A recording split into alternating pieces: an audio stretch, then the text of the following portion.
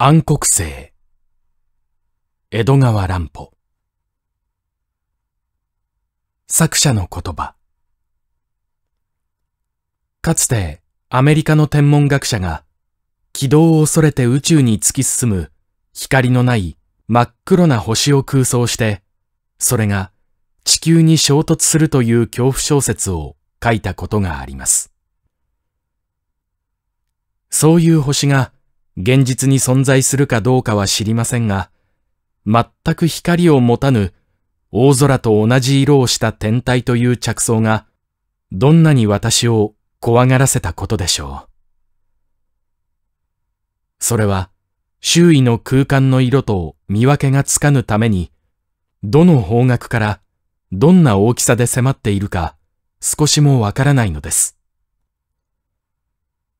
我々は何かしらただならぬ気配を感じるのです。そして、まるで盲人のように、その気配に怯えるばかりです。私は以前から人間世界の暗黒星を書いてみたいと考えていました。それを今度試みるわけです。今度の物語の一方の主人公はその暗黒の星のように恐ろしい邪悪の人物です。そいつは我々のすぐ身近にいるのですが、どこにいるか、どんな姿をしているか、誰にもわかりません。わからねばこそ、その不気味さ、恐ろしさは、幾倍するのです。そして、この人海の暗黒星と戦い、その正体を暴く者は、邪悪の世界の天文学者、つまり名探偵であることは申すまでもありません。講談クラブ、昭和13年12月号。恐ろしき前兆。東京旧市内の大震災の大火に合わなかった地域には、その後発展した新しい大東京のバス停などよりも、はるかに寂しい場所がいくつもある。東京の真ん中に荒れ果てた原っぱ、倒れた塀、明治時代の赤レンガの建築が廃墟のように取り残されているのだ。欺く慶長もそういう大都会の廃墟の一つであった。自然に朽ち果てて取り壊された数十軒の借家の跡が一面の草原になっていて、その草原に取り囲まれるようにして、青苔の生えたレンガ塀が続き、その中の広い辞書に、時代のために黒くくすんだ奇妙な赤レンガの西洋感が立っている。明治時代、物好きな西洋人が住宅として建てたものであろう。普通の西洋館ではなくて、建物の一方に、やはり赤レンガの円筒のようなものがそびえているし、建物全体の感じが明治時代の、つまり19世紀末のものではなくて、それよりも1世紀も昔の西洋画などでよく見る、まあ、お城といった方がふさわしいような感じの奇妙な建物であった。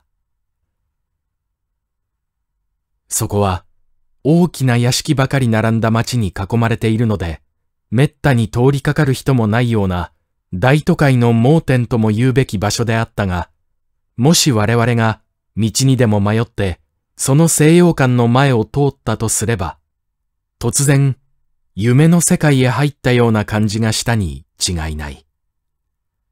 ああ、これが東京なのかしらと、狐につままれたように思ったことであろう。それほど、その場所と建物とは、異国的で、現代離れがしていた。年代をはっきり記すことは差し控えるが、ある年の、春も半ばの、ある、どんよりと曇った夜のことであった。その奇妙な赤レンガの建物の中に、五六人のしめやかな集まりが催されていた。と言っても、廃墟に救う盗賊などの類ではない。その西洋館に住む家族たちの集まりなのである。この古城のような建物には人が住んでいたのだ。奇人資産家として人にも知られた石田鉄三氏一家の者が住んでいたのだ。近所の人は、その石田氏の姓をとって、海西洋館を石田屋敷とも、石田さんのお城とも呼んでいた。お城には、五六人の家族と三四人の召使いとが住んでいるらしかったが、夜になれば、どの窓も明かりが消えて、建物全体が真っ黒な大入道のように見えた。昼間でもお城はひっそりと静まり返っていて、建物の広いせいもあったのだろうが、二階の窓に人の影の映ることも稀で、外からはまるで空き家のように感じられた。時たま窓から人の顔などが覗いていると、なんだかもののけのように不気味で、通りかかる付近の人を怖がらせるほどであった。そういうお城の中の一番広い客間に、五六人の人影が声もなく腰掛けていた。伝統は消えて、真っ暗な闇の中に、それらの人影はほとんど身動きもせず、じっと静まり返っていた。兄様どうなすったの？早くしなくっちゃ。闇の中から可愛らしい少女の声が叱るような調子で響いた。うん、すぐだよ。なんだか今夜は機械が言うことを聞かないんだ。よし、さ、始めるよ。若々しく優しい男の声が答えたかと思うと、突然、ジーンとモーターの回転する音がして、カタカタカタと歯車が鳴り出した。そして、部屋の一方の壁が、一見四方ほど、ぼーっと薄明るくなって、そこに、人の姿が、うごめき始めた。16ミリの映写が、始まったのだ。何でもないことなのだ。しかし、それが果たして、何でもない映画鑑賞として終わったかどうか。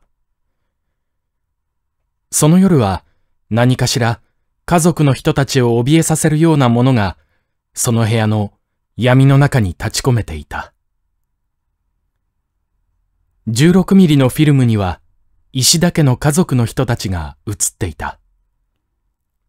広い庭の木立を背景にして、あまりはっきりしない人影が、50歳ほどのでっぷりした髭のある紳士や、その婦人らしい人や、22、3の美しい霊場や、16、7歳の可愛らしい女学生や、腰の二つに折れたようになったひどい年寄りのおばあさんなどが、まるで幽霊のように暗い木立の前を妙にのろのろと右往左往していた。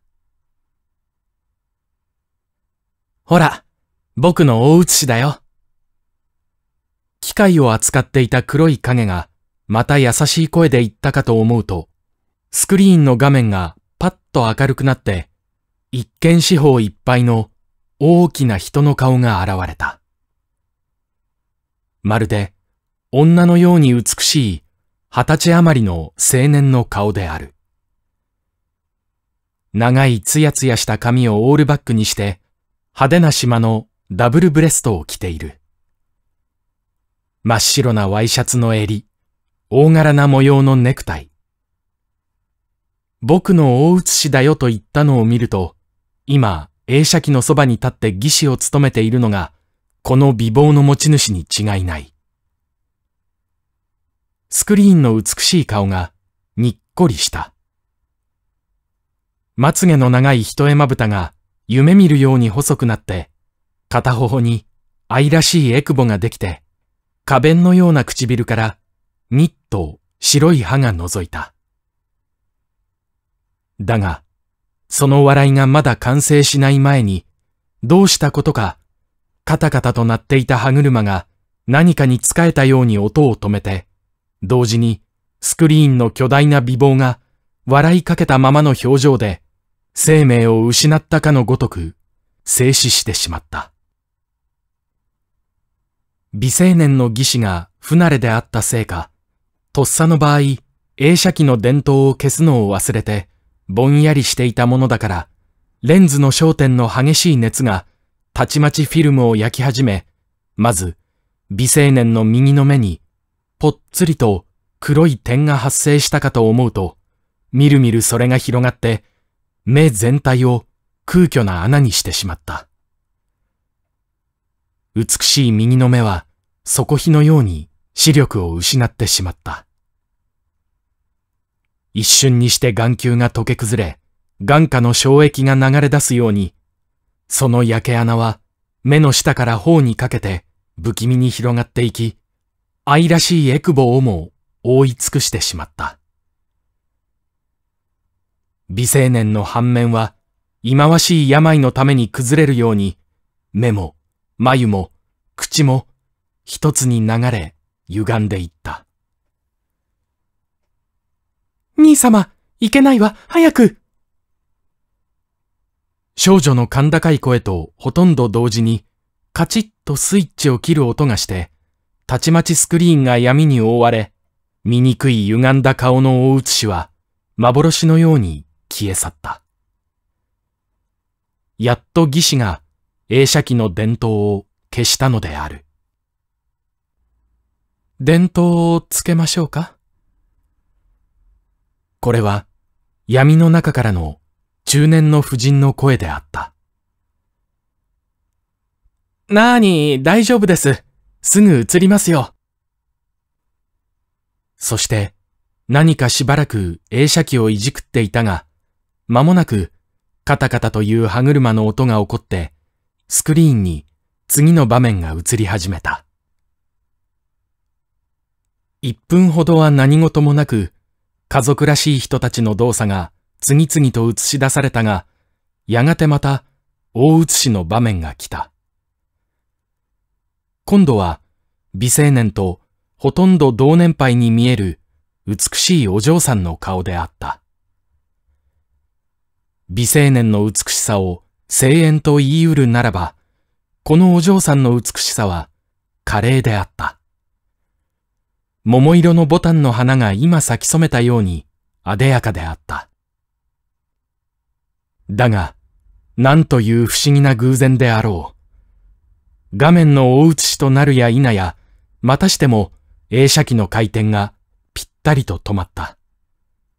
そして、人々がぎょっとしたようにスクリーンを見つめているうちに、そのお嬢さんのボタンのように美しい顔の唇のあたりに、ぽつりと黒点が現れたかと思うと、まるで夕立雲が広がりでもするように、じわじわとしかし非常な速さで、恐ろしい焼け焦げの跡が、唇全体を覆い消していった。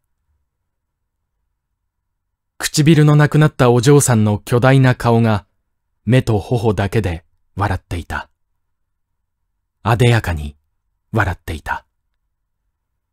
だが、それがあでやかであればあるほど、溶けて流れた唇の跡が、ものすごく恐ろしかった。しかもその妖怪は唇だけにとどまらず、ちょうど口からおびただしい液体が流れ出す感じで、みるみる下顎全体を覆い尽くし、たちまち美しい笑顔の下半分を身震いするような化け物の形相に変えてしまった。一見四方の巨大な顔が、しかもそれを見物している人自身の顔が、はっとする間に何とも得体の知れぬ怪物に変わっていく恐ろしさ。フィルム面上の焼け焦げは2ミリか3ミリなのだ。それがかすかな炎を発して燃えるのだ。しかし、スクリーンの上には千倍万倍に拡大されて映される。燃え広がる速さも焼け焦げ独特のじわじわした感じであるが、それが千倍万倍の速さになって顔面の皮膚を這い広がるのだ。溶けただれていくように、虫に食われていくように、一瞬にして我が総合の変わっていく恐ろしさ。その何とも言えぬ恐怖は、自分自身の大写しの映画面が焼けていくのを実際に見た人でなければ想像できないかもしれぬ。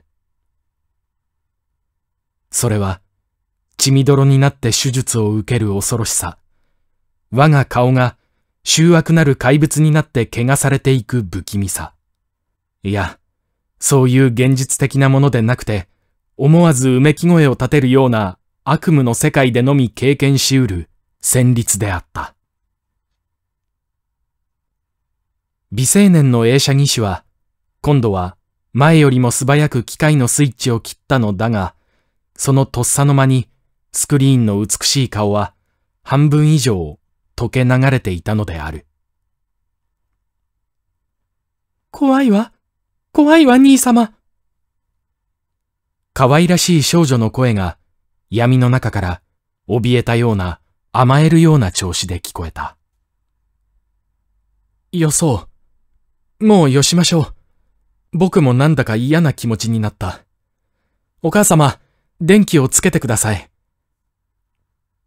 一つの黒い影が無言で立ち上がって壁のスイッチに近づいたかと思うと、パッと室内が明るくなった。今までの暗さに比べて、まるで真昼のように明るかった。どうしてよすんだ続けてやればいいじゃないか。家族たちの一方の端に腰掛けていた人物が美青年をなじるように言った。その人物は最前スクリーンの中を歩いていたあのでっぷり太った口ひげのある五重格好の紳士であった。この家の主人、石田哲三氏である。でも、お父様、僕なんだか嫌な気持ちなんです。恐ろしいのです。スクリーンで見たと同じ、あの、声援と言っても良いほど美しいダブルブレストの青年が、映写機のそばを離れながら、青い顔をして答えた。恐ろしいって？石田氏は、またかと言わぬばかりの苦い顔をした。一郎、お前この頃どうかしているんじゃないのかい？病気なのじゃないのかい？妙なことばかり言っている。本当よ。一郎さん、病人みたいよ。真っ青だわ。これも、今スクリーンで見たばかりの、あの、美しいお嬢さんであった。この家の長女、美青年一郎の姉、綾子である。僕のこの気持ちは、何と言って説明していいかわからないのです。前兆としか考えられないのです。僕たちのこの家に何かしら恐ろしい災いの起こる前兆としか考えられないのです。今もあの映画を映し続ければ、きっと僕とお姉様だけでなくて、お父様もマリコも大写しの顔が出るたびに同じことが起こったに違いないんだ。僕はちゃんとそれを知っていたんだ。あの夢で幾度も見て知っていたんだ。青ざめた美青年は物狂わしく言い張った。夢ってお前、どんな夢を見ましたの？母夫人が心配そうに顔を曇らしておずおずと尋ねた。この人もスクリーンに現れた人物の一人であった。髪型や服装は、主人鉄造氏の年配にふさわしい地味なものを身につけていたが、よく見れば、その方はつやつやしく、まだ40歳には間のあるらしい、上品な美しい人であった。恐ろしい夢です。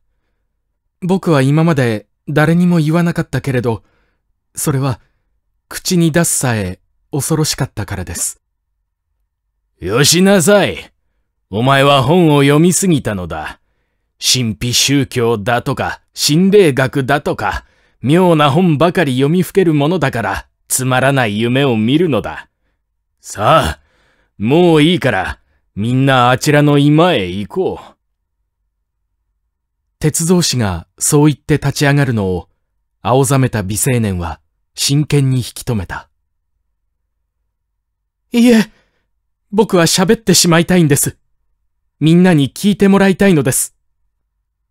あんなに言うんだから、話させるがいいじゃないか。夢というものは、馬鹿にできませんよ。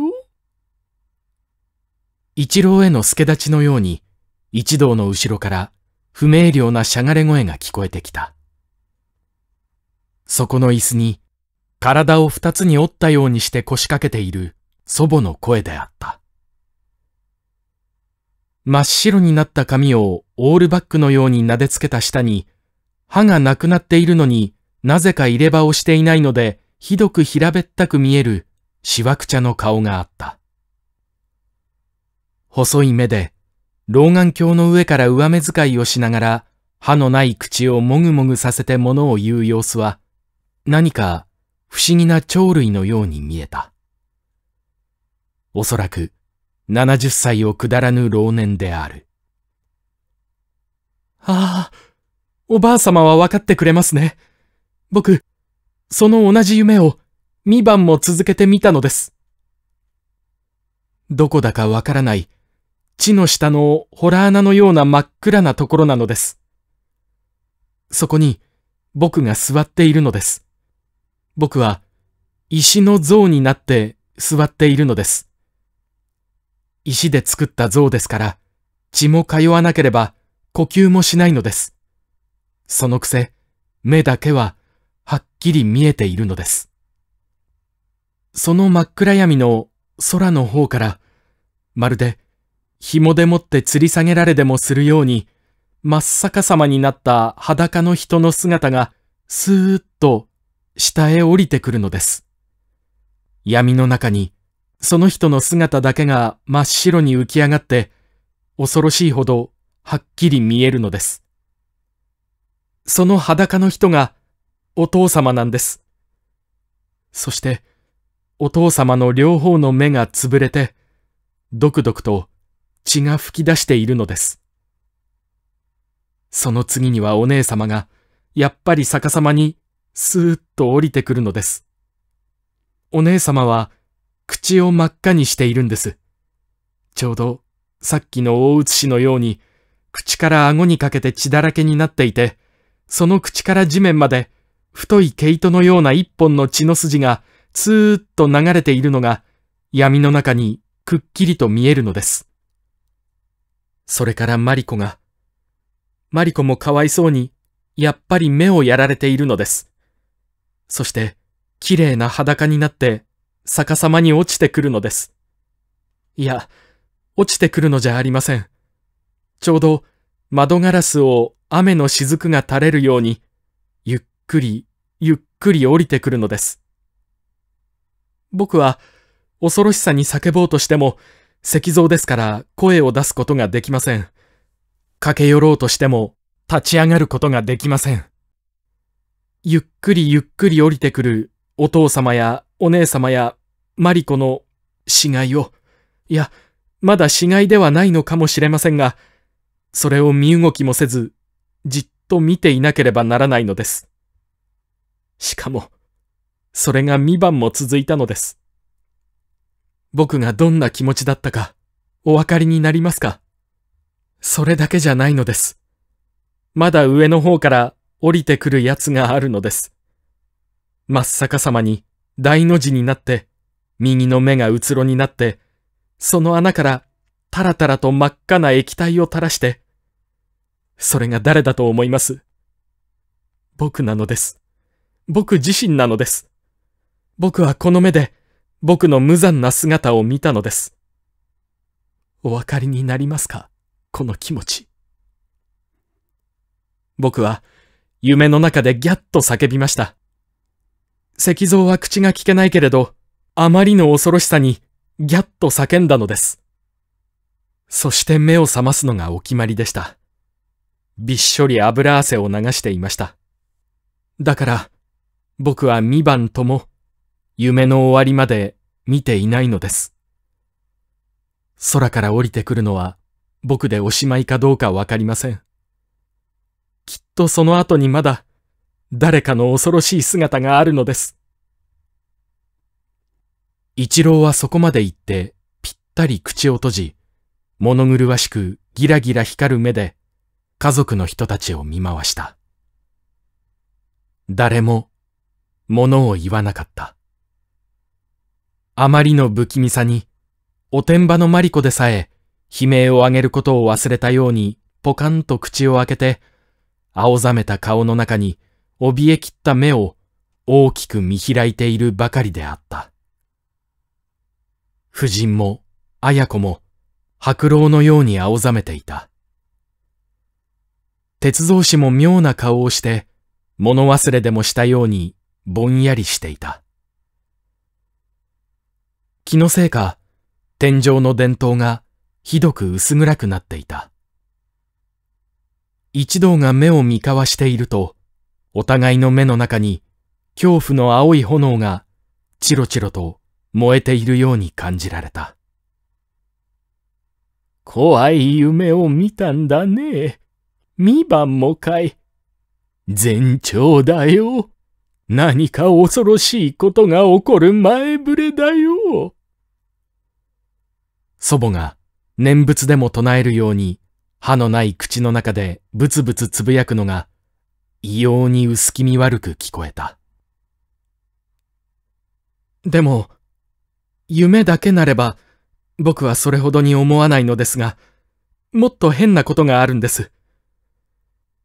僕はこのうちに、目に見えない魂みたいなものが忍び込んでいるんじゃないかと思うんです。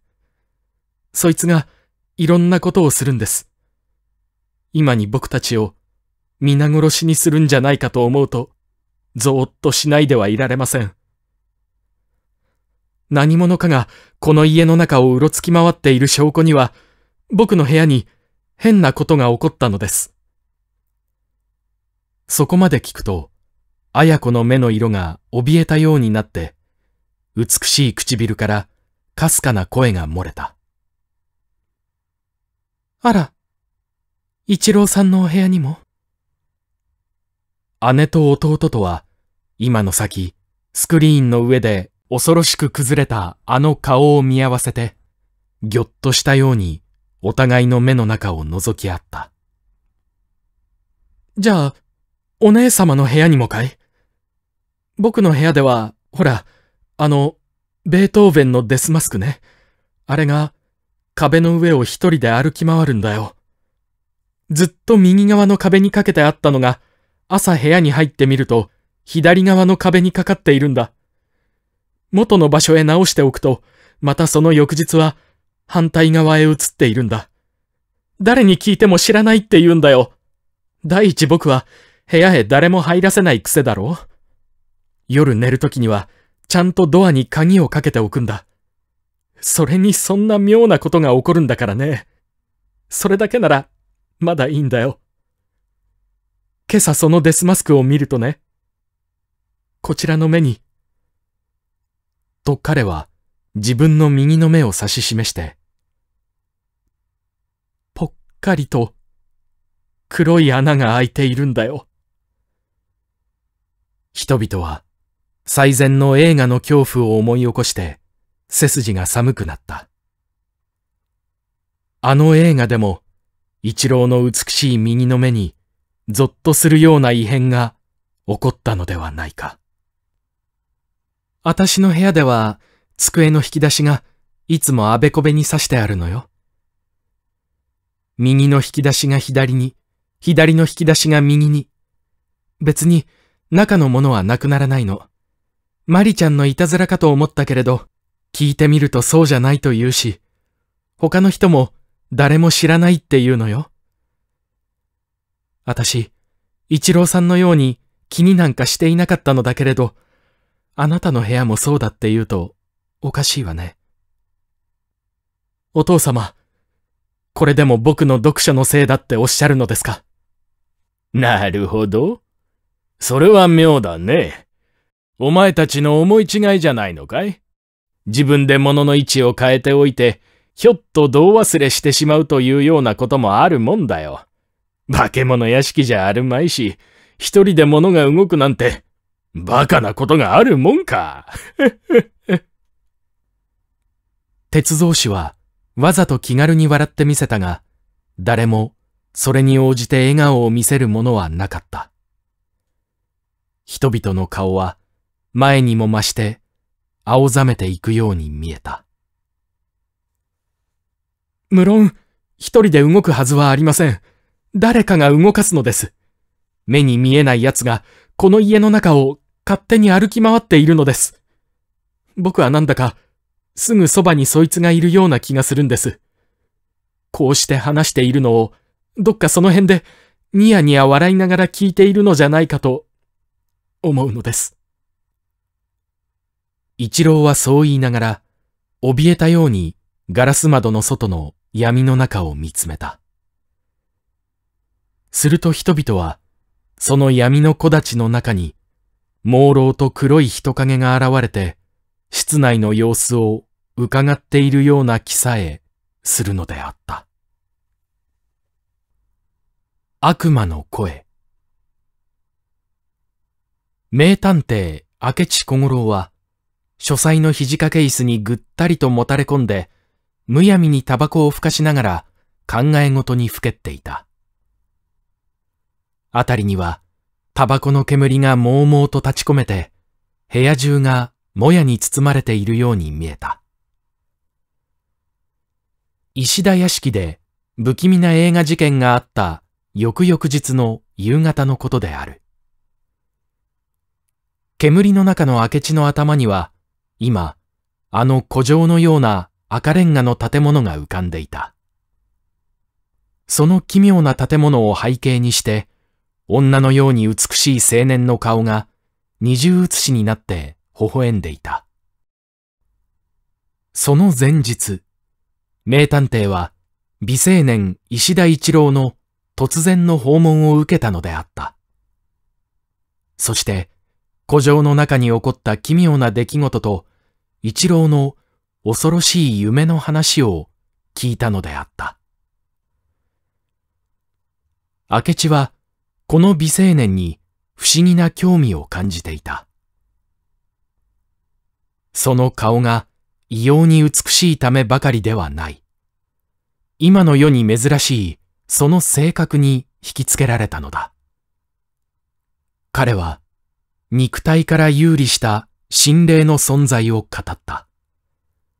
そして、呪詛とか前兆とかいうものを心の底から信じているように見えた。僕は怖いのです。誰かにすがりたいのです。父は唯物論者ですから、僕の言うことなど取り上げてくれません。僕は、ふと、先生のことを思い出したのです。これは、犯罪ではないかもしれません。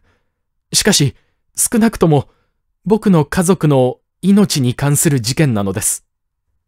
何かしら、恐ろしいことが起こるに違いないのです。美青年は、応接室のアームチェアに腰を浮かすようにして、物に疲れた目で明智を見つめながら、真剣な調子で名探偵の判断をこうた。不思議な青年だ。胸の中に冷たい美しい炎が燃えている感じだ。その炎が瞳に映って、あんなに美しく輝いているのだ。明智は、その時の青年の異様に熱心な表情を思い浮かべて、心の中につぶやいた。私は、君の恐怖を取り留めもないものだなどと言わない。何かあるのかもしれない。しかし、ただそれだけの出来事では、まだ私がどうこうする時期でないように思う。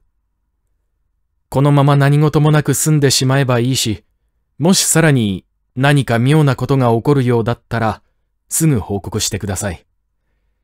その報告によって、私の考えを決めることにしよう。結局明智は、そういう意味の答えをして青年を返したのであった。それからつい先ほどまで他の事件の処理に追われて青年のことは忘れるともなく忘れていたのだが、仕事が一段落してアームチェアにもたれ込み、タバコと方針のひとときを楽しむうち、なぜか明智の頭の中に美青年の姿とその言葉と彼の住んでいる古城のような建物とが異様に鮮明に浮き上がってきたのである。探偵はわけのわからぬ不安を感じた。妙な胸騒ぎを覚えた。あの美しい青年の上が、なぜかひどく気遣われた。変だぞ。こんな気持ちは久しく経験しなかったが。明智がそんなことを心につぶやいて、またタバコの煙を深く吸い込んだ時であった。突然、卓上電話がけたたましく鳴り響いた。彼はその音を聞くや否や、ああ、やっぱりそうだったかというような感じがした。彼にも逃げなく、ぎょっとしたのだ。急いで受話器を耳に当てると、先方は予感の通り石田一郎であった。先生ですか？今、父も母も皆不在なのです。僕は、父の書斎に一人ぼっちで留守番しているのです。先生、聞こえますか？もっと声を低くします。あいつに聞こえるといけないからです。え？あいつって、誰かそこにいるんですか？明智が聞き返しても、先方は構わず話し続ける。例によって、物に疲れた調子だ。廊下に、かすかな足音がしたのです。女中などとは違います。まだ見たこともないあいつの足音です。確かにあいつです。先生、早く来てください。僕を助けてください。僕はもう、体が痺れたようになって、身動きできないのです。卓上電話の受話器を外すのがやっとでした。ああ、あいつの息の音が聞こえます。ドアの鍵穴から覗いているのです。先生、もっと声を低くしますよ。そして、先方の声は、本当の囁きに変わった。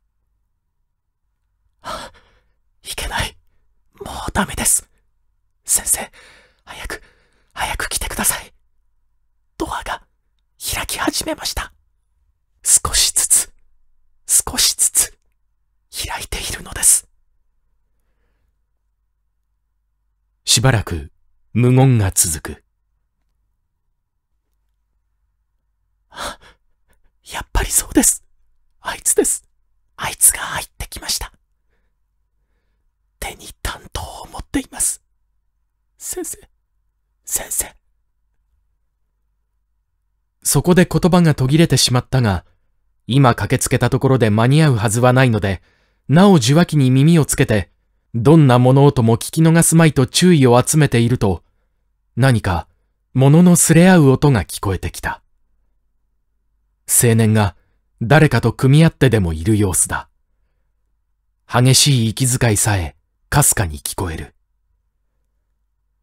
手に汗を握って聞いている身には非常に長い時間に感じられたが、その無言の格闘はおそらく5分とはかからなかったであろう。やがて受話器から何とも言えぬ悲痛なうめき声が耳をつんざくように響いてきた。一郎の声だ。あの美青年の声に違いない。明智は心臓を締め付けられるような気がした。青年は救いを求めたのだ。その声をまざまざと聞きながら助けてやることができなかったのだ。確かに深手を負っている。もしかしたら一命を失ったかもしれない。あの美しい顔は、もう二度と微笑むことがないかもしれぬ。だが、その時であった。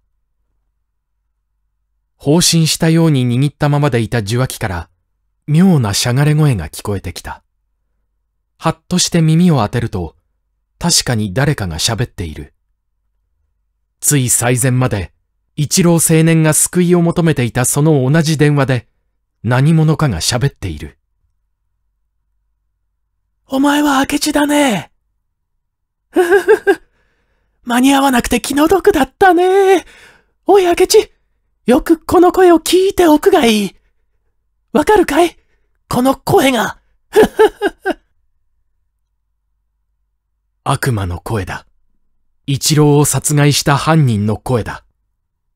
犯人が名探偵を嘲笑しているのだ。だが、それは何という不思議な音調であったろう。男とも女とも、老人とも若者とも、全く見当のつかぬ、調子外れの声であった。まるで、旧館長が人声を真似しているような、妙に間の抜けた感じなのだ。おい、そこにいるのは誰だ？何が起こったのだ？探偵は、無駄とは知りながらも、総話口に怒鳴ってみないではいられなかった。しかし、無論返事のあろうはずはない。犯人は、言うだけのことを言っておいて、その場を立ち去ってしまったのであろう。いくら耳を澄ましても、再び人の声は聞こえなかった。ぐずぐずしている場合ではない。何はともあれ、現状へ行ってみなければならぬ。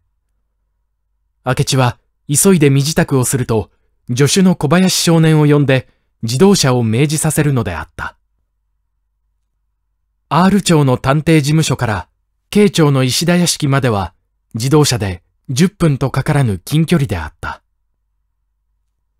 石田屋敷の苔むしたレンガ塀の門前で車を降りて、玄関に駆けつけ呼び鈴を押すと、二十歳余りの学生服を着た青年が、ドアを開いて、のっそりと顔を出した。何事も知らぬ様子である。明智は、その青年が、この家の書生であることを確かめた上、名を名乗って、一郎青年に会いたいと告げると、書生はそのまま奥へ入っていったが、間もなく、顔色を変えて飛び出してきた。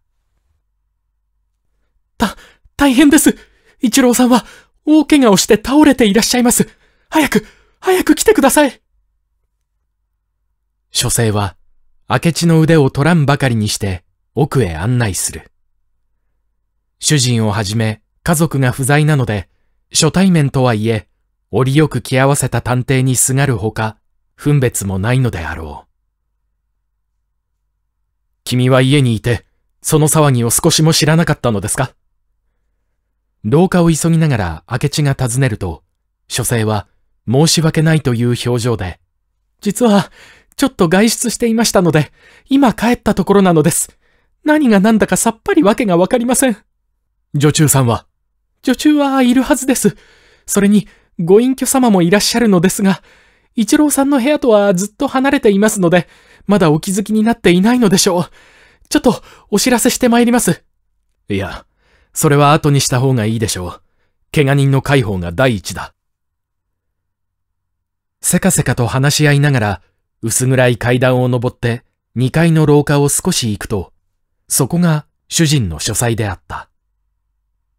一郎は、その父の書斎で、教官に襲われたのである。書生を先に書斎へ入ってみると、夕暮れ時の上に窓の少ない古風な建物なので、部屋の中は非常に薄暗かったが、その床に倒れている人の姿は、たちまち目に入った。薄闇の中に、一郎のあの美しい顔が血に染まって浮き上がって見え、肩から胸にかけて手傷を受けたらしく、そのあたりを血まみれにして、身をくねらせて横たわっていた。予感は、むごたらしくも的中したのだ。恐ろしき前兆は、今やそのまま現実となって現れたのだ。だが、美青年石田一郎は、すでに息絶えたのであろうか。陽馬は、その第一の犠牲者を完全にほふり去ったのであろうか。明智と書生とは部屋に一歩踏み込んだまま、薄闇の中の血の色の生々しさに犠牲者に駆け寄ることも忘れて、しばらくは呆然とその無残な光景を打ち眺めるばかりであった。人間コウモリ一郎さん、しっかりしてください書生が近づいて大声に怒鳴っても、美青年は身動きさえしなかった。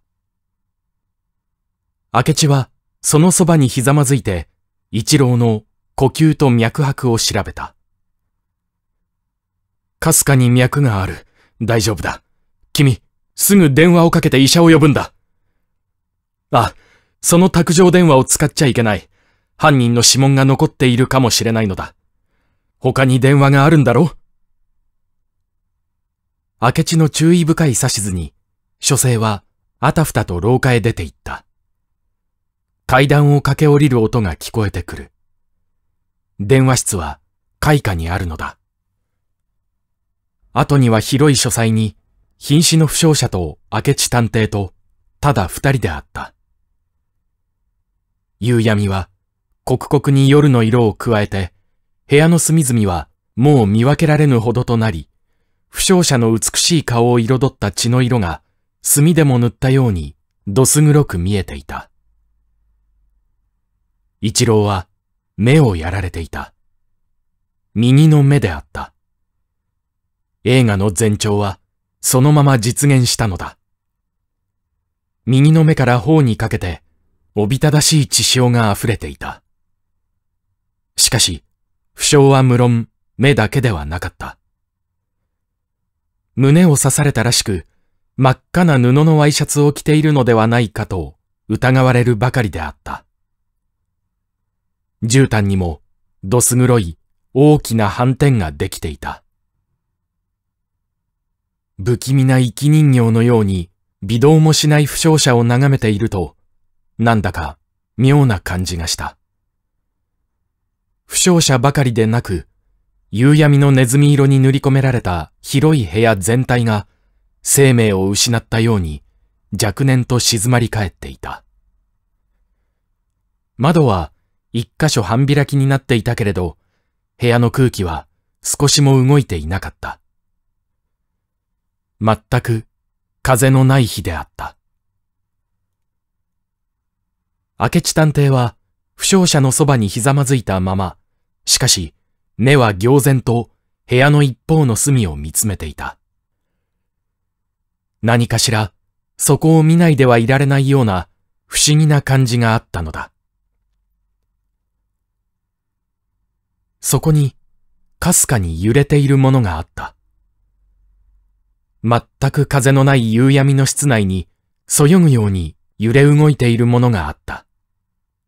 壁の書棚と書棚の間に、何か物を入れる押し入れのような箇所があって、その前に垂れたネズミ色のカーテンが、かすかに動いているのだ。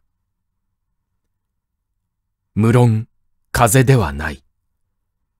カーテンの影に何か生き物がいるのだ。この家には猫が飼ってあるのかしら。いや、そんな小さな動物ではない。もっと大きいものだ。おそらくはそこに人間が隠れているのだ。明智は最前自宅で聞いた電話の声を思い出していた。男とも女とも老人とも若者とも判じがたい不気味なしゃがれ声であった。犯人なのだ。一郎を刺した殺人者なのだ。あいつがカーテンの影に身を潜めているのではないか。明智はその者に向かって何か言葉をかけようとしたが思い止まった。それではこちらの負けになってしまう。黙っている方がいい。黙って相手の出ようを見守っている方がいい。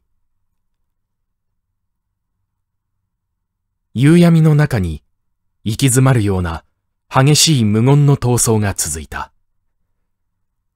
互いにそれを知っていたのだ。そして油汗を流しながら黙り返っていたのだ。明智は武器を持たなかった。相手は少なくとも一振りの担当を持っているはずだ。探偵の側は一段の精神力が必要であった。睨み合いは結局犯人の負けであった。それほど明智探偵は落ち着きを失わなかったのだ。犯人はおそらくただ行然と見つめられている不気味さに耐えられなくなったのであろう。カーテンがひときわ激しく揺れ始めた。そしてその影からさっと黒いものが姿を現し、風のようにドアに向かって走った。それは巨大なコウモリのようなものであった。とっさには見分けることができなかったが、後で考えてみると、その怪物は頭部全体に黒布を巻きつけ、両目の部分だけに小さな二つの穴を開けていた。ダブダブのインバネスのようなもので全身を包んでいた。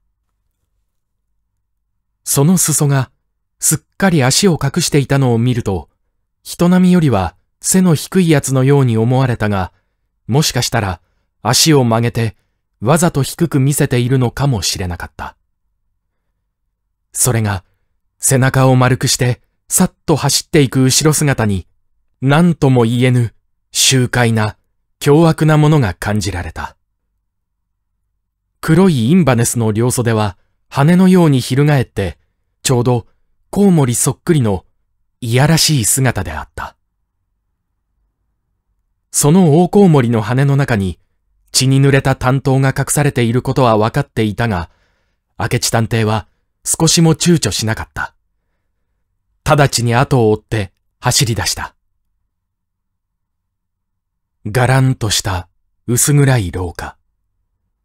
怪物は表階段を降りないで奥の方へ走っていく。猫のように足音を立てない走り方だ。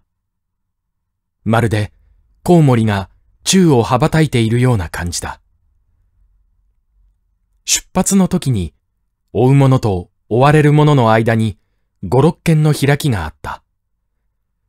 それが怪物が廊下の突き当たりの狭い裏階段を駆け下りる頃には二三軒に縮められていた。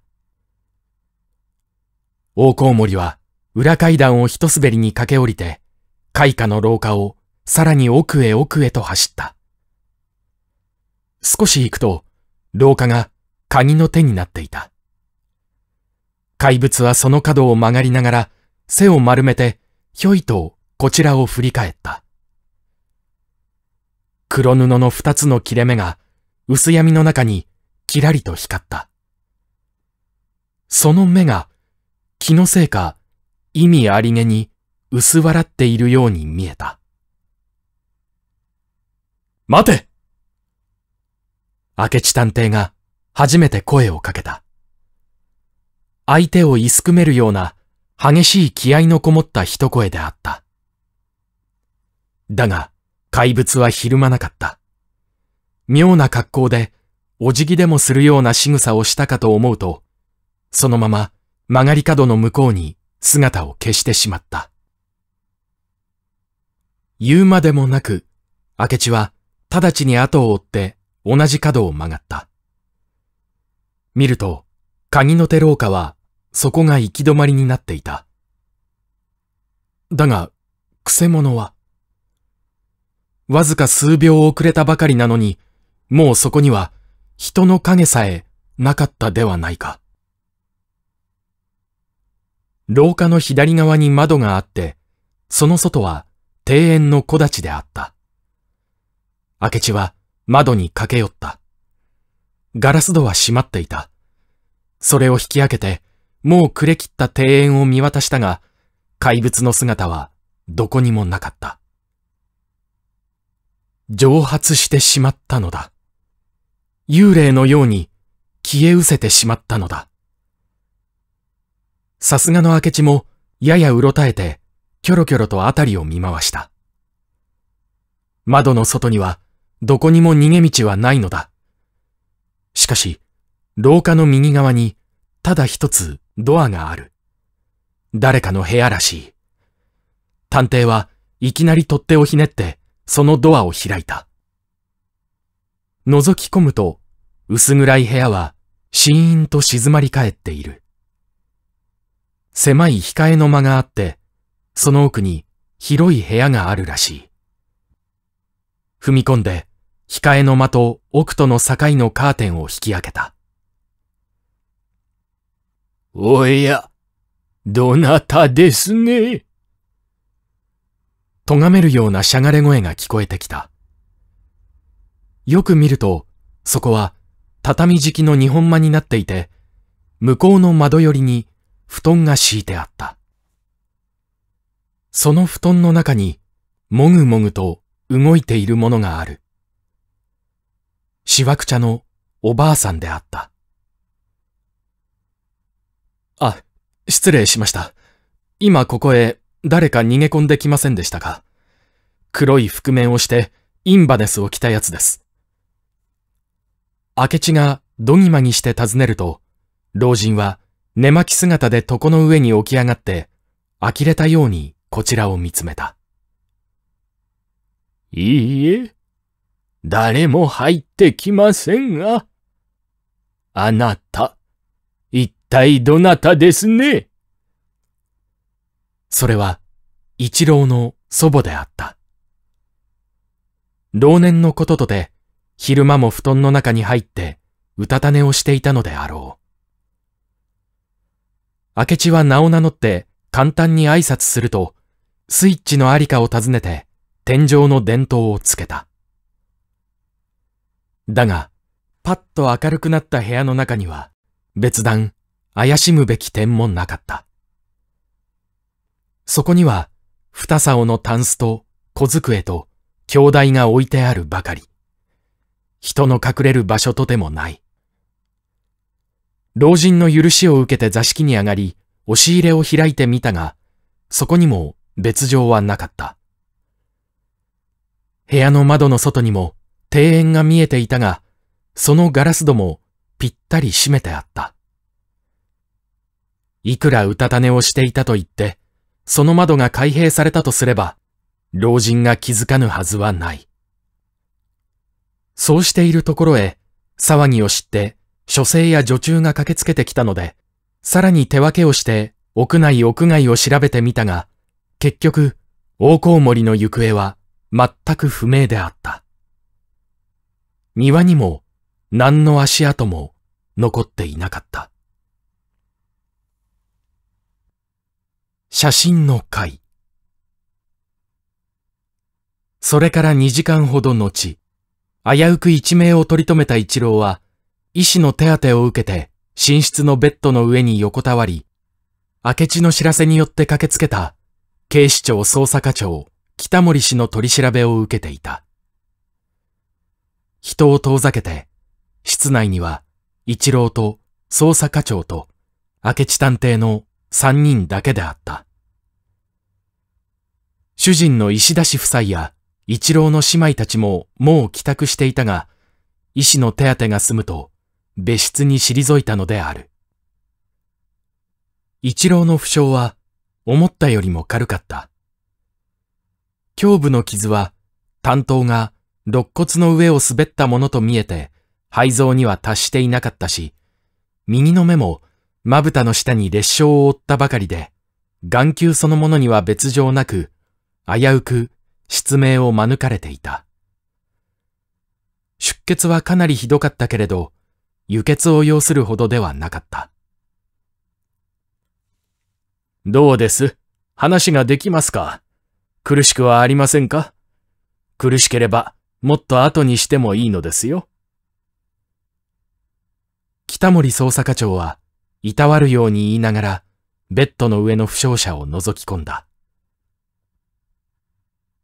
大丈夫です。大変楽になりました。少しくらいお話できそうです。一郎は低い声ではあったが、案外しっかりした口調で答えた。胸部は包帯に膨れ上がり、頭部から右の目にかけても、厚ぼったく包帯が巻きつけてあった。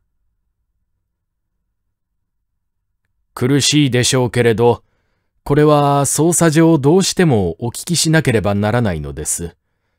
なるべく正確に答えてください。あなたは犯人を知っていますか？わかりません。僕は犯人の顔を見なかったのです。覆面をしていたのですね。しかし、声だとか体の格好だとかに何か心当たりはなかったですか？少しも心当たりがありません。全く聞いたこともない声でした。誰かに恨みを受けているようなことはないのですか？少しでも疑わしい人物はないのですか？ありません。僕はなぜこんな目にあったのか、まるで見当もつかないのです。そうですか。それで犯人は、不意に書斎へ入ってきたのですね。ええ、全く不意でした。もっとも、僕はなんだか恐ろしい予感がしていたのです。すると、廊下を聞き覚えのない足音が近づいてきたのです。それで、明智さんにあんな電話をかけたのです。犯人は口を聞きましたかなぜあなたを殺そうとするか、その訳を言わなかったですか？何も言いません。一口も物を言わないで、いきなり担当で突きかかってきたのです。あなたは、防ぎましたか？ええ、死に物狂いで防ぎました。しかし、とても叶わなかったのです。僕は、あまりの恐ろしさに、力も抜けてしまったようになって。なぜそんなに恐ろしかったのです？あいつの姿が怖かったのです。黒い覆面の中から覗いている二つの目が無性に恐ろしかったのです。それに僕の目です。組み合っているうちにあいつの担当の先が僕の右の目ばかり狙っていることを知ってぞーっとしたのです。そんなに目ばかり狙ったのですか？ええ。この右の目をぐいぐいとついてくるのです。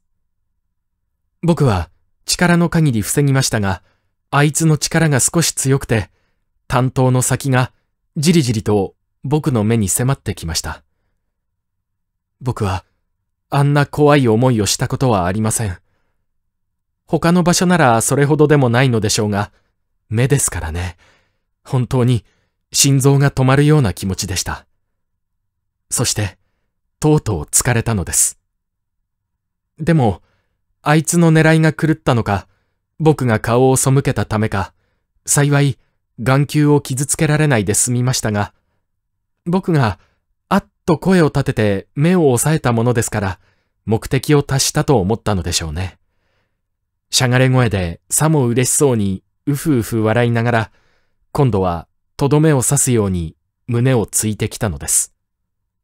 僕は目を塞いでいたので何が何だかわかりませんでしたが、胸に激しい痛みを感じると、ああ、もうダメだと思いました。そして、そのまま気を失ってしまったのです。語り終わって一郎は、疲れたようにぐったりと目を塞いだ。包帯の間から見えている半面が発熱のためにポッと赤らんで、閉じた目の長いまつげがかすかに震えている。明智探偵はその美しい顔にじっと目を注いでいた。何かしら吸い込まれるように瞬きもせず見つめていた。北森警部も腕組みしたまま物を言わなかった。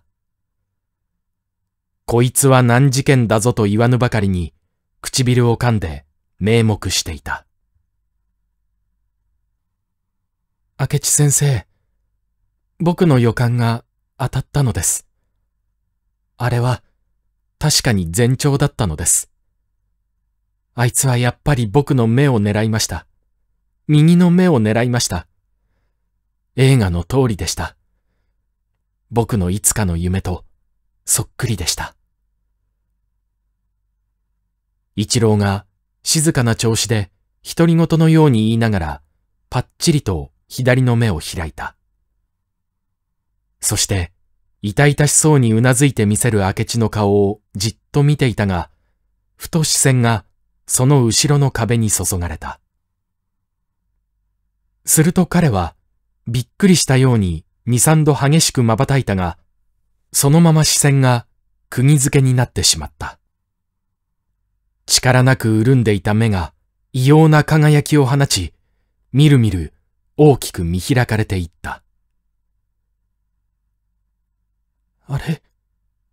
あれは何でしょう？怯えた声で言いながら、その壁の上部を指さした。捜査課長と探偵とは、思わず後ろを振り返った。その壁には、小型の額がかかっていた。額の中に、一郎の美しい顔が笑っている引き伸ばし写真であった。だが、おお、これはどうしたというのだ。その美しい写真の顔の右の目から真っ赤な液体が流れ出しているではないか。伝統の光をギラギラ反射しながら、今傷つけられたばかりのように、タラタラと頬を流れ落ちているではないか。私物の写真が血を流すはずはない。しかし、血は正しく流れているのだ。生々しい液体が糸を引いて滴り落ちているのだ。ああ、血です。僕の目から血が流れている。あいつだ。あいつが失敗を悟って、もう一度こんな目に合わせてやるぞと、僕に知らせているのです。一郎は、ベッドの上に半身を起こして、悲鳴のような叫び声を立てた。その叫び声の何とも言えぬ恐ろしさに、明智も北森警部も思わずぞっとして顔を見合わせたほどであった。明智はいきなりその写真の前に近づいて、目の下に流れている血潮に指を触れてみた。血じゃない。赤い絵の具だ。だが、いつの間にこんないたずらをしたのだろう。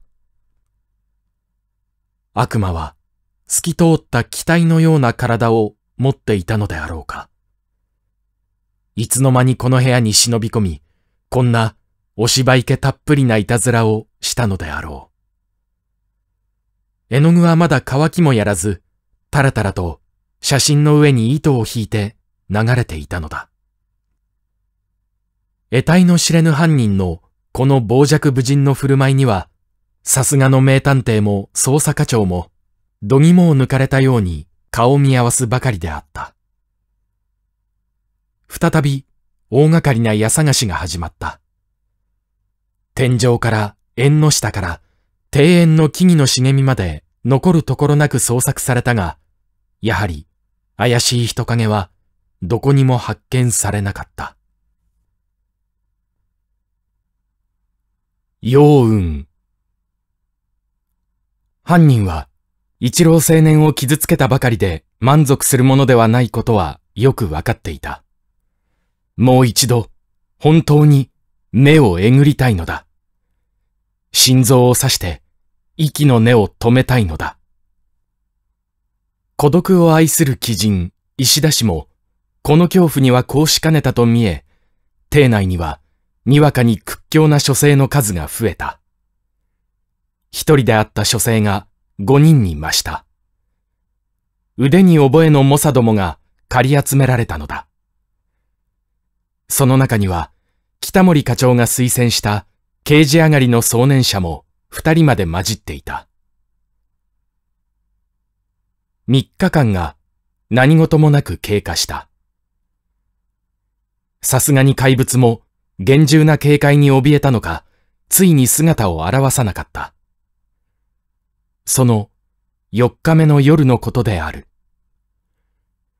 一郎青年の病室には、ただ一人、ロイドメガネと三角に刈り込んだ顎ひげの目立つ医師が、負傷者の見取りをしていた。どう考えてもおかしいですよ。僕はまさか、あなたにこんな看病をしていただこうとは、夢にも思いませんでした。ベッドに横たわった一郎青年は、傷の経過も悪くないと見えて、元気な様子でクスクス笑いながら、ロイドメガネの意志を見上げるのであった。僕だって、こんな真似は初めてだよ。変装というようなことは好きじゃないのだが、君があんなに頼むものだから、つい負けてしまったんだよ。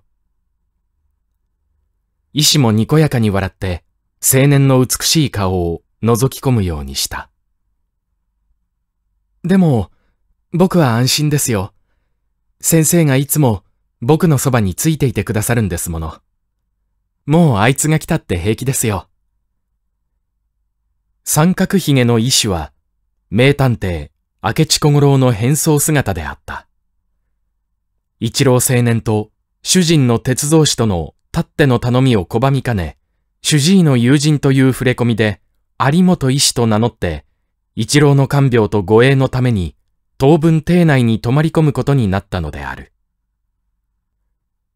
その秘密を知っているのは、当の一郎青年と、鉄道士と、主治医の三人だけで、他の家族や召使いたちは、明智を本当の医師と思い込んでいた。明智は変装嫌いではあったが、決して変装ベタではなかったからだ。明智は、負傷者一郎青年に異様に引きつけられていた。最初彼が探偵事務所を訪ねてきた時から、その類まれなる美貌と、インカのような押し殺された情熱が探偵の心を打った。嫌いな変装までして石田邸に泊まり込むことになったのも、この美青年の不思議な牽引力によるものであった。しかし、探偵がこの異例な虚に出たのは、ただそれのみのためではなかった。彼は、風変わりな石田家そのものに妙な興味を抱いていた。この古風な西洋館の中には、何かしら敗退的な、まがまがしい匂いが満ちていた。犯罪は外部からではなくて、むしろ内部から発生しそうな一つの別世界が感じられた。一郎くん、だいぶ気分が良さそうだね。少し質問しても差し支えないかね。明智の有本医師は、改まった調子になって優しく尋ねた。ええ。僕も先生に聞いてほしいことがあるんです。お尋ねになりたいというのは、もしや僕の家庭のことではありませんか？そうだよ。僕はあの事件が起こった時から、それを一度よく聞きたいと思っていたのだ。じゃあ先生は、今度のことは僕の家庭の内部に何か原因があるとでもお考えなのですか？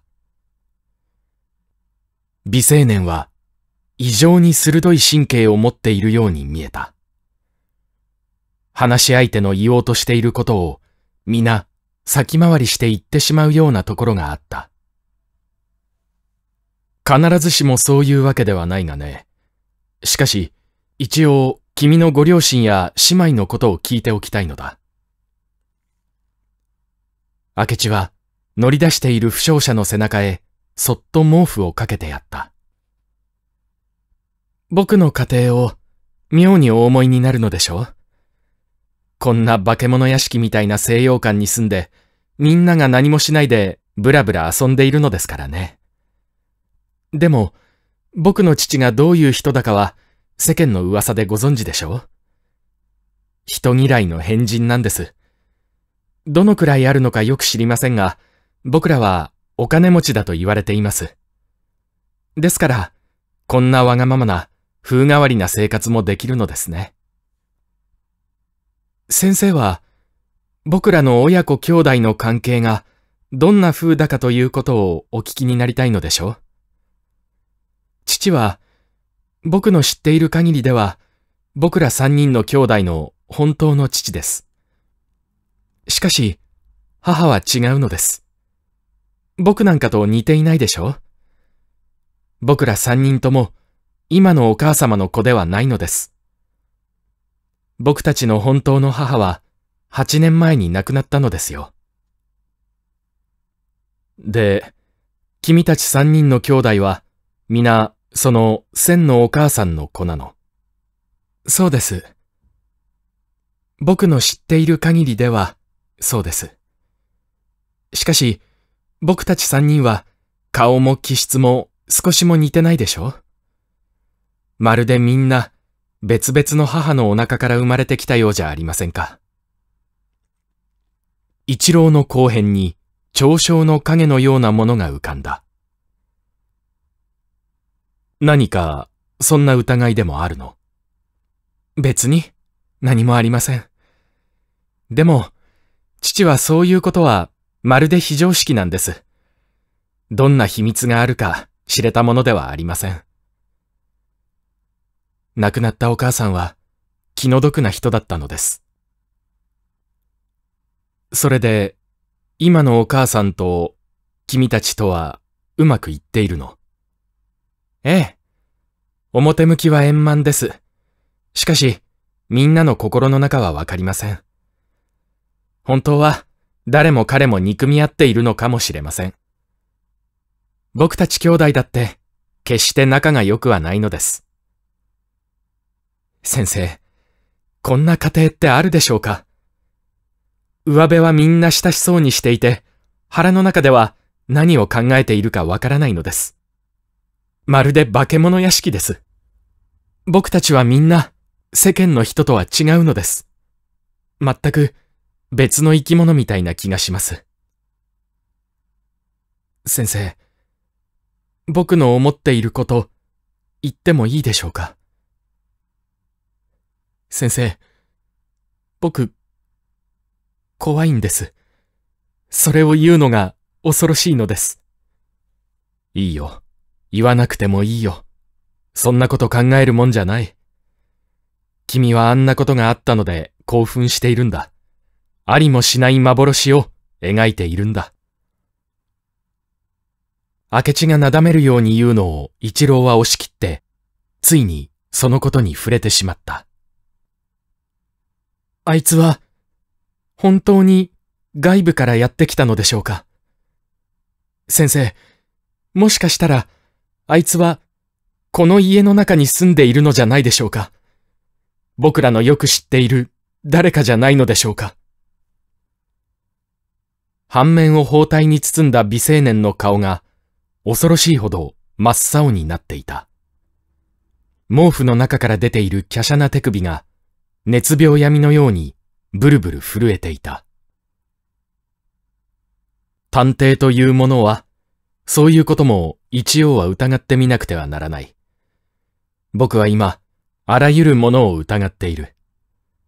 君の家庭内の人たちだって決して例外ではないのだ。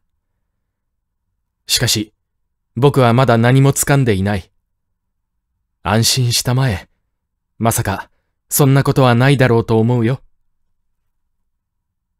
明智の有本医師は、強いて鈍感を装いながら、一郎青年を慰めようとした。あやっぱりそうなんですね。先生も、僕たち一家の誰かを疑っていらっしゃるのですね。誰です？それは一体誰です？一郎の顔は興奮のあまり泣き出しそうに歪んで見えた。バカな。僕がいつそんなことを言った？取り越し苦労もいい加減にしたまえ。さあ、一眠りするんだ。そして、もっと明るい気持ちになるんだ。睡眠剤をあげようか。名探偵は、まるで看護婦のように優しかった。一郎の毛布の肩のあたりに手を置いて、母親のように子守歌でも歌い出しそうな様子に見えた。有本医師の一挙一動には、美しい負傷者への細やかな愛情が満ち溢れていた。登場の会。しかし一郎は眠ろうとはしなかった。眠らないばかりか、一層大きな目を見開いて、向こうのガラス窓の外を見つめていた。何か物に疲れたように、いつまでも同じところを見つめていた。どうしたんだ？何をそんなに見ているの？明智もその方へ目をやった。窓の外には、ただ夜の闇があるばかりであった。その闇の中に、闇よりも黒い大入道のようなものがそびえていた。石田屋敷の名物の円筒である。西洋の城郭にあるようなレンガ造りの円形の塔である。一郎の目は、どうやら、その円筒のあたりに注がれているらしいのだ。あれをご覧なさい。僕は、夕べもあれを見たのです。なんだか恐ろしいのです。僕の幻覚じゃないでしょうか。あれって何、どこを見ているの？塔の頂上の窓です。じっと見ていてごらんなさい。ほら、あれです。先生、あの光です。先生には見えませんか？それは決して一郎の幻覚ではなかった。円筒の頂上の部屋の窓に、ぼーっと蛍火のような光が差している。室内の電灯がついたのではない。何かもっと小さな白っぽい光だ。もしかしたら、どこか外部からの光がガラスに反射しているのではないかと考えたが、そうではなくて、やはり室内からの光らしい。かすかに揺れている。ね、見えるでしょ？さっきから光ったり消えたりしているのです。ほら、消えてしまった。きっと今にまた光りますよ。見ていると、案の定一秒も経たぬうちに、またぼーっと光り出した。そして、光っては消え、消えては光り、まるで、その円筒の壁に巨大なホタルが止まって息づいているような感じであった。懐中電灯のようだね。ええ、僕もそう思うのです。二人は、円筒から目を離さず、必要以上に声を低めて囁き交わした。円筒の内部は久しく使用せず、荒れるに任せてあった。その廃墟のような建物の中に何者かが潜んでいるのだ。誰かが、ああして外部のものと秘密の通信をしているのじゃないでしょうか。うん。そうかもしれない。この間家探しをした時には、あの塔の中も無論調べたのでしょうね。調べたのだよ。別に異常はなかった。人の隠れているような気配さえなかった。しかし、今は確かに人がいるのだ。あいつかもしれない。黒覆面の中から目ばかり光らせているあの怪物かもしれない。待っていたまえ、そっと塔へ行って調べてみよう。明智の有本医師は、慌ただしく囁いて立ち上がり、壁のベルのボタンを押した。先生、大丈夫ですか？僕、なんだか心配です。一郎青年は、ベッドの上に半ば起き上がって、青ざめた顔で名探偵を見上げながら、引き止めたいように両手を差し出すのであった。心配しなくってもいい。さあ、じっと寝ていたまえ。有本医師は青年の手を取って、元のように横にならせ、毛布をかけてやった。そこへ、ベルを聞いて、書生の一人が入ってきた。北森捜査課長が世話をした刑事上がりの男だ。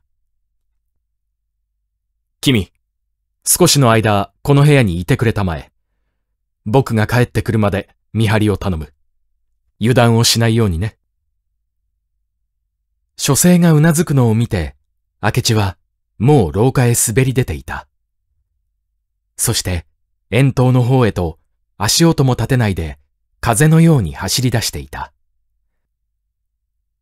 遠投へは曲がりくねった廊下続きになっていたが、母屋を離れると、にわかに廊下が狭くなり、電灯もついていないので、まるで穴蔵へでも入っていくような感じであった。塔に近づくに従って、明智は速度を緩め、足音を忍ばせ、油断なく身構えしながら、前方の闇の中を見透かすようにして進んでいった。塔の入り口のドアは開いたままになっていた。ほとんど手探りでそこを入り、しばらく息を殺して様子を伺っていたが、冷たい塔の内部は墓場のように静まり返っている。こういう時のために常に用意している懐中電灯を取り出して、ちらっとそのあたりを照らしてみた。誰もいる様子はない。部屋の右手に埃の積もった頑丈な木製の階段が見える。明智は懐中電灯を消して音を立てぬように注意しながらその階段を登っていった。円筒は3階作りになっていたので同じような階段を2つ登らなければならなかった。第2の階段は息さえ殺すようにして一寸ずつ一寸ずつ虫の這うように這い登っていった。そして、やっと階段の頂上にたどり着き、そっと首を出して部屋の中を覗いてみた。そこは、ただ一面の暗闇であった。光もなく、音もなく、円筒全体が深い地の底の穴蔵ででもあるように感じられた。空気は土とカビとの廃墟の匂いに満ちて、古沼のようによどんでいた。冒険に慣れた明智探偵にも、こんな経験は珍しかった。そこには、暗さの他に何か得体の知れぬ不気味なものがあった。この世の外の勇気とか音量とかいうようなものが闇の中の空気を重苦しくし、一種異様の匂いを与えていた。探偵は背筋を虫が這うようなおかんをじっと我慢しながら闇の中を見つめていたが、やがて目が慣れるにつれて窓の輪郭がほんのりと薄明るく見分けられるようになった。そしてそれと同時に土とカビの匂いの中に何かしらかすかな好気が漂っているのが感じられた。ヘリオトロープ。それは、美しい女性を連想させるヘリオトロープの匂いであった。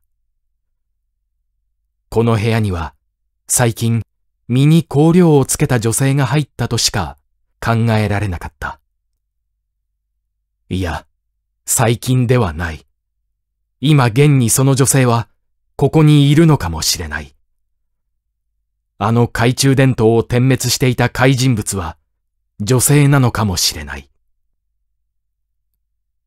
目を凝らすと窓からのほの明かりを受けてその窓のそばに幽霊のような白いものがスーッと突っ立っていた。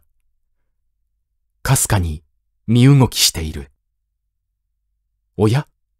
もしかしたらあれは様相の女性ではないのか？と思ううちにほの白い影がやや大きく身動きしたかと思うと、その胸のあたりからパッと光が湧いた。その光が窓のガラスに反射して、室内がにわかに明るくなった。それは、白衣の夫人であった。ひだの多い白っぽい絹の様相をした若い女性であった。胸のあたりに手下げ電灯を掲げて、その光線を窓の外へ向けている。彼女が身動きするたびに、強い光がチロチロ動いて、様相の腕や胸のあたりをかすめ、影絵のように若々しい肉体の一部が透き通って見える。こちらからは後ろ姿しか見えないのだが、ふと気がつくと、窓ガラスに反射光を受けた彼女の半身がぼんやりと映っていた。そして明智探偵は、そこに思わず、あっと叫びそうになるほど意外なものを見たのである。深夜、遠東の会場に佇む白への会女性は、他ならぬ石田綾子であった。一郎青年の姉にあたる、バラのように艶やかな、あのお嬢さんであった。もしそれが見知らぬ人物であったなら、たとえか弱い女性であろうと、明智は躊躇せず飛びかかっていったに違いない。だが、一郎の姉さんと分かっては、迂闊に手出しをするわけにはいかぬ。相手は石田家の一員なのだ。気づかれぬよう、そっと様子を見届けるほかはない。それにしても、裏若い女性の身で、この不気味な場所へ深夜ただ一人忍び込んで、一体何をしているのであろう。最前から長い間、手下げ電灯を点滅していたのを見ると、誰か外部の者と光による秘密の通信を取り交わしていたとしか考えられない。塀を越えて通信しなければならないので、邸内では一番高い、この塔の頂上の部屋を選んだものであろう。ひょっとしたら、外部でこの通信を受け取っている相手というのが、例の黒覆面の怪人物ではないのか。綾子は、その怪人物に操られて、邸内の様子を内通しているのではあるまいか。だがもしそうだとすると、この美しいお嬢さんは、実の弟を殺害しようとした犯人の相棒を務めているわけではないか。そんな恐ろしいことが、一体この世にあり得るのだろうか。手下げ伝統の合図は、今のが最後だったと見えて、部屋は再び明るくならなかった。そして、その暗闇の中に網膜の残像ででもあるように、異様にくっきりと浮き上がって見える白への女性は、もう帰るのであろう。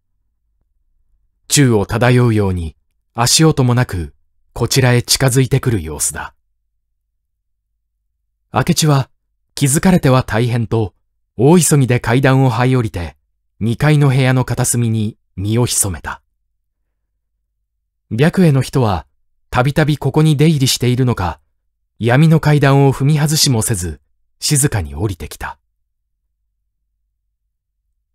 かすかな絹ずれの音、ほのかなヘリオトロープの匂い、そして、息を殺す明智の目の前を、白いもやのようなものが、スーッと通り過ぎたのだが、その時、まるで、胸の底から絞り出すような、はぁ、という、深いため息が聞こえたのである。明智はそれを聞くと、背筋に水を浴びせられたように、ぞーっとしないではいられなかった。地獄の底から響いてくる勇気の短足かと疑われるばかり、引き入れられるように陰気なため息であった。想像にたがわず、この異様な西洋感には、容器がこもっているのだ。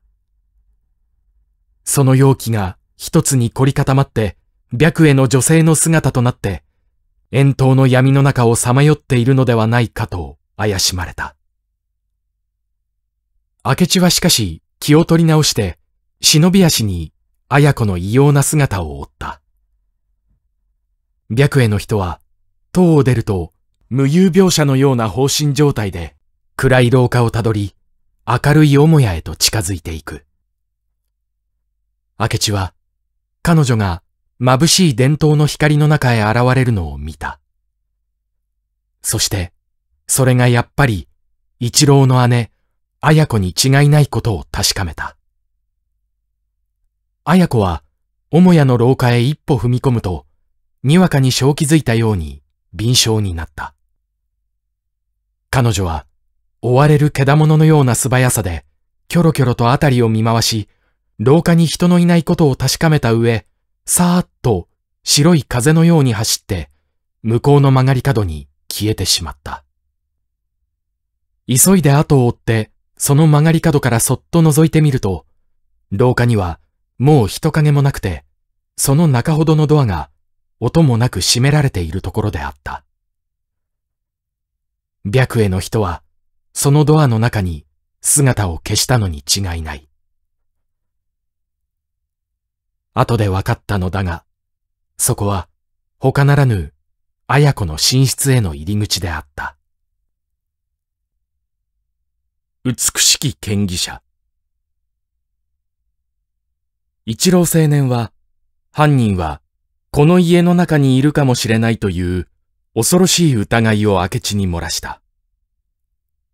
明智もまた、密かにそういうことを想像しないではなかった。この奇怪な邸内に住む変わり者の富豪の一家には何かしら不気味な秘密があった。家族の者がお互い同士で疑い合っているような異様に気詰まりな空気が漂っていた。まさか綾子が実の弟の一郎を傷つけた殺人鬼だとは考えられない。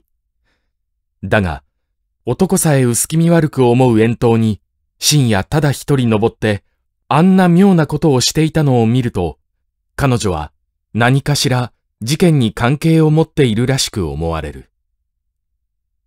もしかしたら、共犯者ではないのか。あの黒覆面の怪人物の相棒なのではないか。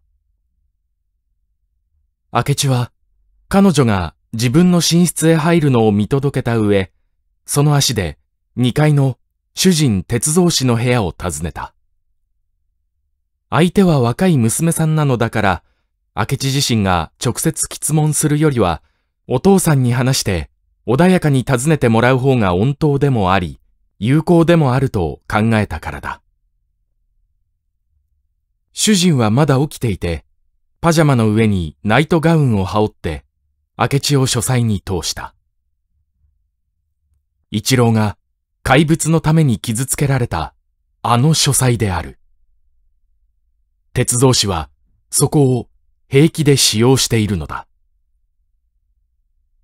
明智が綾子の異様な行動を詳しく報告すると、さすがに鉄道士も顔色を変えて、すぐ呼び鈴を押して、書生に綾子を呼んでくるようにと命じた。しばらくすると、ドアが静かに開いて、あの、白い様相のままの綾子が入ってきた。あでやかな顔が少し引き締まって、心持ち青ざめている他には、少しも取り乱した様子がない。この夜更けに何の用事かと、怪げらしい表情さえ浮かべている。明智はそれを見て、まだ裏若い綾子の盟友ぶりに、簡単しないではいられなかった。彼女は、ほのかなヘリオトロープの匂いを発散させながら、父のデスクのそばに近づくと、そこに立っている有本医師に軽く頭を下げて会釈した。鉄道士と一郎青年の他は、有本医師が明智小五郎であることを誰もまだ知らなかったのだ。そこへおかけ。お前、今塔の中へ入っていたそうじゃないか。この夜更けにあんなところで一体何をしていたんだね。石田氏はいきなりそれを尋ねた。彼は娘の行動を深くも疑わず、わけもなくその理由を説明して、明智探偵の疑念を晴らしてくれるものと信じ込んでいる様子であった。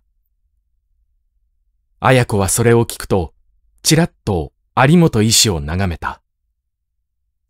さてはこの人があれを見ていたのかととっさに察して、彼がただの医師でないことを疑った様子である。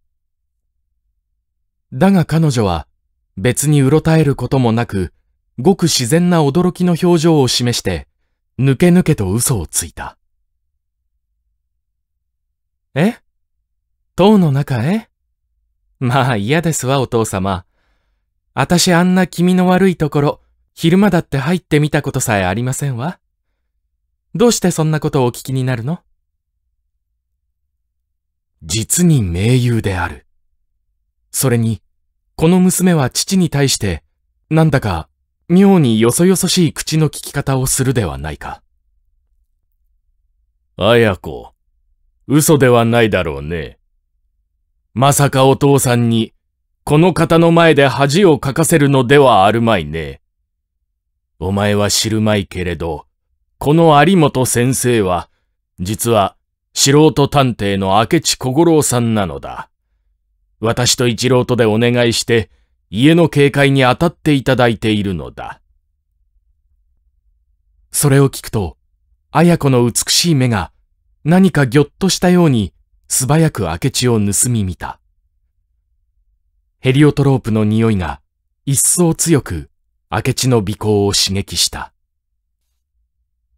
綾子、この明智さんが、お前が塔で妙なことをしているのをご覧になったのだよ。私は、明智さんの前でお前の弁明を聞かなければならない。こういう際だから、つまらない真似をすると、どんな疑いを受けるか知れないのだよ。さあ、訳を話してごらん。綾子は、聞いているうちに、だんだん青ざめていった。心の騒ぎを外に表すまいと、一生懸命になっている様子が、痛々しいほどであった。だが彼女は、結局その闘争に打ち勝った。あくまで白を切ろうとしているのだ。まあ、私が塔の中で、それを有本先生がご覧になったのですって？妙ですわね。あたしちっとも覚えがありません。塔なんかへ近づきもしませんわ。有本先生。ああ、明智先生？本当にあたしをご覧になりましたの？彼女は、また元の名優に立ち返って、大胆にも名探偵に挑戦するかのような態度をとった。見たのです。誠に無作法なことですが、職務上致し方がなかったのです。僕はあなたが塔の3階でなすっていたことを闇の中からすっかり見てしまったのです。明智は穏やかな調子でいたわるように答えた。まあ、3階で？私何をしていましたの？手提げ電灯をつけたり消したりして、窓の外の誰かへ通信をしていらしたのです。まあ、思いもよらないことですわ。私、今晩はずっとお部屋で本を読んでいて、どこへも出ませんでした。何かの間違いですわ。明智先生、誰か他の人とお見違えなすったのじゃありません？いいえ、僕ははっきりあなたの姿を見たのです。服装もその通りでした。そしてその人は、塔を出てから、確かにあなたの部屋へ入っていったのです。まあ、私の部屋へ？綾子は、ぞーっとしたようにそっと後ろを見て、恐怖に耐えぬ様子をした。でも、私の部屋へは誰も入ってきませんでしたし、私は本を読んでいたのですから、何かの間違いですわ。そんなことあるわけがありませんわ。あなたがそれほどにおっしゃるのでしたら、僕の見違いだったかもしれません。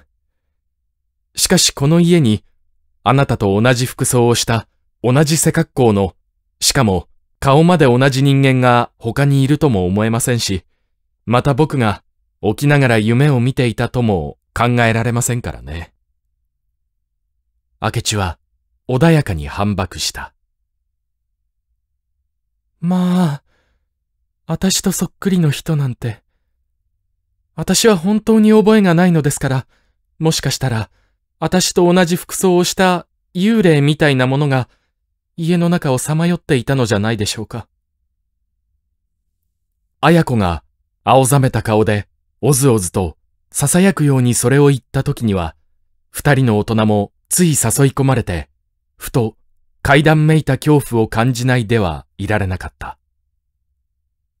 綾子と寸分たがわないもう一人の娘が、この広い建物のどこかに隠れているのだろうか。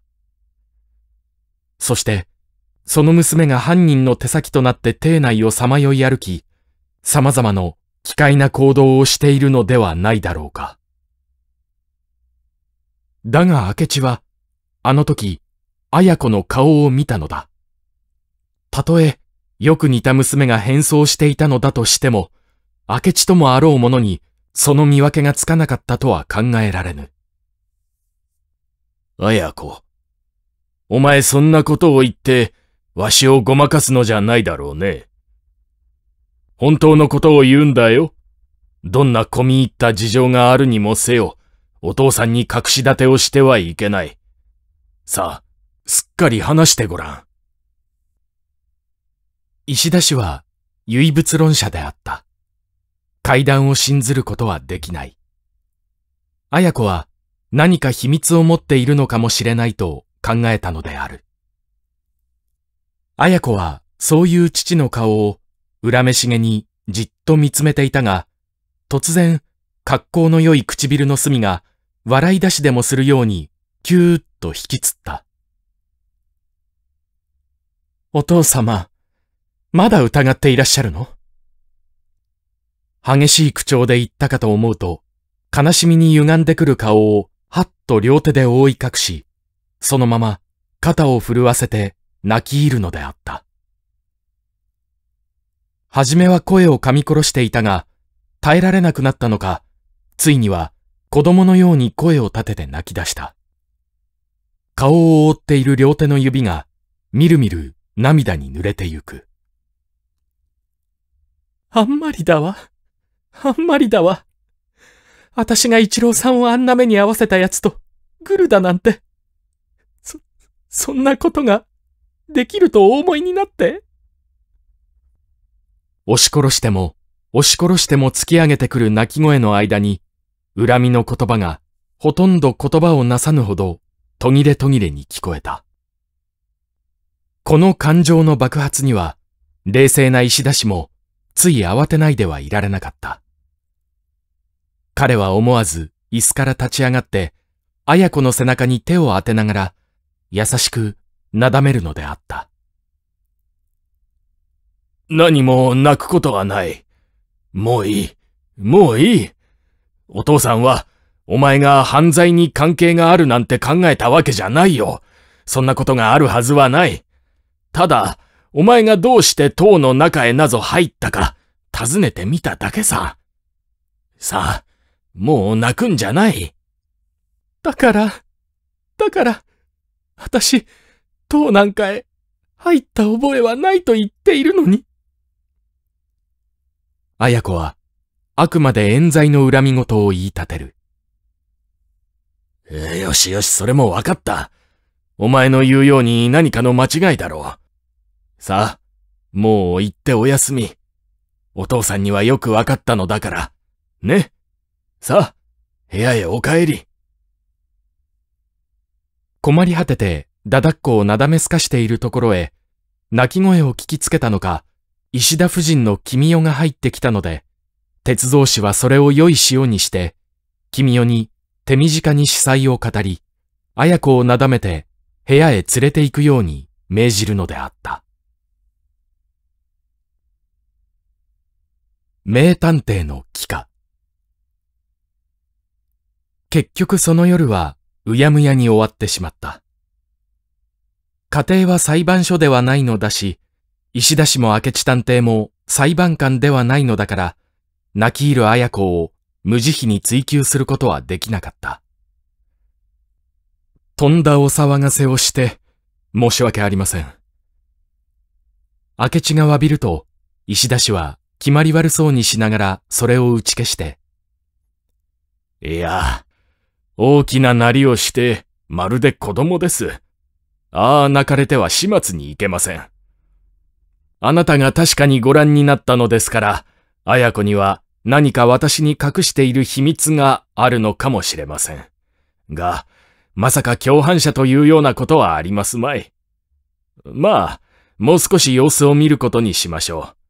あなたも、それとなく気をつけていてくださるようにお願いします。と、温当な意見であった。明智が一郎青年の病室へ戻ると、負傷者は熱心に当の出来事を尋ねたが、明智は石田氏との約束もあったので、綾子の名は出さず、怪しい人影を見たが、つい取り逃がしてしまった、とのみ答えておいた。それから三日の間は、別段のこともなく過ぎ去った。綾子はあれ以来、自室にこもって神妙にしているし、塔の窓に怪しい光り物のするようなことも起こらなかった。一郎の胸の傷も案外経過が良く、二三日もすれば包帯が取れるほど肉が昇っていた。目の下の傷はほとんど回遊して、鬱陶しい顔の包帯はすでに取り去っていた。もう看病の必要もなく、明智の有本医師は、この上石田邸に泊まり込んでいる口実がないほどであったが、しかし、探偵としての職務は終わったわけでなく、一日でも長く邸内に留まっていたかったし、それに一郎がしきりに引き止めるので、つい滞在を伸ばしているのであった。さて、黒覆面の怪物の殺人未遂事件があってから7日目の夜のことであった。石田家の人は緊張に慣れて、いくらか鷹をくくるような気持ちになっていた。五人に増した書生のうち、二人までが家庭の都合で暇を取って、七日目には元からいる書生を合わせて三人しか残っていなかったが、人々はさして心細がるようなこともなく、主人の鉄造師などは騒ぎのために伸ばしていた要件を果たすために午後から外出して夜が更けても帰らなかった。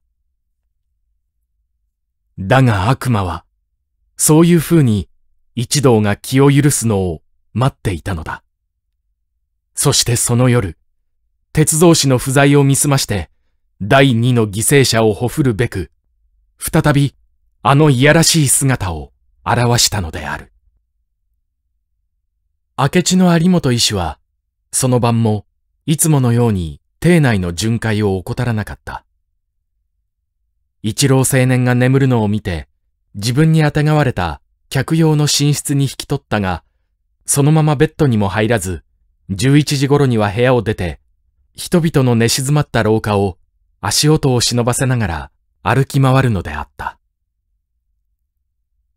開花を一巡して洗面所に入るために湯殿の前を通りかかると、そのガラス窓の中に電灯がついて、ぼちゃぼちゃと湯を使う音が聞こえていた。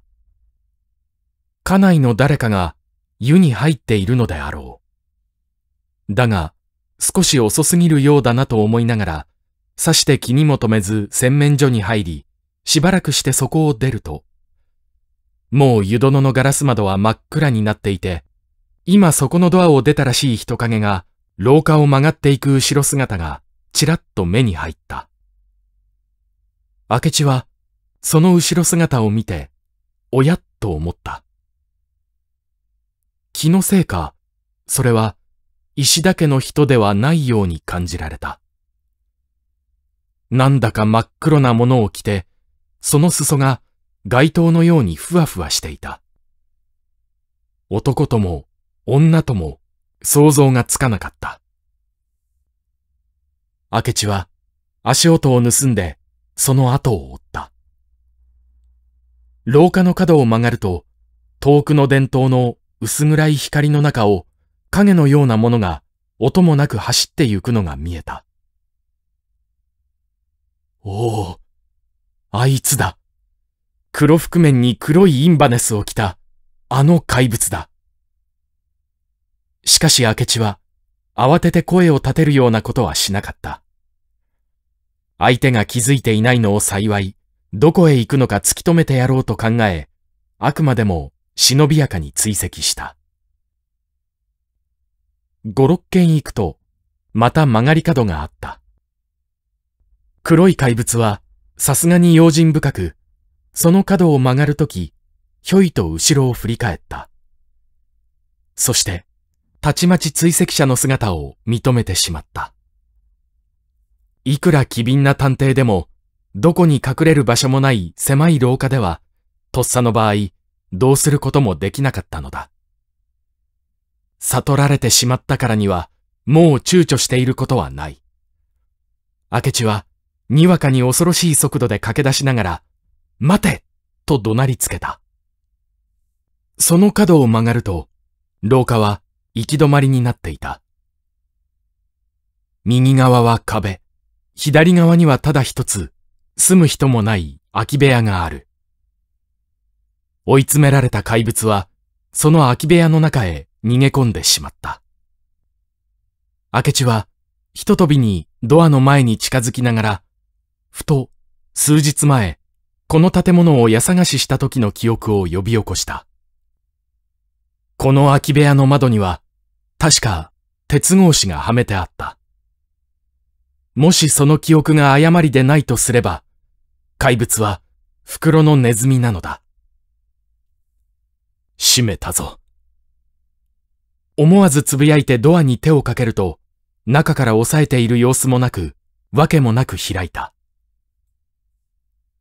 だが、部屋の中は真っ暗だ。電灯は引いてあるに違いないが、空き部屋のことだから、電球がついているかどうかわからない。入り口に近い壁を探ってみると、幸いにもスイッチが手に触れたので、ともかくそれを押し試みた。すると、あ、うまい具合にパッと電灯がついたのである。急いで部屋の中を見回すと、怪物はどこへ隠れたのか姿もない。片隅に壊れかかった椅子が三脚放り出してある他に何の調度もないガランとした部屋だ。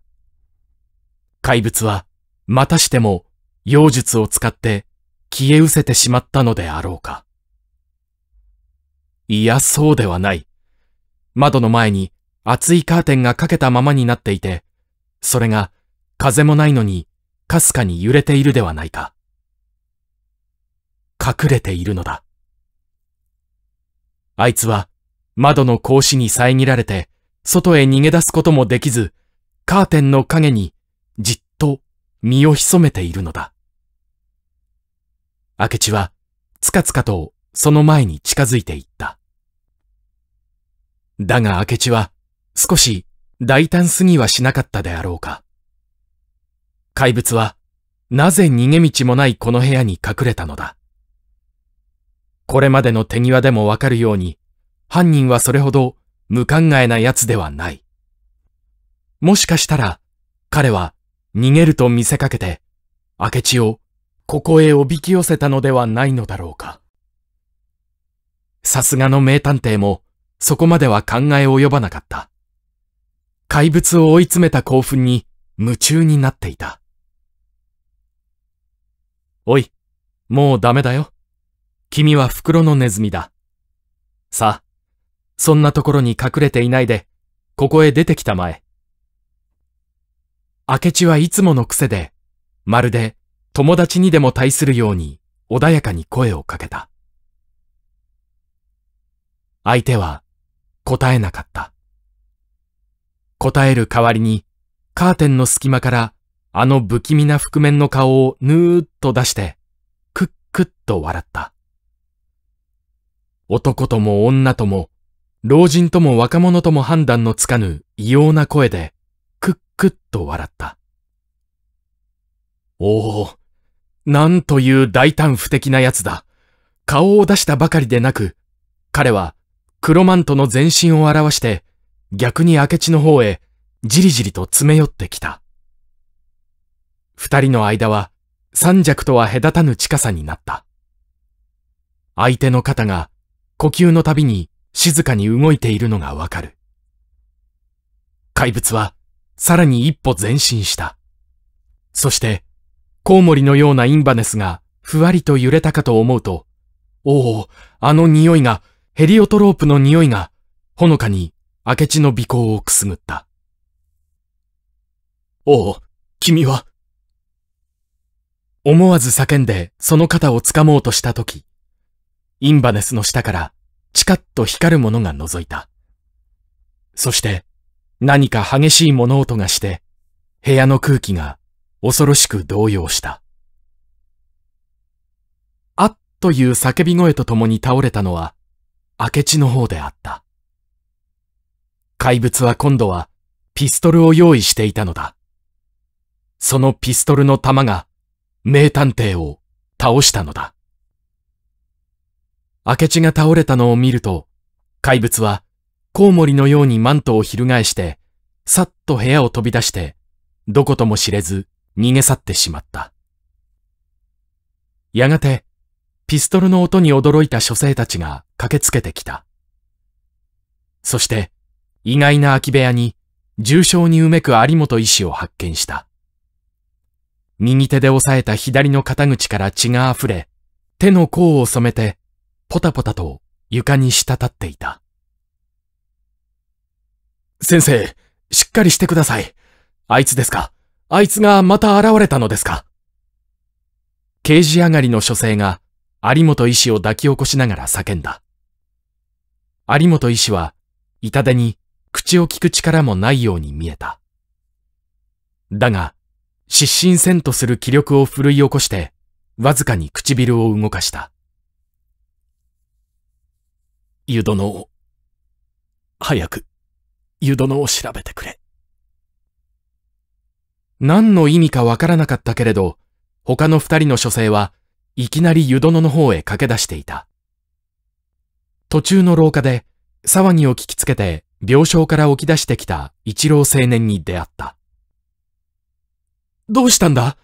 何事が起こったんだ？有本先生が大変です。ピストルで撃たれたのです。え？有本先生が？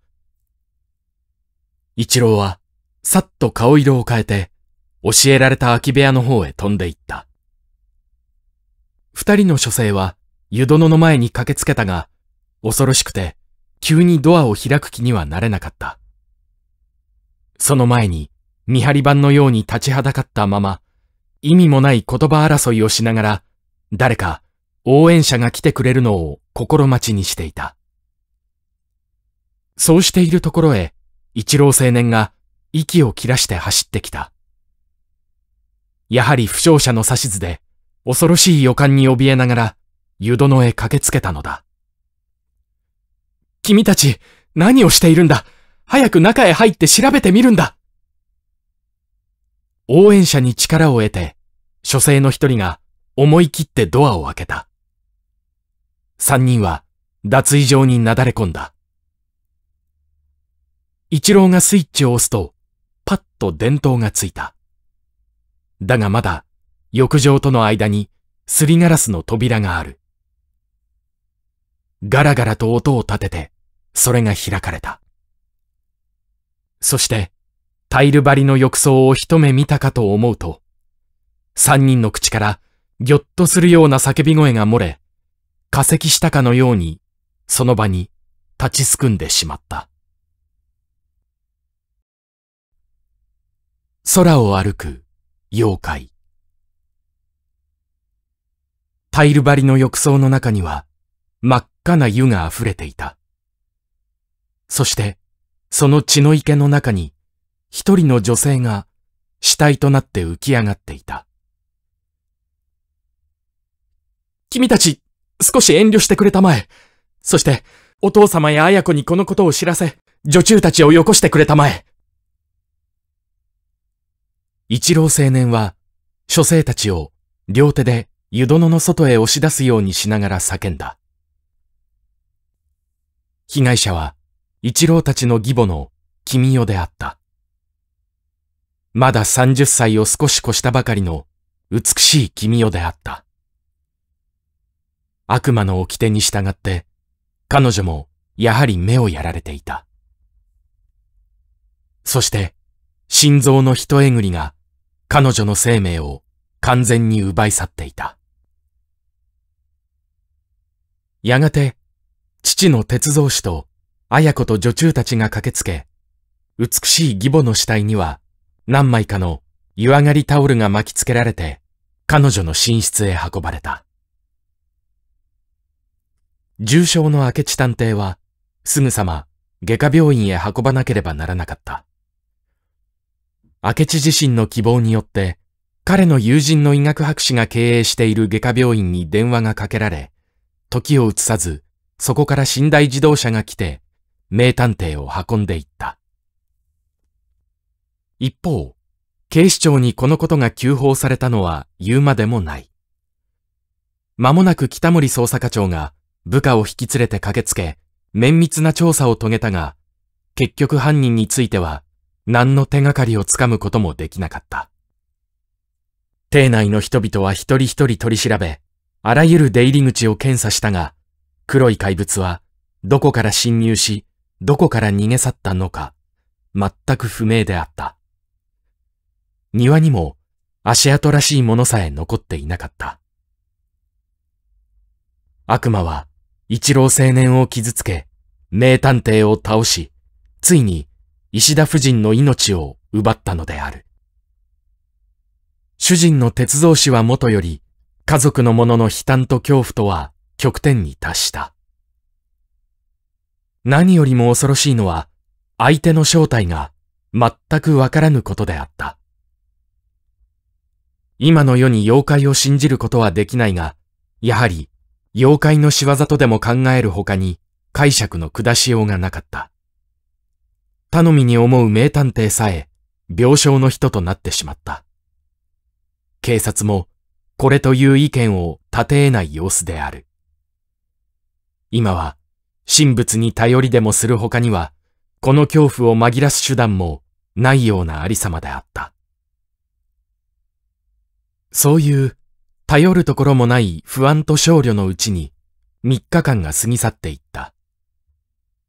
それでも君代の葬儀が済むまでは人の出入りも多く、邸内がざわめいていて、何かと気も紛れていたが、それも済んでしまうと、いよいよ耐え難い寂しさが襲ってきた。古い西洋館の隅々に、悪鬼の怨念が潜んでいるかと疑われ、ことに、あの三階の円筒は、地味猛量の住処のようにさえ思われて、誰もその付近へ近寄るものもないありさまであった。浴場殺人事件の翌々日に葬儀が行われ、その翌日。すなわち、事件から3日後の夜8時頃のことであった。一郎青年は、もうすっかり床払いをして、2階の書斎で、父の鉄造師と、今後の邸内の警戒について、いろいろと話し合っていた。書生は、元の通り5人に増えていたし、その上、北森課長の計らいで、警視庁の腕利きの刑事が一人、邸内に泊まり込んで警戒に当たっていてくれた。それほどにしても、一郎はまだ安心はできないというのである。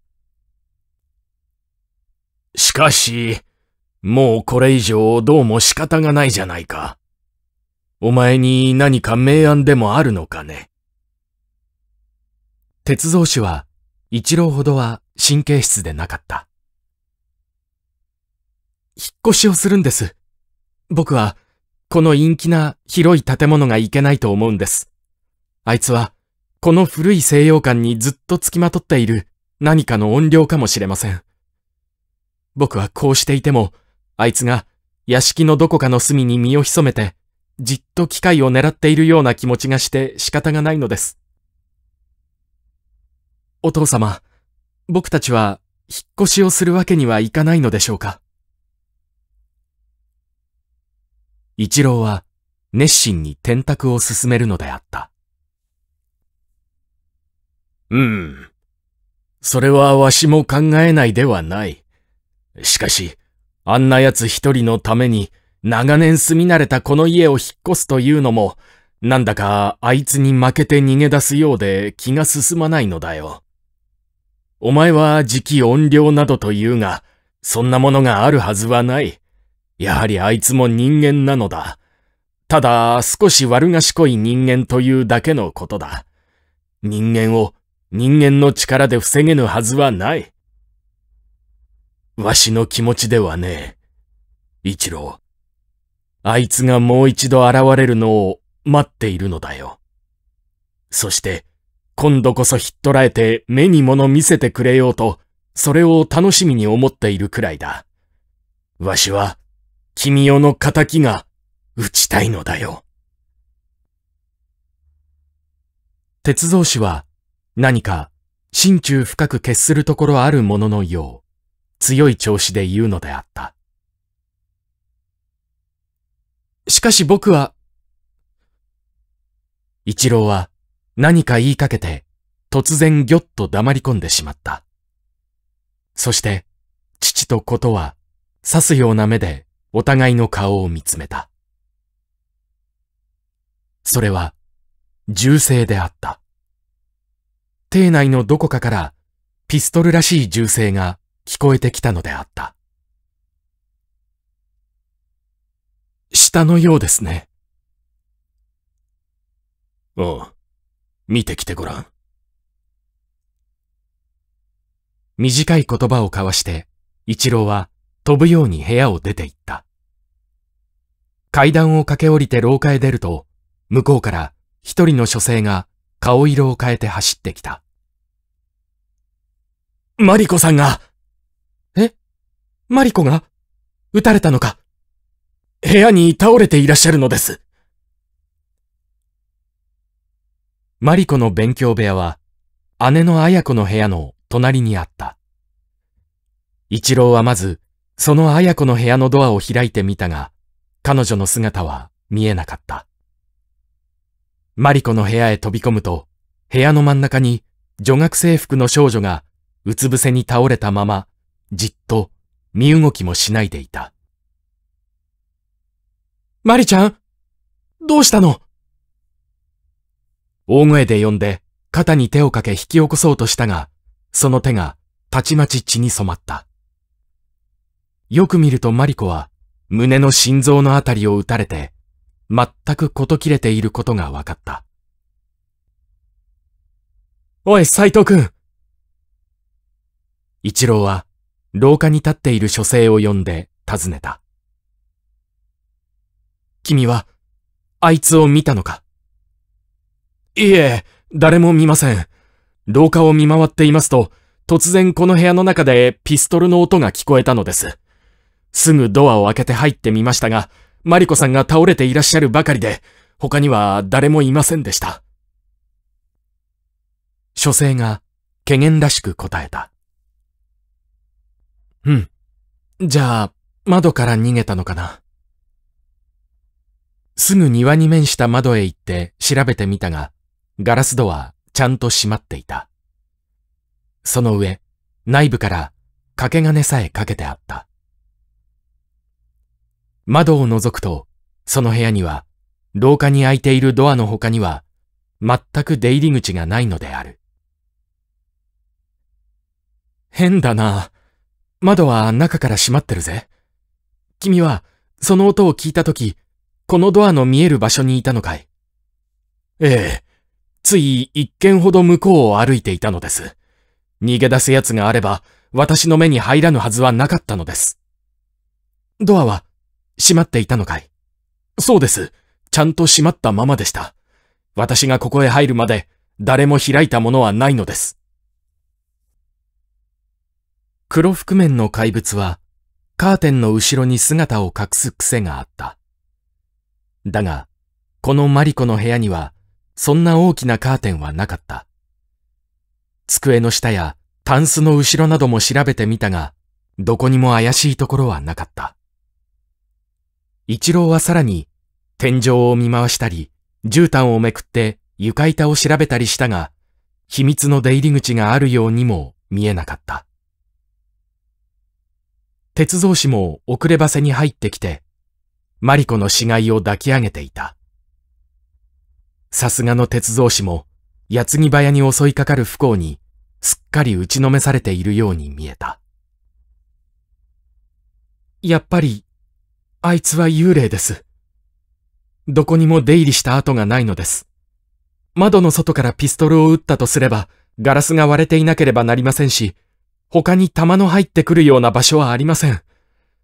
これでも、あいつは、骨と肉を持った人間なのでしょうか一郎は、現実家の父を反駁するように言って、鉄道師の青ざめた顔を見つめるのであった。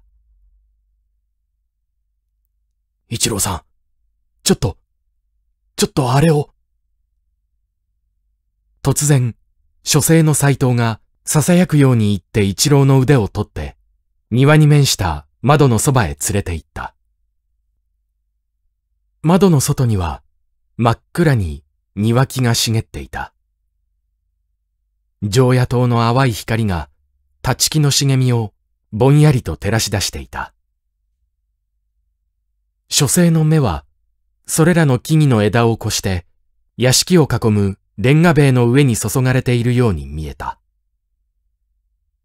その部分は、木々が少しまばらになって、古いレンガ塀の一部が黒い包みかなんかのように見えすいていた。一郎が書生の目を追ってそこを注視すると、レンガ塀の頂上に何か黒い影がうごめいていた。闇夜だったので空も暗く、そのものは闇の中から闇が抜け出したような感じで動いていた。目が慣れるに従ってその黒いものが人間の形をしていることが分かった。常夜灯の光にも遠いので、非常にぼんやりした姿ではあったが、決して人間以外の生き物ではなかった。そのものは、まるで綱渡りでもするように体で調子を取りながら、高い塀の頂上を直立して右から左へとゆっくりゆっくり歩いていた。白いはずの顔も真っ黒であった。覆面をしているのだ。着物の裾が広くダブダブして足を隠しているように見えた。黒いマントを着ているのに違いない。ああ、あいつだ。覆面の怪物だ。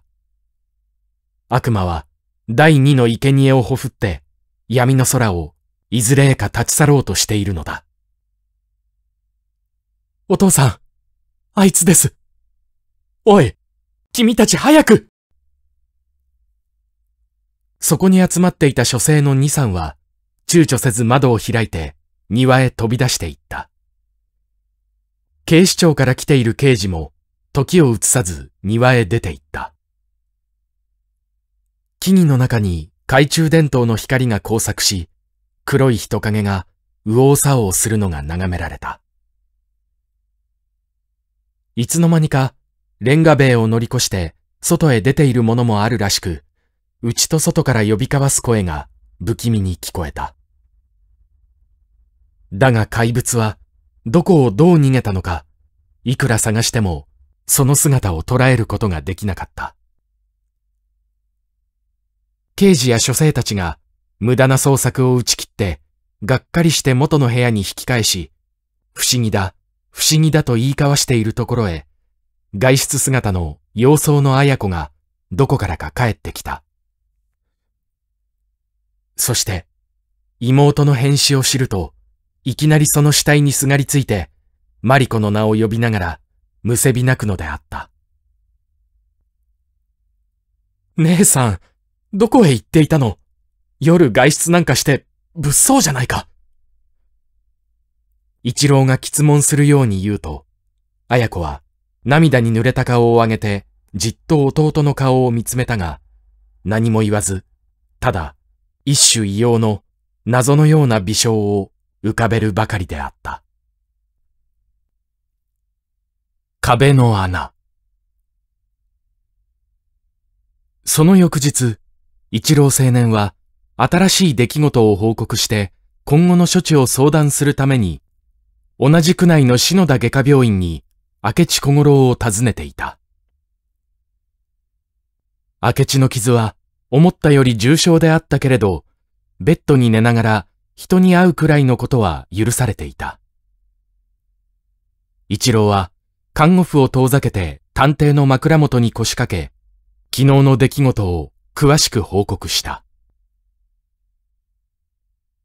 ほうあいつが塀の上を歩いていたんだって？明智は、なぜかひどく興味を覚えたらしく、無事な方の手で、例のもじゃもじゃの頭をかき回しながら言った。多分、塀を越して逃げるところだったのでしょうが、それにしても、少なくとも一軒か一軒半は、塀の頂上を綱渡りのように歩いていたのです。なぜあんな真似をしたのか、不思議で仕方がありません。君たちに姿を見せるためなんだよ。他の者がやったんじゃない、この俺がやったんだということをね。ピストルはどこから撃ち込まれたか全くわからない。犯人の出入りした形跡がない。それにもかかわらず、俺はちゃんと目的を果たしたんだ。俺の腕前はどんなものだということを、君たちに見せびらかしたんだね。で、その後別に発見もなかったの。それですよ。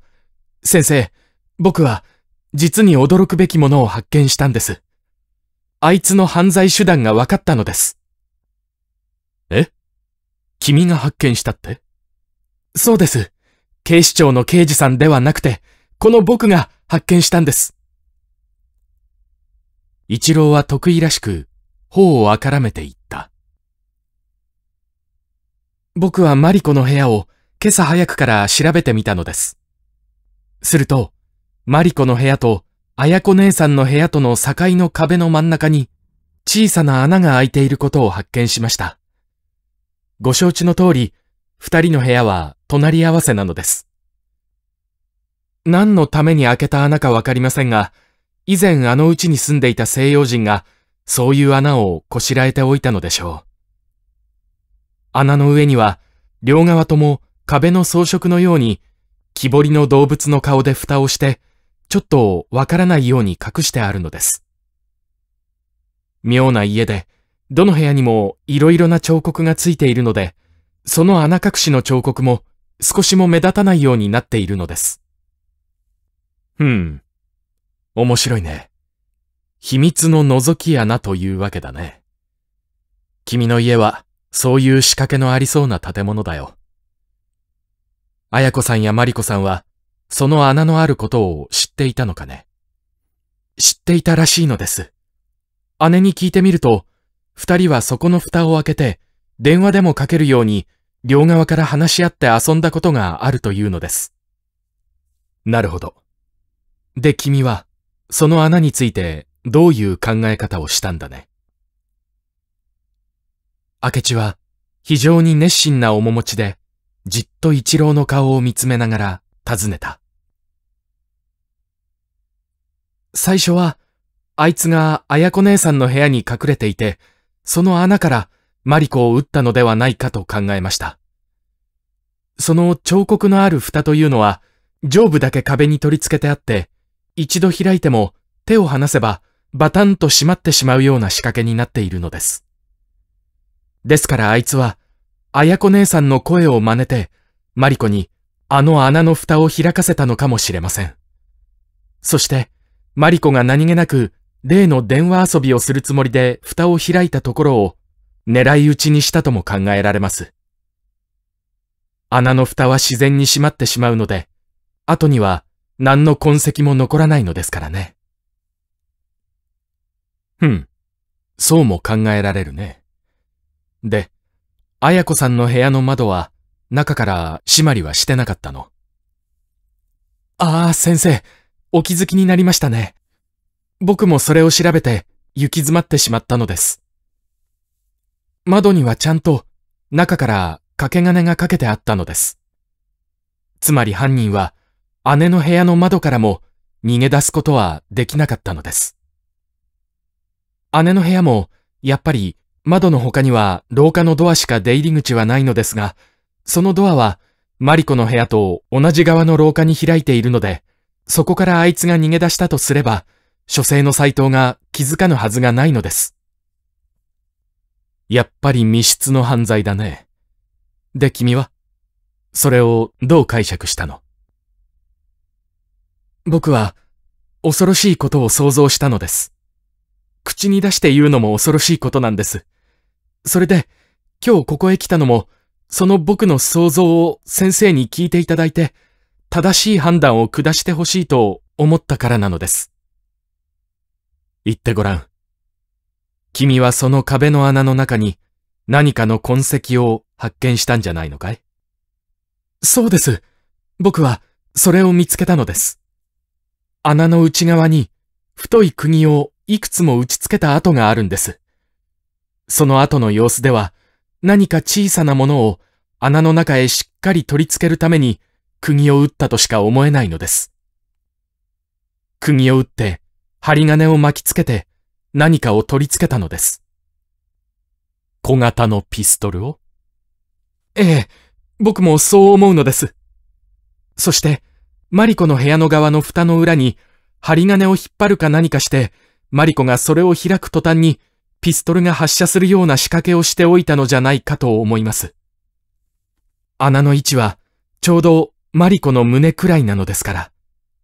この想像は突飛なようでも、決して不可能ではないのです。ピストルが発射してマリコが倒れると、蓋は元の通り塞いでしまうのですからね。マリコさんの倒れていた位置は、ちょうどその隠し穴の前なのです。うん。君の想像が当たっているかもしれないね。そういう手段で人を殺した例は外国にもあるんだからね。で、君は誰がそれを仕掛けたかという想像を組み立てて、その想像の恐ろしさに悩まされているというのだろうね。そうです。僕はそれを先生にお話しするさえ怖いのです。言ってはいけないことじゃないかと思うのです。しかし、ともかくお話ししてみます。できることなれば、先生に僕の間違いを指摘していただきたいのです。それを発見して、まず僕が考えたのは、誰がその装置をしたかということです。そういう仕掛けを人知れず取り付けることのできる立場にいた者は誰かということを考えたのです。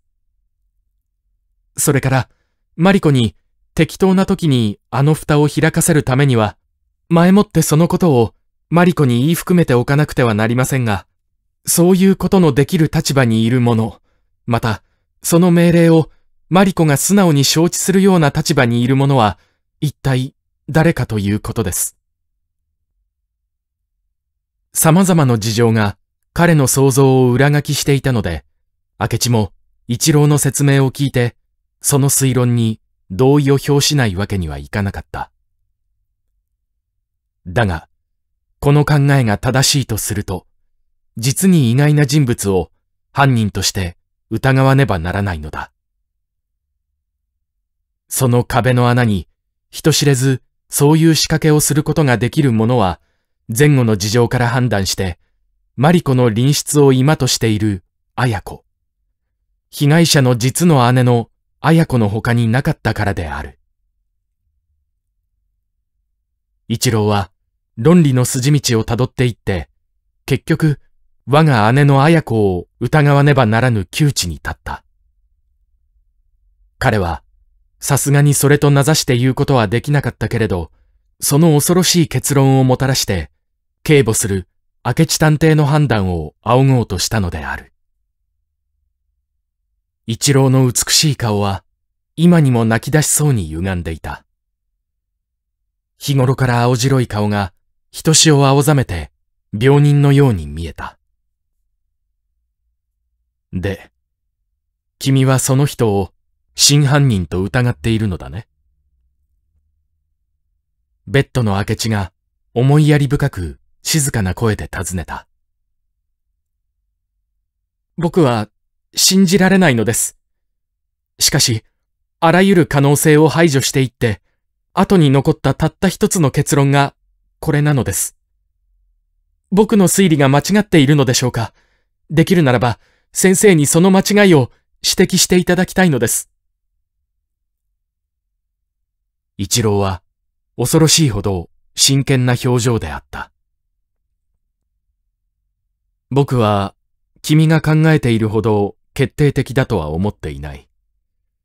しかし残念なことに、あの人には他にも色々困った状況が揃っているのだし。明智は、それを言おうか言うまいかと躊躇しているように見えた。え、他にも色々って、それはどんなことですか？君にはまだ言わなかったけれど、お父さんはもうご存知のことなんだ。隠しておいても仕方がない。それよりも、すっかり話し合って君の考えも聞く方がいいかもしれない。いつかの晩、君があの塔の窓に妙な光り物を見つけて、僕が塔へ調べに行ったことがあるね。明智は、その夜の異様な光景をまざまざと思い浮かべているもののように、宙を見ながら言った。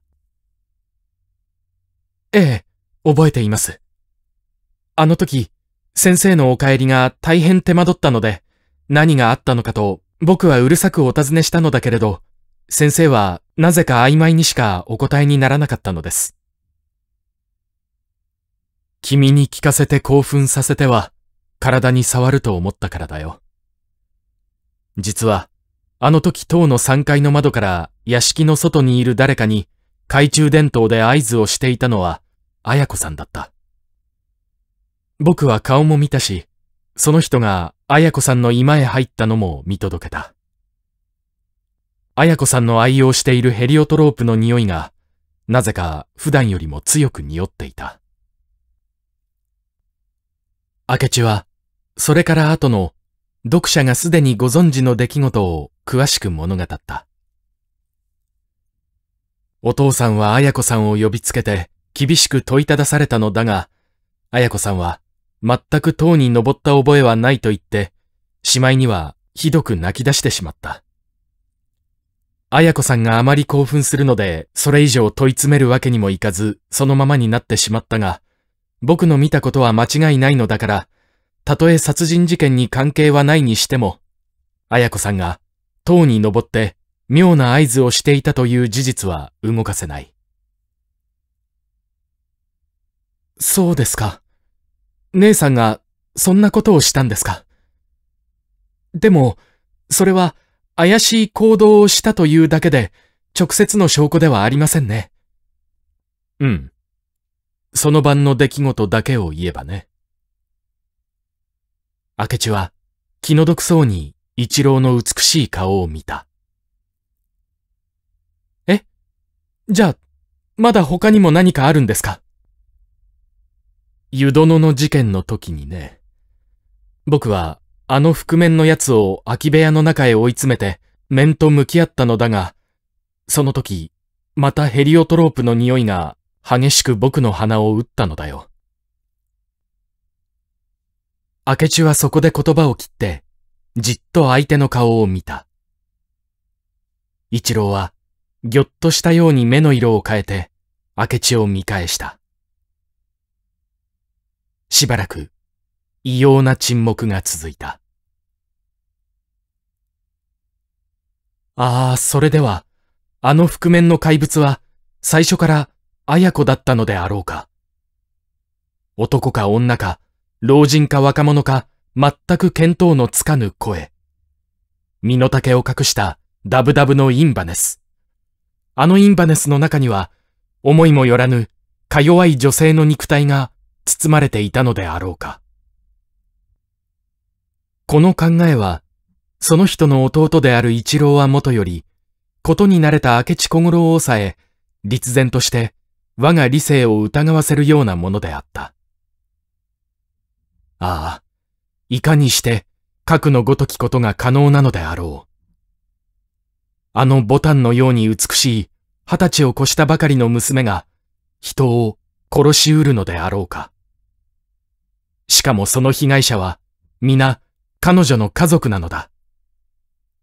弟を傷つけ、母を殺し、妹を殺す。そこに、いかなる動機を想像しうるのであろうか。僕は信じられません。100の証拠があっても、あの人にそんな恐ろしい真似ができるとは考えられません。一郎は唇をわなわなと震わせながら自分自身の心を解き伏せようとするかのごとく強く言い放った。一つ最初から考えてみよう。君はあいつの襲撃を受けて取っ組み合ったことがあるんだね。その時の手触りが思い出せないかね。いくら興奮していても、男の骨組みと女の体との区別くらいつくと思うが。一郎はそれを聞いて、なぜか、はっとしたように見えた。そして、少しの間返事を躊躇していたが、妙に力のない声で、妙にお思いでしょうが、全く記憶がないのです。無論その時は、相手が女だなんて思いもよらなかったのですが。と、曖昧に答えた。やっぱり、相手の肉体に女を感じたのかもしれない。それをそうとは言い得ない様子である。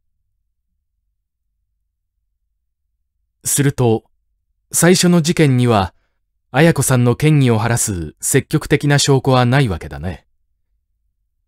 あの時、僕はカーテンの影の癖者を発見して追いかけたが、ご隠居の部屋の前でかき消すように姿を見失ってしまった。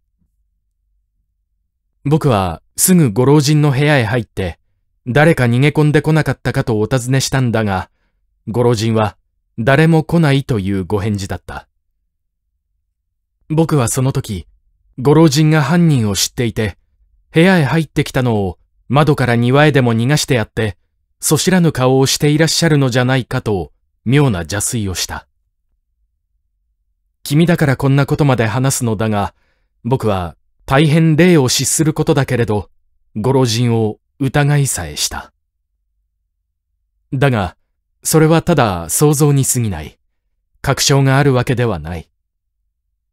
しかしね、もし犯人が今僕らが問題にしている人だったとしたら、ご老人は孫をかばってやろうという気持ちになられなかったとは言えないね。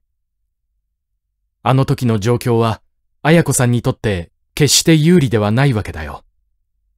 綾子さんはおばあさんに可愛がられているのだろうね。ええ。僕ら兄弟のうちでは一番気に入りです。そして二人は少しの間、黙ったまま顔を見合わせていたが、やがて明智はまた始める。第二の事件の湯殿の場合に、僕が犯人を追ってヘリオトロープの匂いを嗅いだのだから、これも不利な状況だ。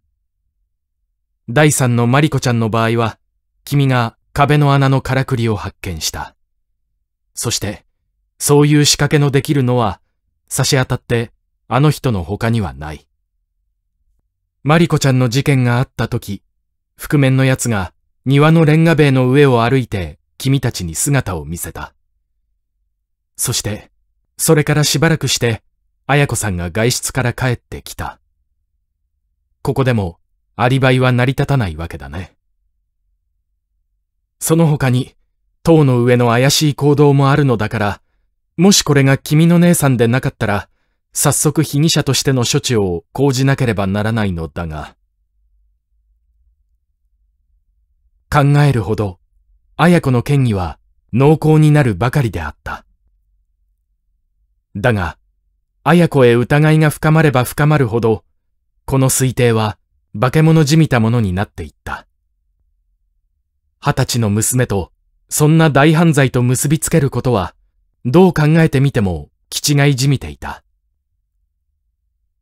彼女にそれほどの大それた腕前があろうとも思えなかったし、また、想像しうべき動機が全くないと言ってもよかった。僕は、兄弟の感情としては、微塵も疑う気持ちにはなれません。しかし、理論はやっぱり、あの人を指さしているようです。この矛盾をどう解いたらいいのでしょう？僕は、外見には少しもわからない精神病というものを、ふと考えてみたのですが。一郎は沈んだ声で、問題にさらに新しい方向を与えた。思い余った挙句、精神病にまで考えを読んだのであろう。二重人格だね。ええ。そうとでも考えなければ、この謎は解けないような気がするのです。ああ、一郎は彼の姉にジーキル・ハイドの二重人格を想像せんとしているのだ。石田邸に立ち込める悪鬼の呪いは、裏若き女性の心に救うハイドであったのだろうか。昼間は世に聞こえた大学者、夜は殺人の野獣と変わるあのジーキル・ハイドの魂が、都会の盲点に隠れる中世風の建物の孤島の中へ、今や再生したのであろうか。名探偵の盲点。ああ、君はそこまで考えていたのか。明智は驚いたように美しい青年の顔を見つめた。無論、そういう場合も考えられないではない。しかし、僕はそういうことを考える前に、まだ一つ、この謎を解く糸口が残っていると思うのだよ。それはね、この犯罪には共犯者がなかったかということだ。いや、共犯者というよりも、一人の裏若い女性を傀儡として、心にもない行動を取らせた恐るべき影の人物が、存在するのではないかということだ。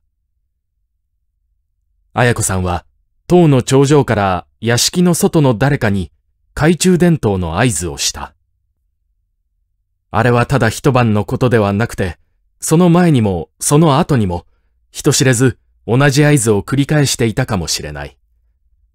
その合図を受けていたのは、一体何者だろう。僕は、犯人の断定を下す前に、まず、この秘密を探らなければならないと思うのだよ。ああ、そうでした。僕は、当の出来事を知らなかったので、そこまで気がつきませんでしたが、まずそれを確かめてみなければなりませんね。一郎は、少しでも姉の罪の軽くなることを願うかのように、やや明るい表情になって言うのであった。無論僕は、当の出来事があってから君の家に泊まっていた3日の間、毎晩それに注意していたが、3日間は何事もなかった。それからここへ入院して、2日ほど何を考える力もなかったが、おとといそのことを思い出して、助手の者に毎晩君の家を外から見張らせてあるのだよ。もし塔の窓に合図の光を見たら、その受信者を探し出すようにね。そうでしたか。こんなお体でそこまで気を配っていてくださるとは思いもよりませんでした。一郎は驚きの色さえ見せて名探偵の周到な用意を感謝するのであった。あいつがなぜ僕を撃ったか、無論追い詰められた苦し紛れでもあったのだが、一つは僕が君の家に泊まり込んでいては、思うように行動できないので、しばらく僕を遠ざけるためではないかと思うのだよ。あいつは、決してヘマをやらない奴だ。僕を殺そうと思えば十分殺せたのだ。それを、わざと急所を避けてここを撃ったのは、僕はあいつの殺人予定表に入っていなかったからだと思うよ。そうして僕を遠ざけておいて、その間に、あいつはすっかり予定の行動を終えるつもりかもしれない。だから、僕はこうしていても気が気ではないのだよ。君も十分身辺に注意していてくれたまえ。あいつは決して君を殺すことを諦めたわけじゃないのだからね。お父さんやおばあさんにも気をつけてあげなけりゃいけない。夜の見張りは大丈夫だろうね。ええ。マリコのことがあったので、北森さんのお計らいで、また家の警戒が厳重になったようです。僕は、あんな不気味な家にいるよりも、いっそ転宅した方が良くはないかと父に勧めたのですけれど、父は母の仇を捕らえるまで、意地にもこの家に頑張っているんだと言って聞かないのです。うん。転宅するのも一案だが、あいつにかかっては、たとえ住まいを変えてみたって同じことかもしれない。何よりも、警戒が大切だよ。そして、差し当たっては、綾子さんの行動によく注意することだ。また塔の中へ入るようなことがあったら、決して見逃さないようにしてくれたまえ。明智は、まだ傷口が癒えていなかったし、食欲も進まず、体力も衰えていたので、これ以上の会話は苦痛らしく見えた。それにちょうどその時、遠ざけてあった看護婦が入ってきたので、一郎はそれを塩に糸間を告げることにした。それじゃあ、お大切に。うん。君もよく気をつけてね。一郎は、ベッドの明智の顔の上にかがみ込むようにして、親しげに挨拶した。その様子には、事件の依頼者と探偵との関係ではなくて、何かしら、父と子、あるいは兄と弟のような打ち解けたものが感じられた。一郎が立ち去ると、明智は楽な姿勢に寝返りをして、一言二言を看護婦に口を聞いたが、そのまま目を塞いでしまった。眠ったのではなくて、何か深い考えに沈んでいる様子である。若い看護婦は、所在なく椅子にかけ雑誌を読み、明智は、行がして名目したまま、春の日の30分ほどが、深い沈黙のうちに流れていった。あ、そうだ。あれが俺の盲点にかかっていたんだ。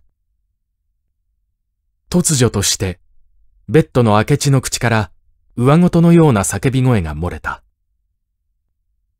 まあ、どうなすったのです？夢をご覧になったの？看護婦がびっくりして椅子を立ち、ベッドのそばへ寄ってきた。いや、失敬失敬。何、夢じゃないのだよ。考え事をしていたのさ。そしてね、大発見をしたものだから、つい口に出してしまったのさ。あら、そうでしたの？でも、あまり考え事なすっちゃ、お体に触りますわ。少しお寄りになっては？看護婦は無論、明智の声明を聞き知っていた。ふふふ。とても寝られないよ。考え事は僕の恋人なんだからね。今素晴らしい恋人を発見したというわけなんだよ。君はいろいろな人の家庭を見ているんだから、この世の裏に通じているはずだね。裏ってもの、面白いとは思わないかい？ことに僕の仕事ではね、その裏に、また裏があるんだよ。そのもう一つ奥の裏だってあるんだよ。ははは。明智は、もじゃもじゃ頭を無事な方の手で乱暴に引っかき回しながら、有頂天のありさまであった。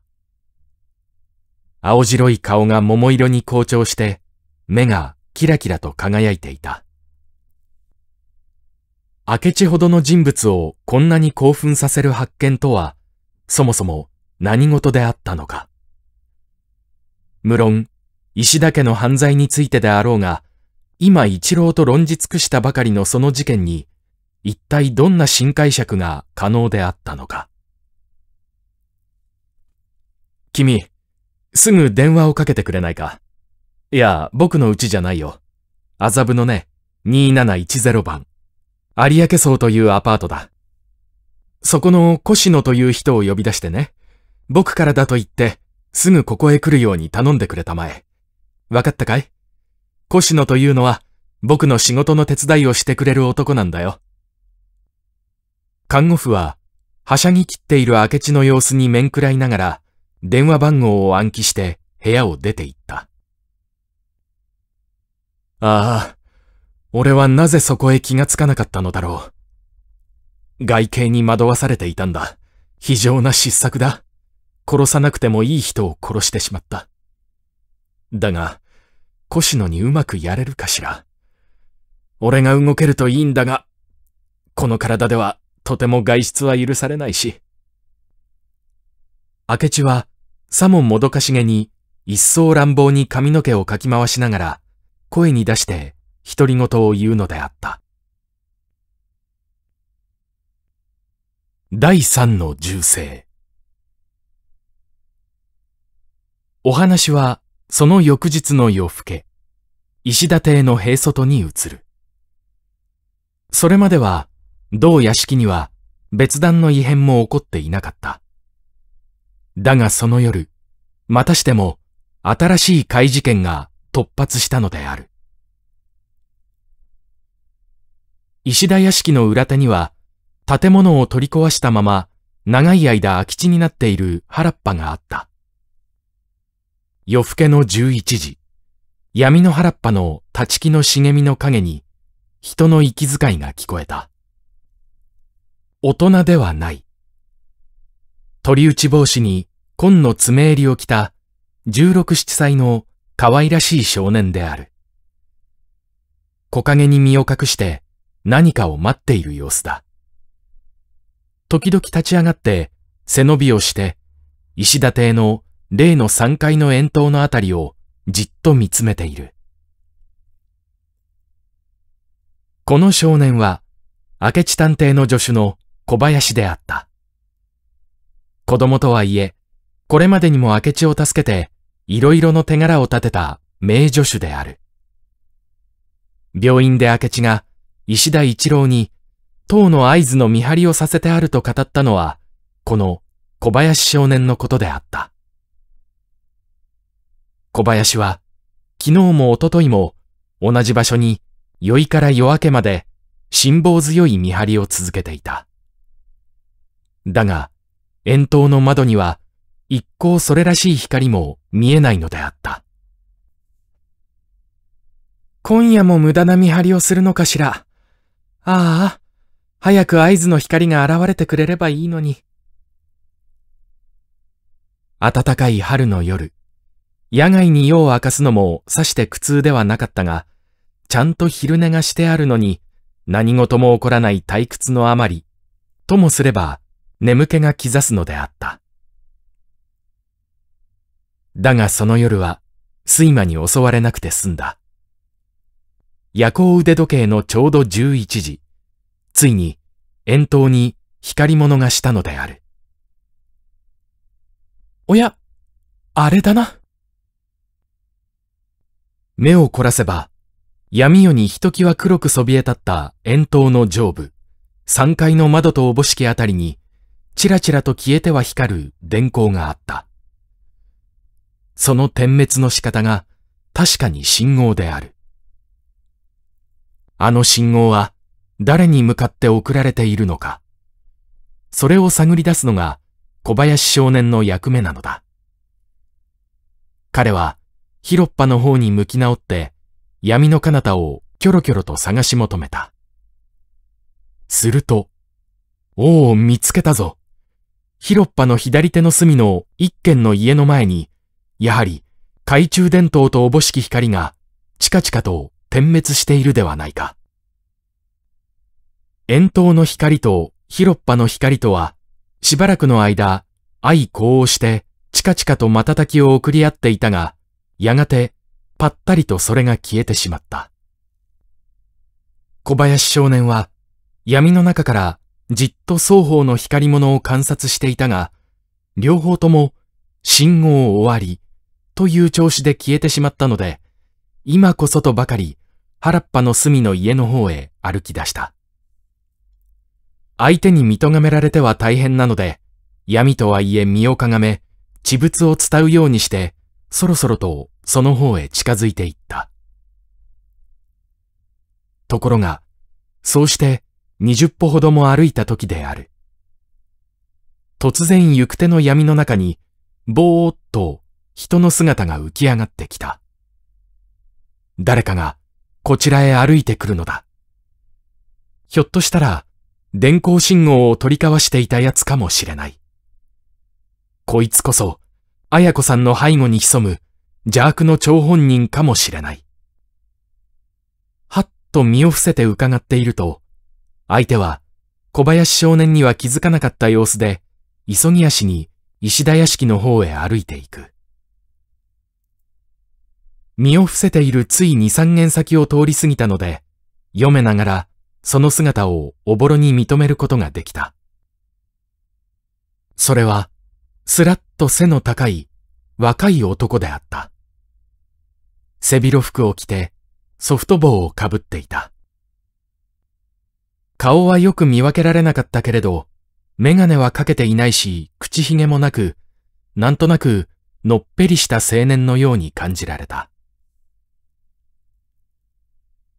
見ていると、その青年は原っぱに捨ててあった壊れかかった荷造り用の木箱を拾い上げて、それを石田家のレンガ塀の下に運んでいった。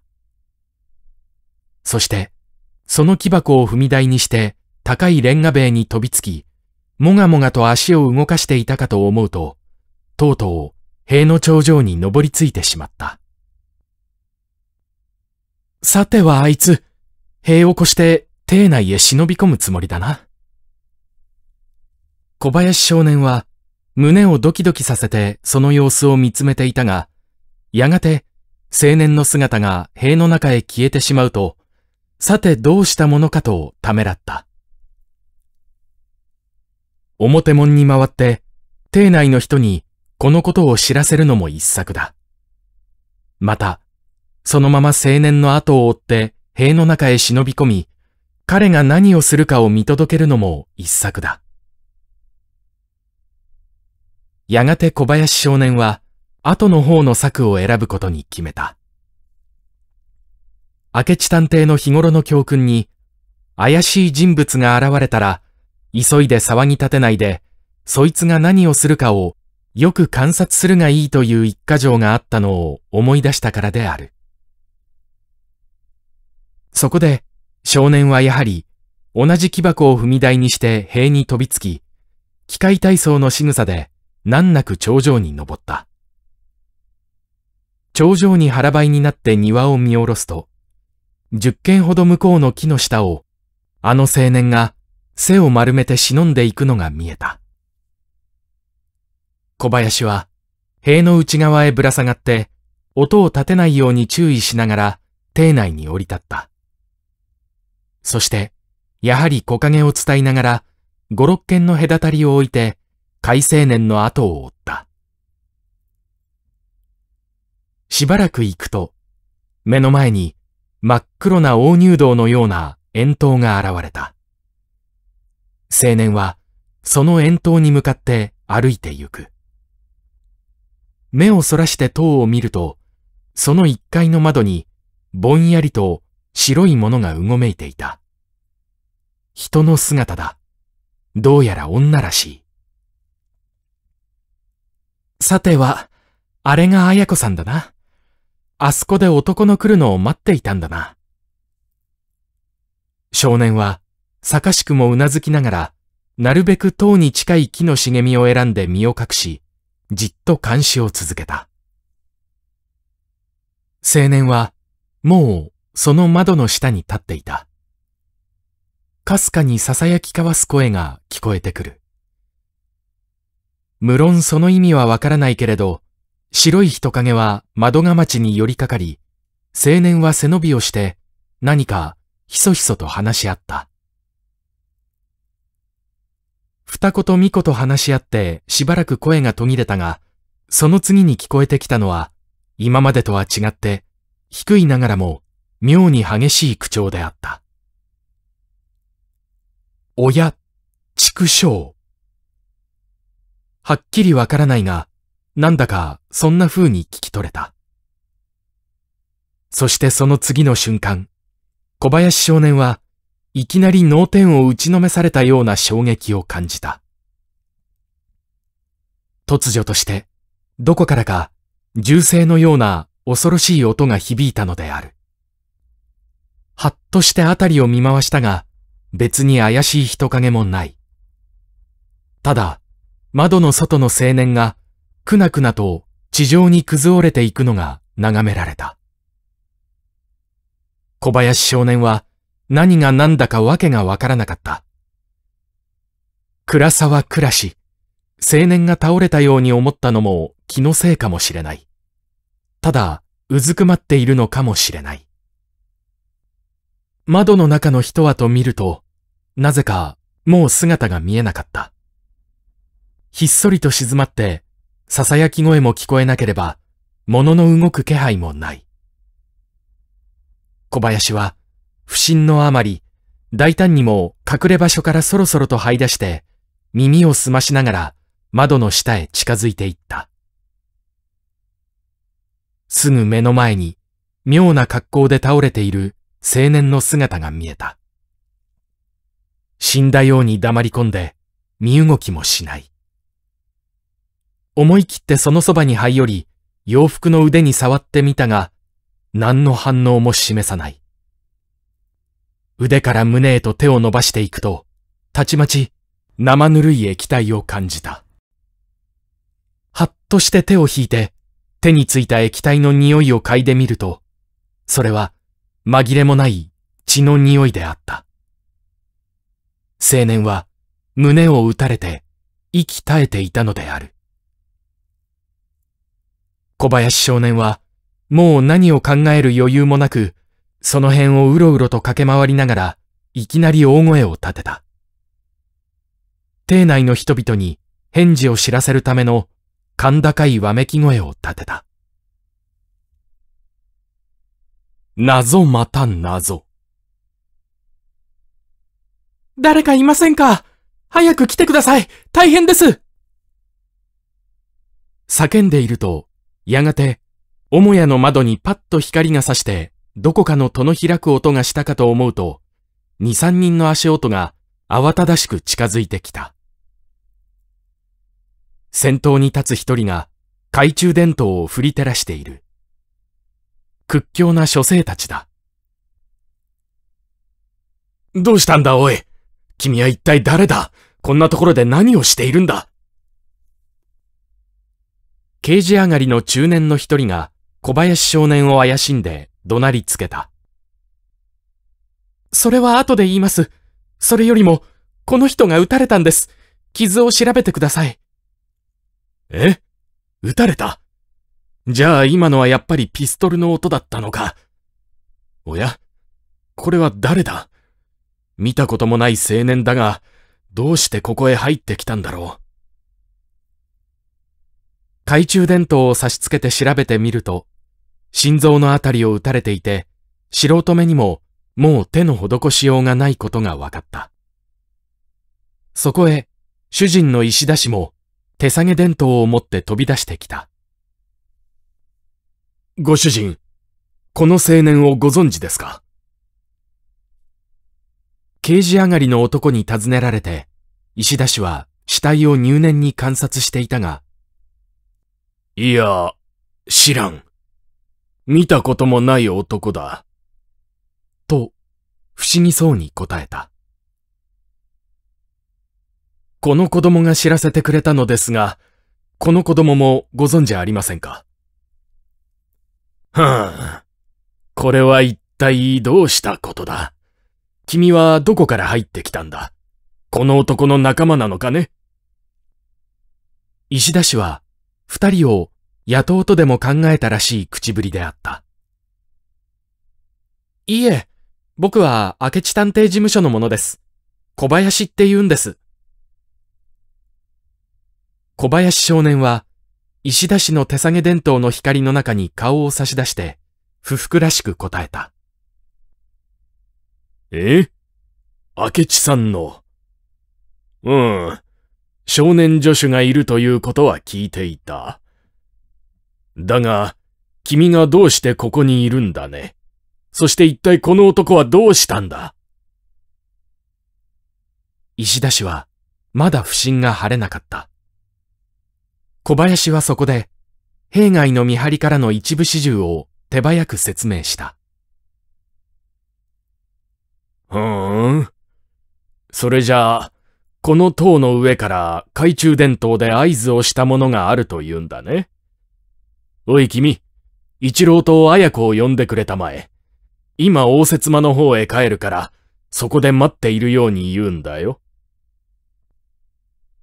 書生の一人が駆け出していったが、しばらくすると、息せき切って帰ってきた。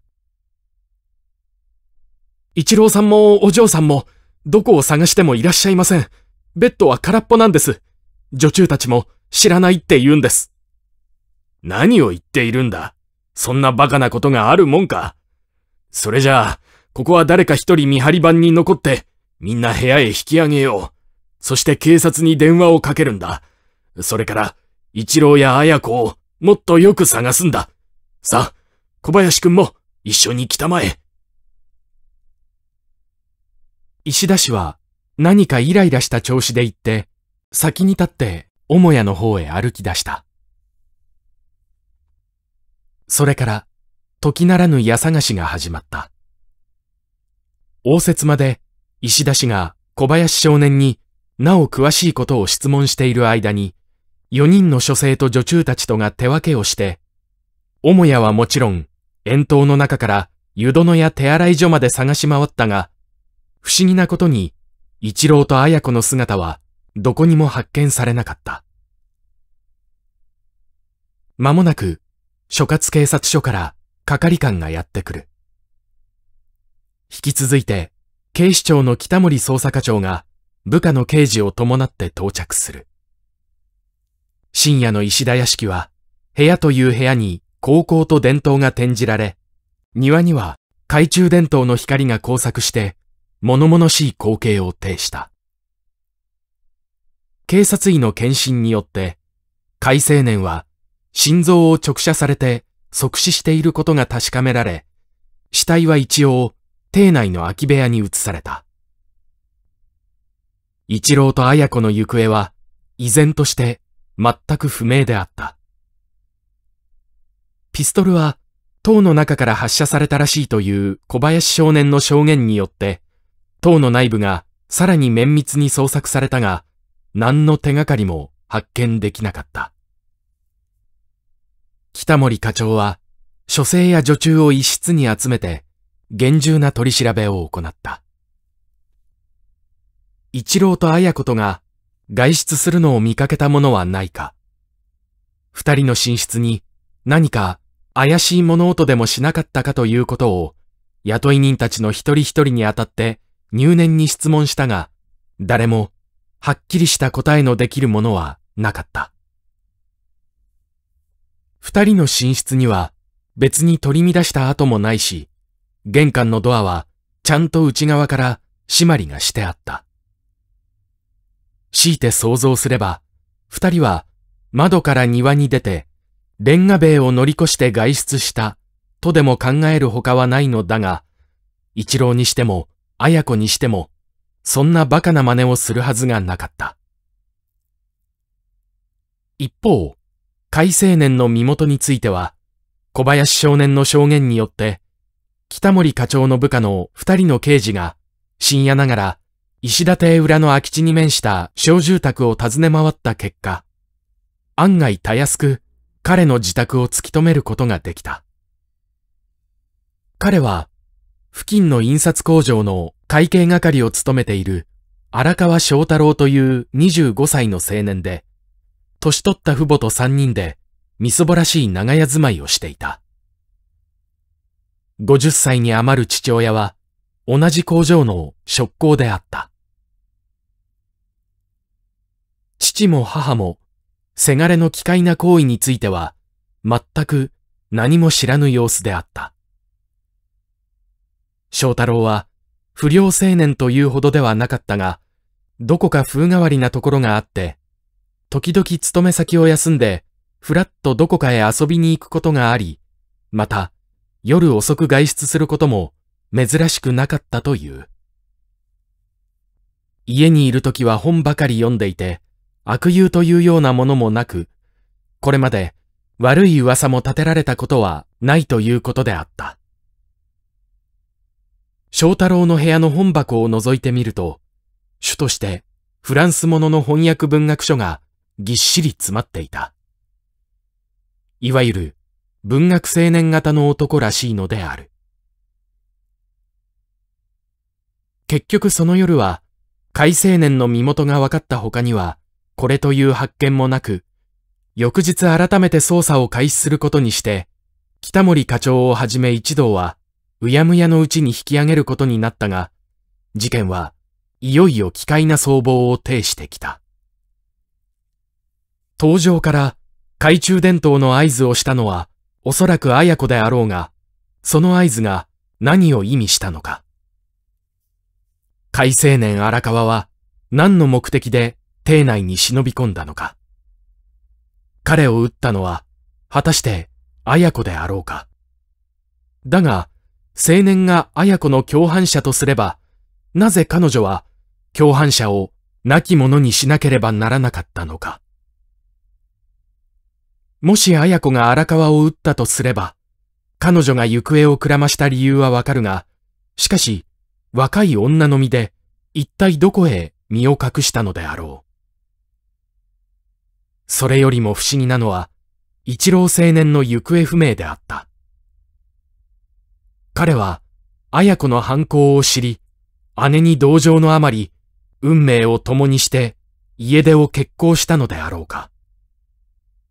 だがそれは、日頃の一郎の性格からは、なんとなく、信じがたい行動ではないか。麻酔薬。そのあくる日の午後になって、夕べ顔見知りになっている北森捜査課長の部下の三島という古参刑事が一人の同僚を連れて石田家を訪ね、もう一度改めて邸内外の捜索をしたいと申し入れた。石田氏は無論喜んで承諾した。妻を失い、マリコを失い、今また一郎と綾子が行方不明となって、残るは老母と石田氏とただ二人。さすが強情な石田氏も、呆然自失、なすところを知らぬ体であった。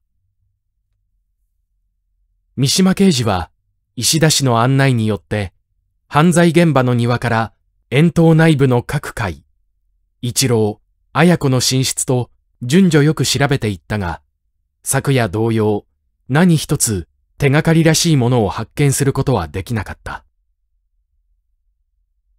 念のために他の部屋も一通り見て回りたいのですが。刑事の言葉に、石田氏はまた先に立って、まず、開花の部屋部屋を案内した。開花には、大小八つの部屋があったが、七つ目までは別段の発見もなく、後には、母屋から遠島への通路に接した空き部屋が残っているばかりであった。ここは物置になっているのです。不要の机や椅子などが放り込んであるのです。そうでしたね。昨べも確かここは調べたのですが、何分懐中電灯の光ですから、十分というわけにはいきませんでした。三島刑事は、そんなことを言いながら、ドアを開いて、その部屋へ入っていった。いろいろなガラクタ道具がごたごたと並べてある一方の隅に厚いカーテンが下がっていた。刑事は真っ先にそのカーテンに進み寄ってさっとそれを開いたが、開いたかと思うと、あっと叫んで思わず後じさりをした。そのカーテンの影の道具類の間に、一人のパジャマ姿の男がうつ伏せに長々と横たわっていたからだ。石田氏も、刑事の叫び声に驚いて、その場に近づいてきた。そして、一目倒れている人の姿を見ると、ああ一郎だ一郎、どうしたんだ？と、大声を立てて駆け寄った。この方が一郎さんですか？そうです。やられているのかもしれない。見てやってください。刑事も手伝って、倒れている人を仰向けにして体中を調べてみたが、別に負傷している様子もない。一郎、しっかりしなさい。おい、一郎、一郎。石田氏が激しく肩を揺り動かすと、一郎は何かわけのわからぬことをつぶやきながら、目を開いて、不思議そうに父の顔を見た。ああ、気がついたな。さあ、しっかりするんだ。一体これはどうしたというのだ。なお体をゆすって力をつけると、一郎はやっと正気を取り戻したらしく、もそもそと身動きをして、父に助けられながら上半身を起こした。この方は？目で刑事たちを指し示す。警察の方だよ。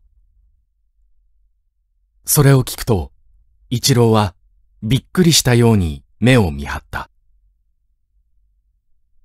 じゃあ、何かあったのですか？綾子姉さんはどうしました？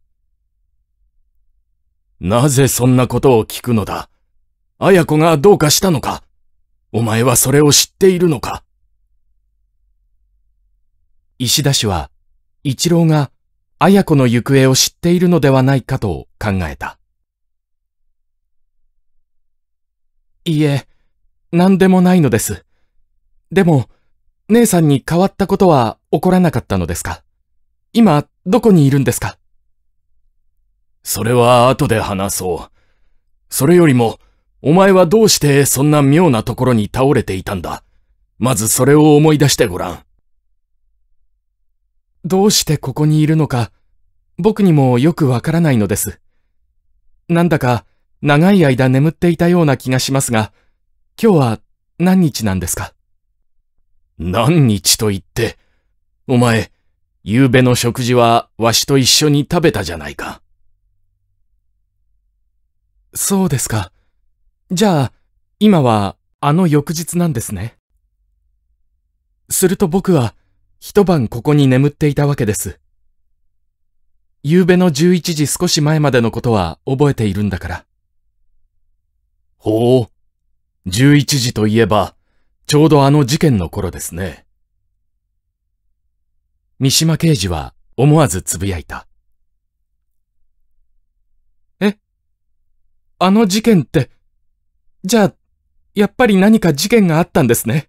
それを聞かせてください。誰がやられたのです。ともかく、あちらの部屋へ行こう。そして、ゆっくり話そう。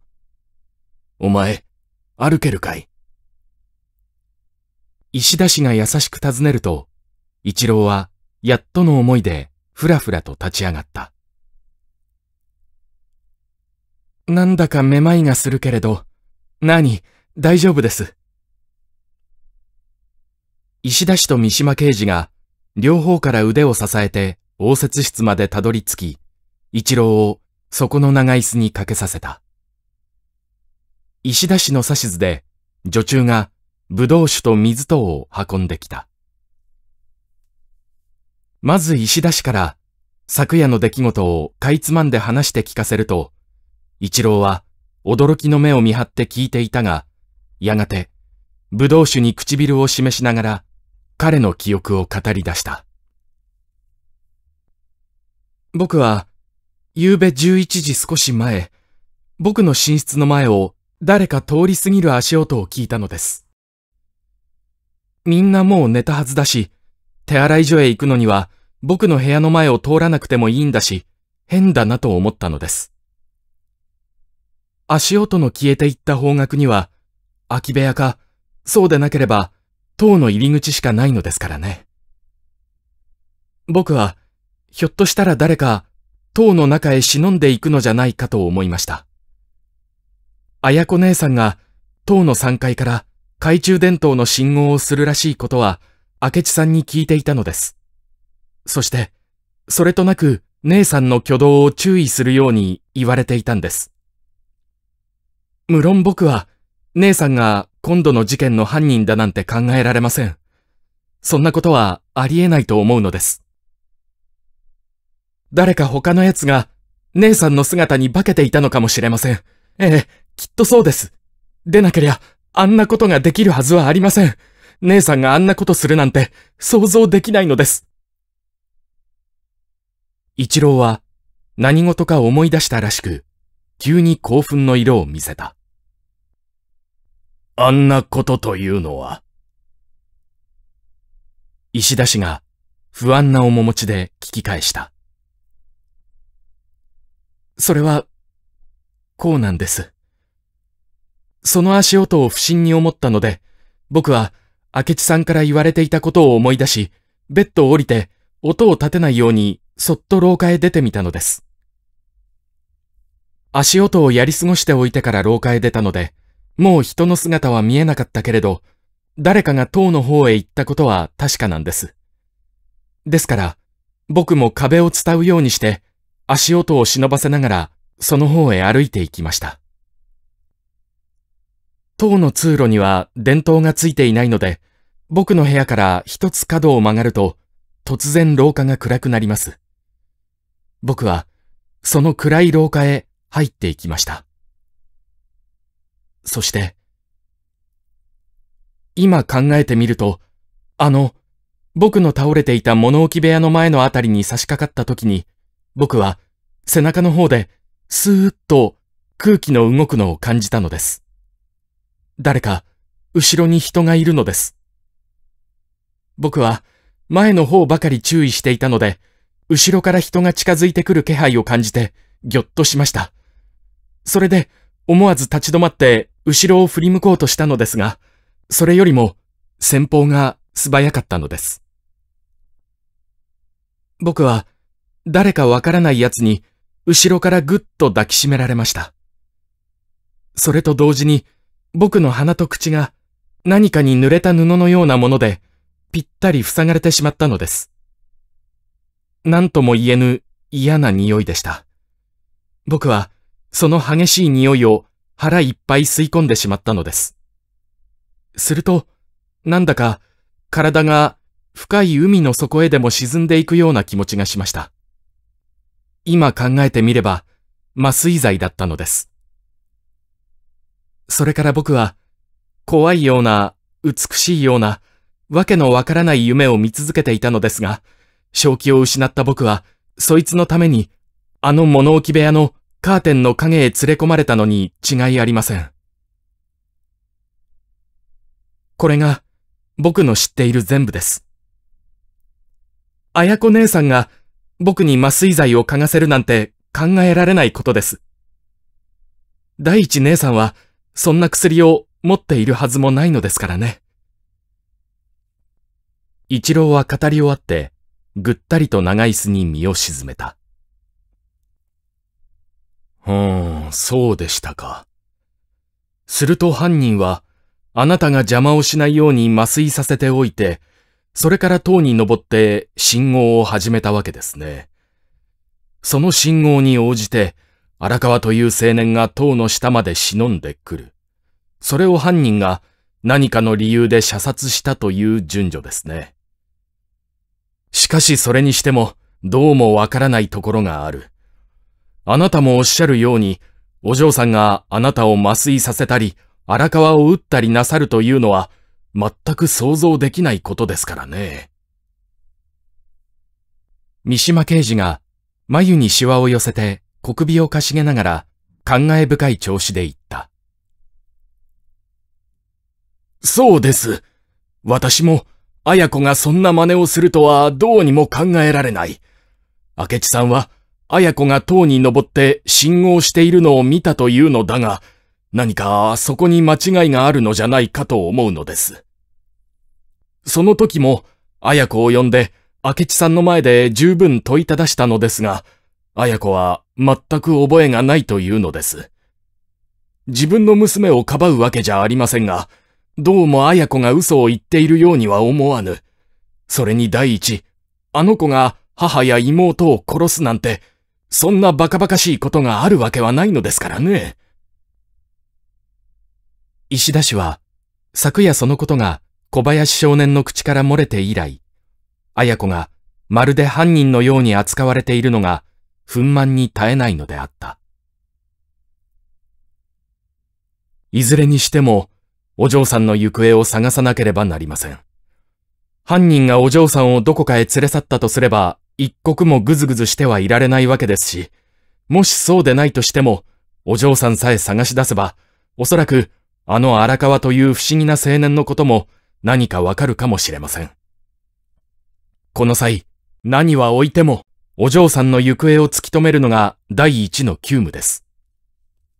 しかし、綾子がどこへ連れ去られたのか、全く手がかりもないのですからね。石田氏は無然として言うと、三島刑事は気の毒な父親を力づけるように、それを打ち消した。いや、まだ失望なさることはありません。我々は捜査らしい捜査はしていないのです。これからですよ。それにはまた、いろいろ手段もあるのです。例えばですね、犯人がお嬢さんを誘拐したとすれば、いくら夜更けでも、まさか担いでいくわけにはいきませんから、必ず乗り物を利用しているに違いありません。おそらく自動車でしょう。ですからまず、自動車のガレージなり、運転手なりを調べてみるという手段があるわけです。それから、この付近の通行人を調べる方法もあります。夜更けのことですから、町内の4番とか品蕎麦屋とかですね。また、付近の住宅をしらみつぶしに調べていけば、まだ12時前だったのですから、この辺りを歩いていた人がないとも限りません。その中に、お嬢さんを連れた怪しい人物を見かけたものでもあれば、それが出発点になって、だんだん捜索の方を進めていくことができるのです。我々はこれからすぐ、その方面の調査を始めてみようと思うのですよ。綾子の行方。ちょうどその時、書生が入ってきて、三島刑事に北森捜査課長から電話がかかってきたことを告げたので、刑事は中座して電話室へ立って行ったが、間もなく明るい顔になって戻ってきた。やっぱり僕の考えた通りでした。自動車が見つかったのですよ。自動車が？石田氏と一郎青年とがほとんど同時に叫ぶように聞き返した。そうです。うまい具合に向こうから名乗って出たやつがあるのです。夕べの事件が第一勇敢に出たのを見て、今警視庁へ訴えに来た運転手があるんだそうです。その運転手をここへよこしてもらうことにしました。警官が付き添って、すぐそちらへ行くからということでした。綾子を乗せたと言うんですか？ええ。それらしい様相の若い女を、この付近で乗せたと言うんだそうです。服装もよく合っていますし、時間もちょうど11時少し過ぎだったというのです。犯人に連れられていたのですか？それが妙なんです。その女は一人きりで、誰も連れてはいなかったと言っているのです。この点が少し腑に落ちませんが、しかし、他のことはよく符合しています。で、どこへ行ったのです？行き先は？芝の高輪のあたりだというのですが、運転手も町の名を知らないのです。もう一度行ってみればわかるだろうというのだそうです。その女は、どこへとも言わないで、ただ、品川の方角へ走ってくれと命じて、高輪あたりで突然車を止めさせると、ここでいいからと言って降りてしまったのだそうです。その運転手は、自分の自動車に乗って警視庁へ出頭しているというので、それじゃあ一度ここへ来てもらって、我々がその車に乗って、昨夜通った道をもう一度走らせてみようということになったのです。石田氏親子にとって、それは、吉報というよりは、むしろ、強法のように感じられた。綾子が、ただ一人で自動車に乗ったとすれば、想像していたような誘拐ではなくて、自由意志と見るほかはなく、従って彼女は逃亡したということになるからであった。ああ、やっぱり綾子は恐ろしい罪を犯していたのであろうか。その罪の発覚を恐れて身を隠す決心をしたのであろうか。石田氏と一郎とは、それを口に出して言うことはできなかったが、不安に耐えかねて、青ざめた顔を見交わすのであった。それから30分ほど後、その運転手が自分の車に監視の警官を乗せて石田邸に到着した。三島刑事は運転手を応接間に呼び入れ、石田氏に綾子の写真を借りてそれを見せると、その娘さんはなんだか顔を隠すようにしていたのではっきりしたことは言えないけれど、この人とよく似ていたように思う。との答えであった。なおいろいろ質問したが、電話で聞いていた以外には、これという新しい申し立てもなかった。そこで二人の刑事は、石田氏に糸間を告げ、監視の警官と共にその自動車に乗って、綾子らしい女の下車した場所を確かめるために出発した。途中、別段のこともなく、車は京浜国道を一直線に走った。高輪を過ぎ、品川に近づいていた。確か、ここいらの横丁へ曲がったんです。ああ、そうだ。あの薬屋の看板に見覚えがあります。あの横丁でした。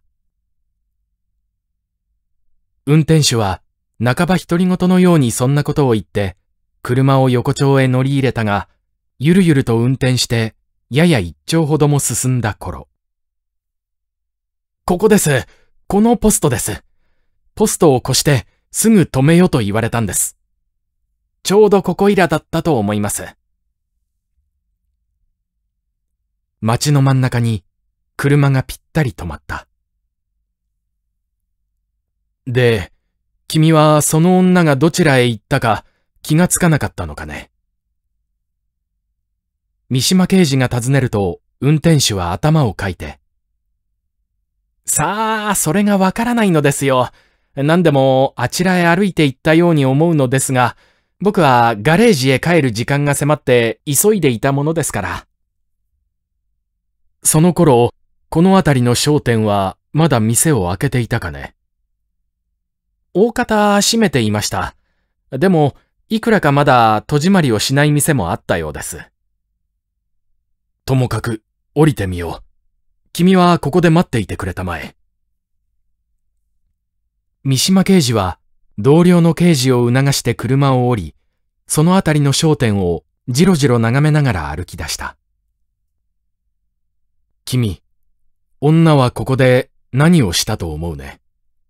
一つ、逃亡した娘の気持ちになって考えてみようじゃないか。友達の家がこの辺りにあるんじゃないでしょうか。それとも、宿屋かな？若い刑事が小首をひねりながら答えた。この辺りに宿屋はないよ。友達の家というのもなんとなく腑に落ちない。僕はもっと別のことを考えているんだよ。あの娘は何よりもまず行方をくらまそうとしたに違いないね。それにはどんな素人でも第一に気づくことがある。ああ、ここだ。僕はさっきからこの店を探していたんだよ。あの娘はここへ入ったに違いない。三島刑事が立ち止まったのは、一軒の古着屋の前であった。さすがに老練な刑事は、逃亡者の心理を介していた。逃亡者は何よりも、彼自身の服装が気になるのだ。服装さえ変えてしまったら、人目をくらますことができると考えるのだ。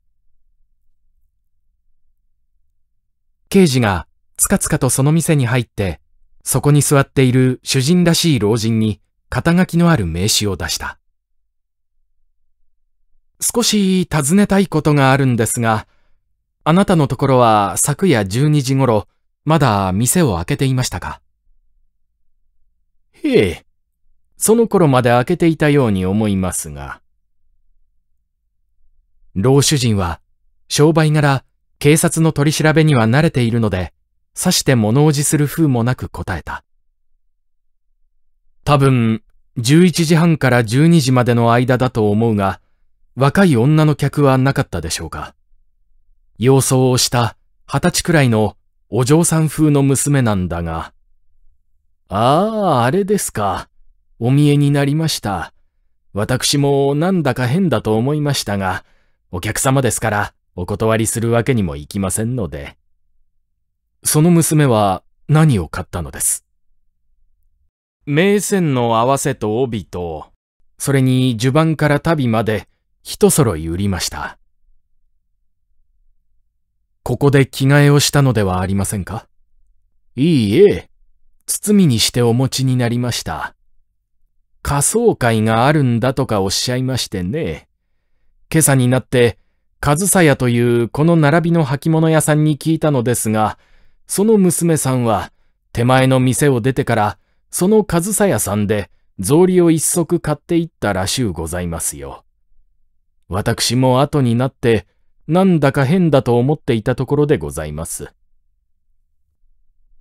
三島刑事の想像は見事に的中した。やっぱり逃亡者は、まず変装のことを考えたのだ。おそらく、着物と草履を買い求めた直後、どこかで、公園の闇の中とか、もしくは蕎麦屋の2階というような場所で着替えをしたのであろう。刑事たちは古着屋の売ったという着物と帯の柄を手帳に控えて一応自動車に戻ったが、それから先の足取りを確かめるのがまた一仕事であった。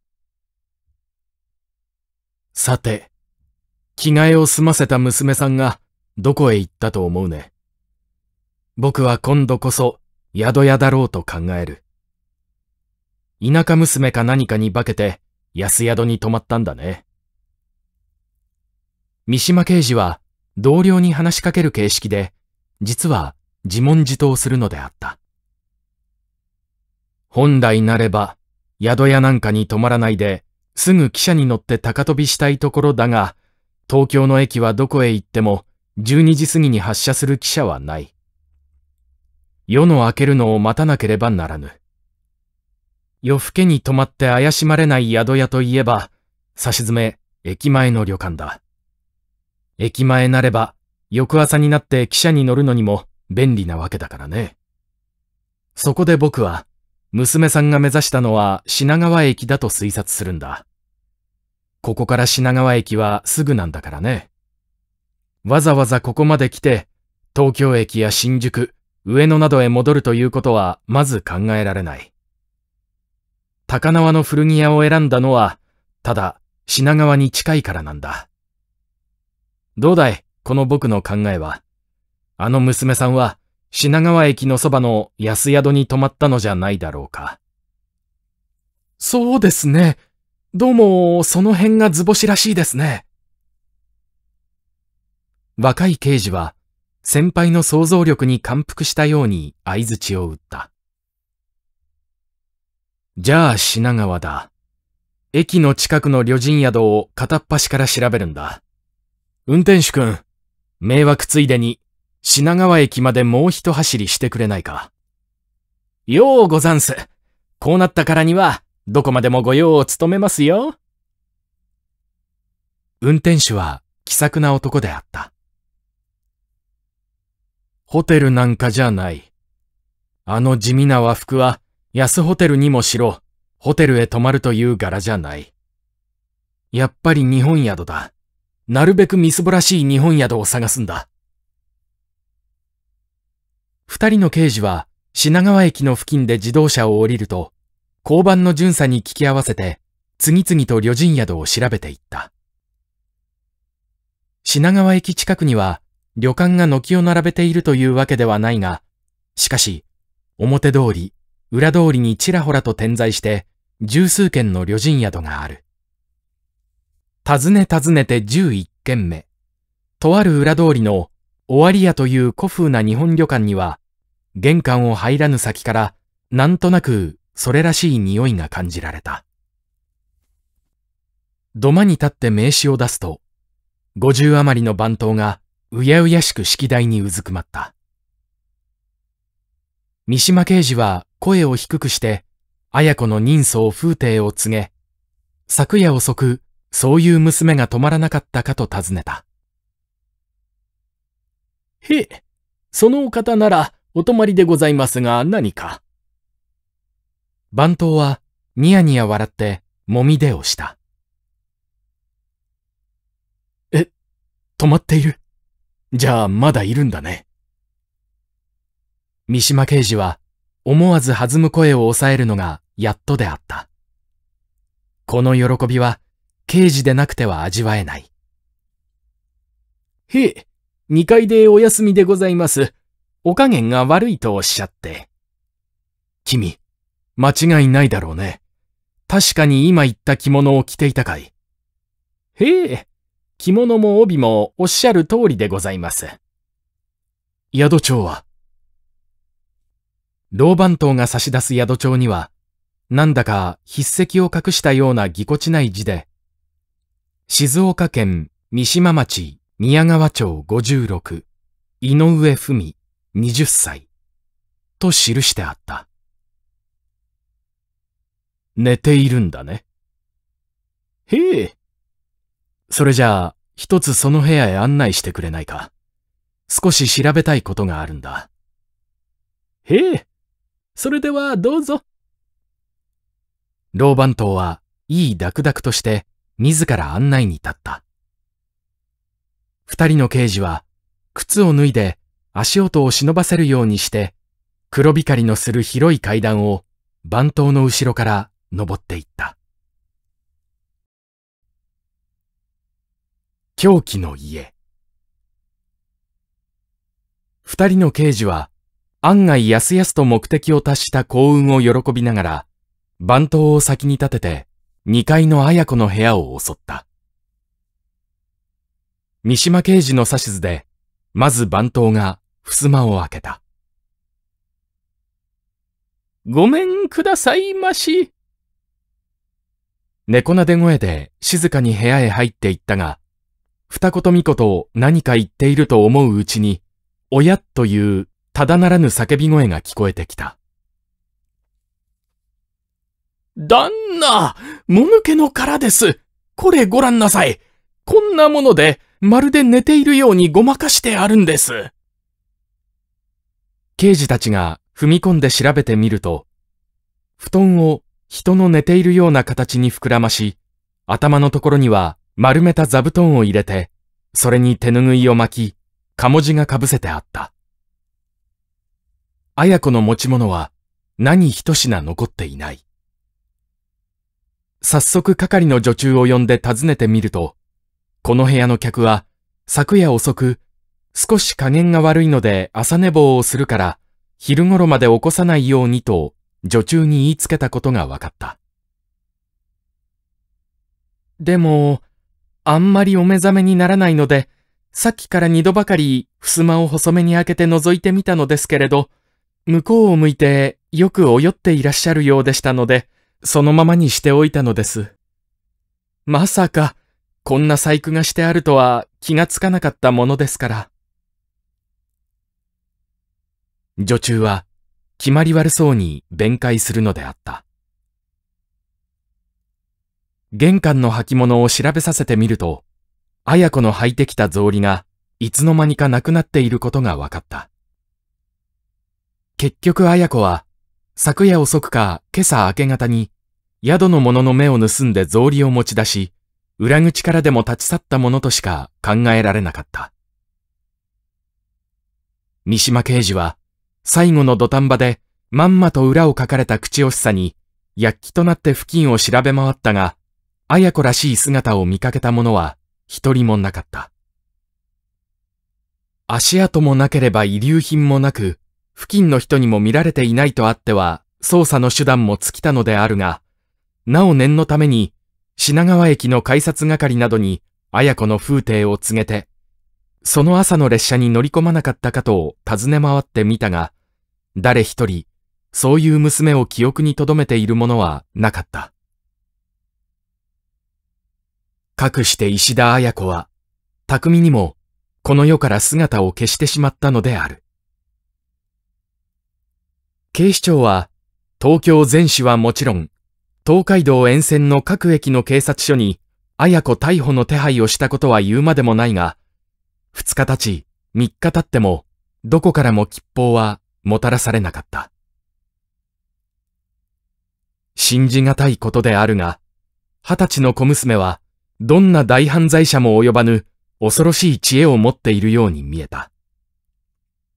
警察を出し抜き、名探偵明智小五郎を病院のベッドに審任せしめ、まんまと三重の殺人を犯して、ついに、期待のごとく消え失せてしまったのである。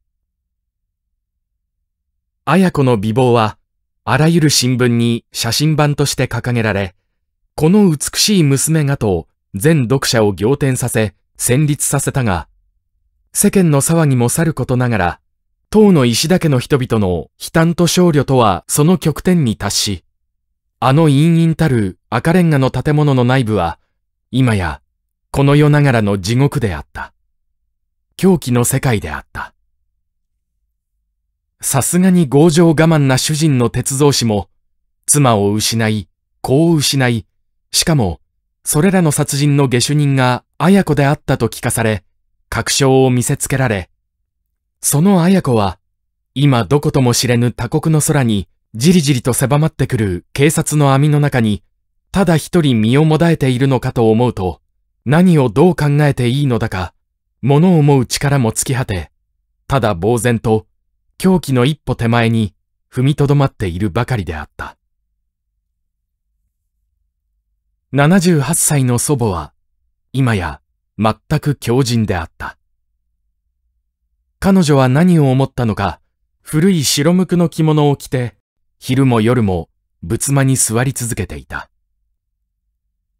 仏壇の扉を左右に開け放ち、何本となくろうそくを立て連ねて、一心不乱に経文を読受しながら、絶え間なく伏せ金を叩き続け、誰が言葉をかけても、つきものがしたように振り向きもしなかった。一郎青年は一郎青年で、負傷がやっと治ったかと思うと、麻酔薬に倒れて、一夜を物置に過ごした疲労から、ほとんど放心状態で、昼もベッドに横たわっていた。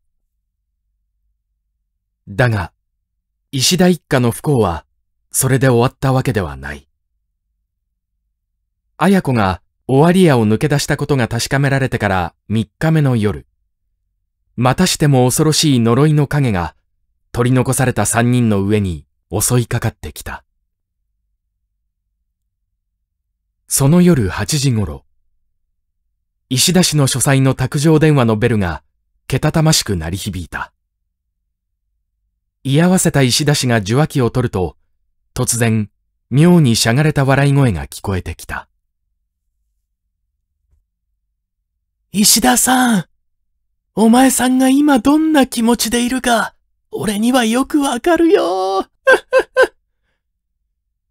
俺は愉快でたまらないんだ。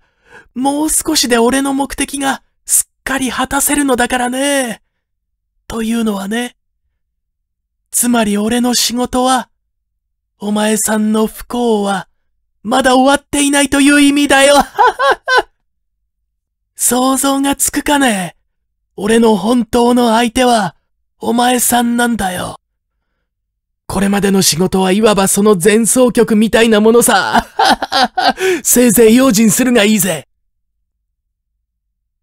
キレギレにそんな意味のことを言って、声が途絶えてしまった。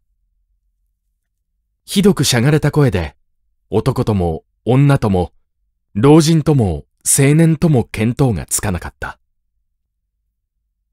石田氏はそれを聞くと、本当に気が違いそうになった。殺人犯人から電話がかかってきたのだ。しかも、その犯人というのは、娘の綾子としか思われないのだ。ああ、なんということだ。たとえあの娘に地獄の悪鬼がついているにしても、正気を失って悪鬼の命ずるままに行動しているにしても、こんな恐ろしいことが世にあり得るのであろうか。石田氏は自分の頭がどうかして本当の声ではなくて幻聴に脅かされているのだとしか考えられなかった。だが、それが幻聴でなかった証拠には、その同じ夜、石田氏は悪魔の声の主を見たのである。例の影のような黒覆面の人物をまざまざと見たのである。9時半頃であった。石田氏は就寝前に入浴する習わしだったので、その夜も湯殿のタイルの浴槽に使っていた。その後十分洗い清めたとはいえ、防災の血を流したあの浴槽である。別に湯殿を作るつもりではあったが、重なる不祥事のために、まだその暇がなかったのだ。廊下には、書生が見張り番を務めていた。窓の外の庭も、他の書生が巡回を怠らなかった。石田氏は、浴槽に浸って、ガラス窓の外の闇を見つめていた。今しがた、書生の姿がその前を歩いていったばかりだ。怪しい者がいるはずはない。だが、そう信じながらも、怯えた目を闇に向けないではいられなかった。すると、今立ち去ったばかりの書生の黒い影が窓の外へ戻ってくるのが見えた。どうしたのかと眺めていると、その黒い影は必要以上に窓に接近してきた。接近するにつれて、浴室の伝統の光で、そのものの姿がだんだんはっきりした。おや、あいつ気でも違ったのじゃないか？石田氏は吹き出したくなった。どういうわけか腹の底からおかしさがこみ上げてきた。書生は、インバネスのようなものを羽織って、黒い布で頭を包んでいた。そして、その布の中から目だけを出して、じっとこっちを見つめながら近づいてきた。石田氏の顔から笑いの影が消えていった。そして、何とも言いようのない恐怖の色が浮かんだ。覆面の人物は、鼻の頭がガラスにつくほど窓の外に接近していた。黒布をくり抜いた二つの穴から誰かの目が瞬きもせず石田氏を睨みつけていた。先ほど電話をかけた奴が姿を現したのだ。では、このガラス窓にくっついている真っ黒な怪物が、あの、綾子なのであろうか。石田氏がとっさにそれを考えたことは言うまでもない。父は浴槽に首だけを出し、娘は覆面に顔を包んでガラスの外から父を覗いている。この、気違いめいた、階段めいた事実が、石田氏を極度に枠乱させた。恐ろしいけれど、叫んでいいのかどうかわからない。書生が来て、怪物を捕らえてくれることが望ましいようにも思われ、絶対にそんなことがあってはならないようにも思われた。だが、ガラスの外にいる奴は、人情を介しないのだ。何か、途方もないものに疲れているのだ。黙っていたら、いきなりピストルを発射するかもしれない。そこにいるのは、綾子じゃないのか石田氏は熱病にうなされているような声で気違いめいたことを叫んだ。相手は黙っていた。ただ、黒布の穴の両目が異様に光っているばかりであった。たっぷり一分間ほど、異様な睨み合いが続いた。覆面の人物の気持ちは推察の限りでないので、石田氏の方は、その一分間に四五日分の思考力を一気に使い尽くしたような感じで、たちまちげっそりと痩せ衰えるほどの疲労を覚えた。石田氏は湯の中に浸かったまま身動きもできないでいたが、いよいよ思い切って浴槽から飛び出そうと考えた。だが、彼がそれを実行する前に、窓の外の怪物が突然妙な声で笑い出した。内緒話のようなかすれ声で、あざけるがごとく、哀れむがごとく、ともすれば、泣いているのではないかと思われるような不思議な声で笑い続けた。石田氏は、怪物がたとえ我が娘にもせよ、その人でなしの笑い声の恐ろしさに震え上がった。彼はいきなり大声に救いを求めながら浴槽から飛び上がり、裸体のまま廊下の方へ走り出さないではいられなかった。たちまち書生たちが駆けつけてきた。庭にも書生の叫ぶ声が聞こえた。そして、騒がしい怪物追跡が始まったが、覆面の人物はいつの間にどこをどうして逃げ去ったのか、庭中を探し回っても、ついにその姿を発見することができなかった。石田家の娘としての綾子は、行方をくらましてしまった。そして、再び帰ってきた時には、全く悪魔と化身していた。ただ覆面の怪物として邸内をさまよった。彼女はなぜ家出したのか。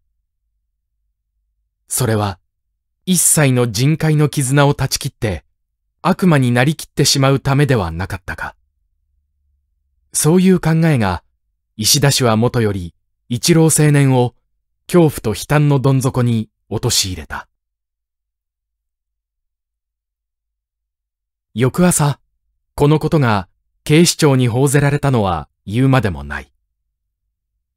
そして、北森捜査課長の計らいで、石田家の警戒はさらに一層強化されたが、黒い怪物は、物質界の法則を無視するかのごとく、思いもよらぬ時、思いもよらぬ場所へ、その不気味な姿を現した。ある時は、着替えをするために洋服の戸棚を開くと、かけ並べた洋服に混じって黒いインバネスが下がっていた。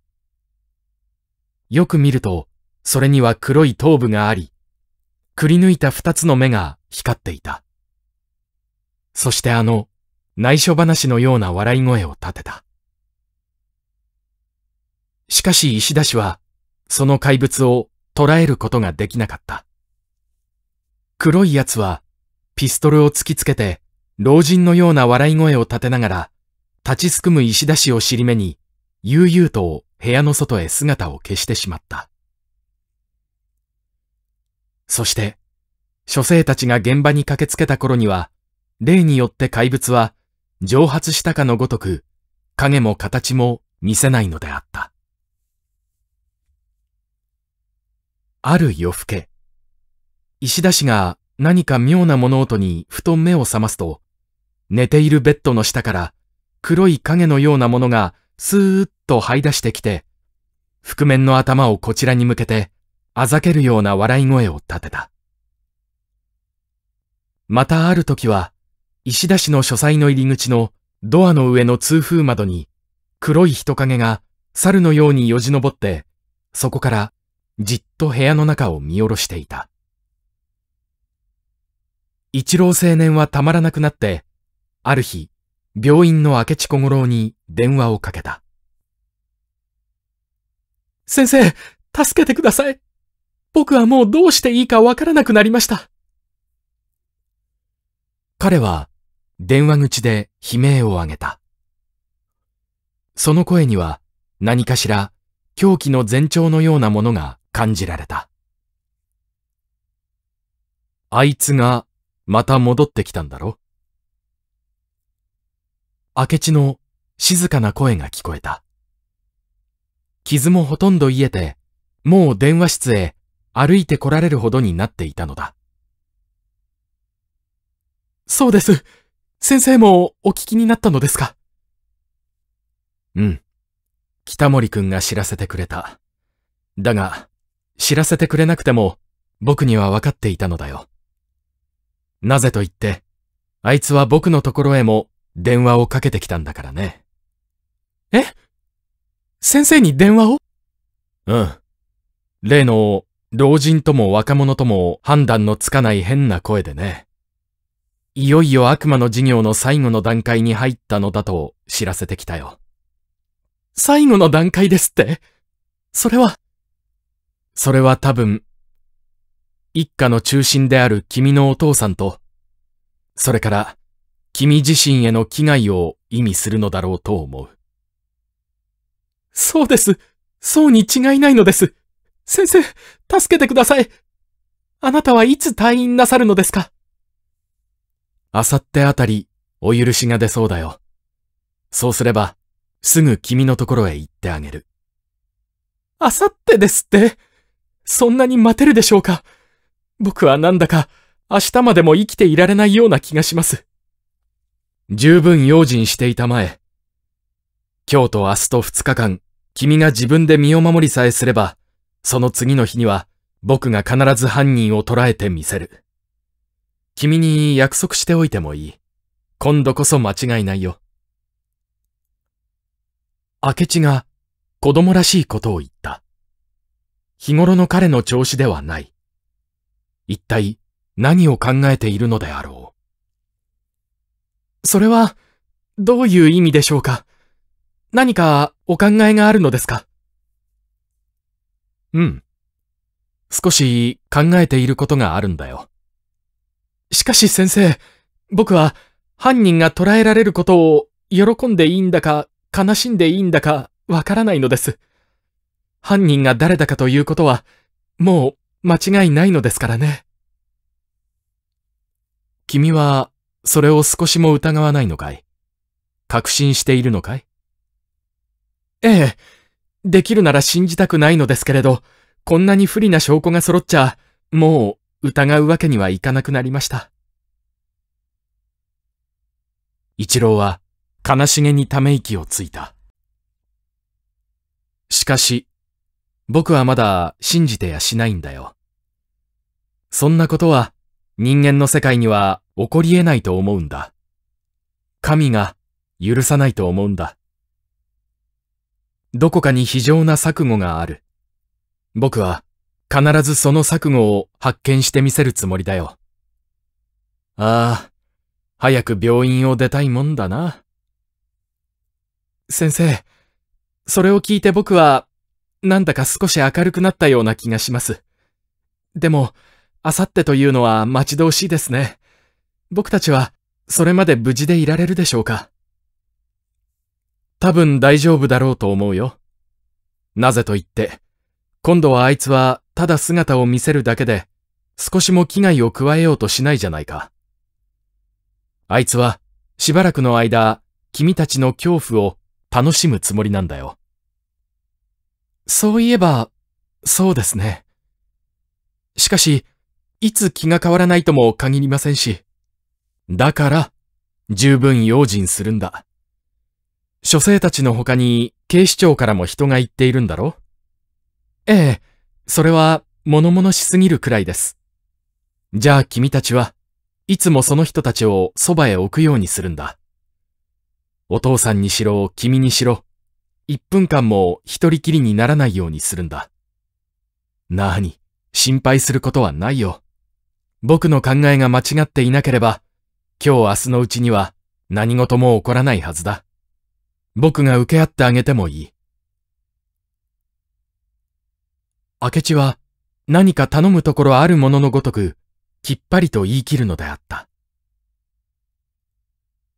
この電話による奇妙な会話は、冷静な第三者には、なんとなく腑に落ちぬところがあった。この重大な事柄を電話などで話し合う一郎も非常識であったが、それに応じて隊員の日取りだとか、その他大切なことを軽々しく口にするというのは、日頃の明智に似ぬ軽率な態度であった。だが、名探偵の言動にはいつも裏がある。この一見軽率に感じられる会話にも何か深い裏の意味がこもっていたのではなかろうか。最後の犯罪。さて、その翌朝、8時頃のことである。石田氏の寝室の前の廊下に一脚の肘掛け椅子が置かれ、そこに、書生の中では最年長者の刑事上がりの男がぐったりと腰掛けて正体もなく眠っていた。彼は、徹夜して主人の部屋を守護する役目であったが、それがまるで酒にでも酔いつぶれたように、いびきさえかいて眠っているというのは、なんとも変なことであった。そこへ、階段に足音がして、別の書生が交代のためにやってきたが、一目そのありさまを見ると、びっくりして、肘掛け椅子に駆け寄った。おい、どうしたんだ？起きたまえ、もう8時だよ。肩を小づかれて、年長の書生は、何かわけのわからないことをむにゃむにゃ言いながら目を開いた。おい、しっかりしたまえ。何を寝ぼけているんだ？昨べは別状なかったのかい？なおも小づき回すと、やっと正気づいたらしく、おや？朝だね。いつの間に眠ったんだろう。変だな。寝言のようにつぶやくのを、一方はたしなめるように怒鳴りつける。おい、君、大丈夫かい？ご主人は別状ないのか？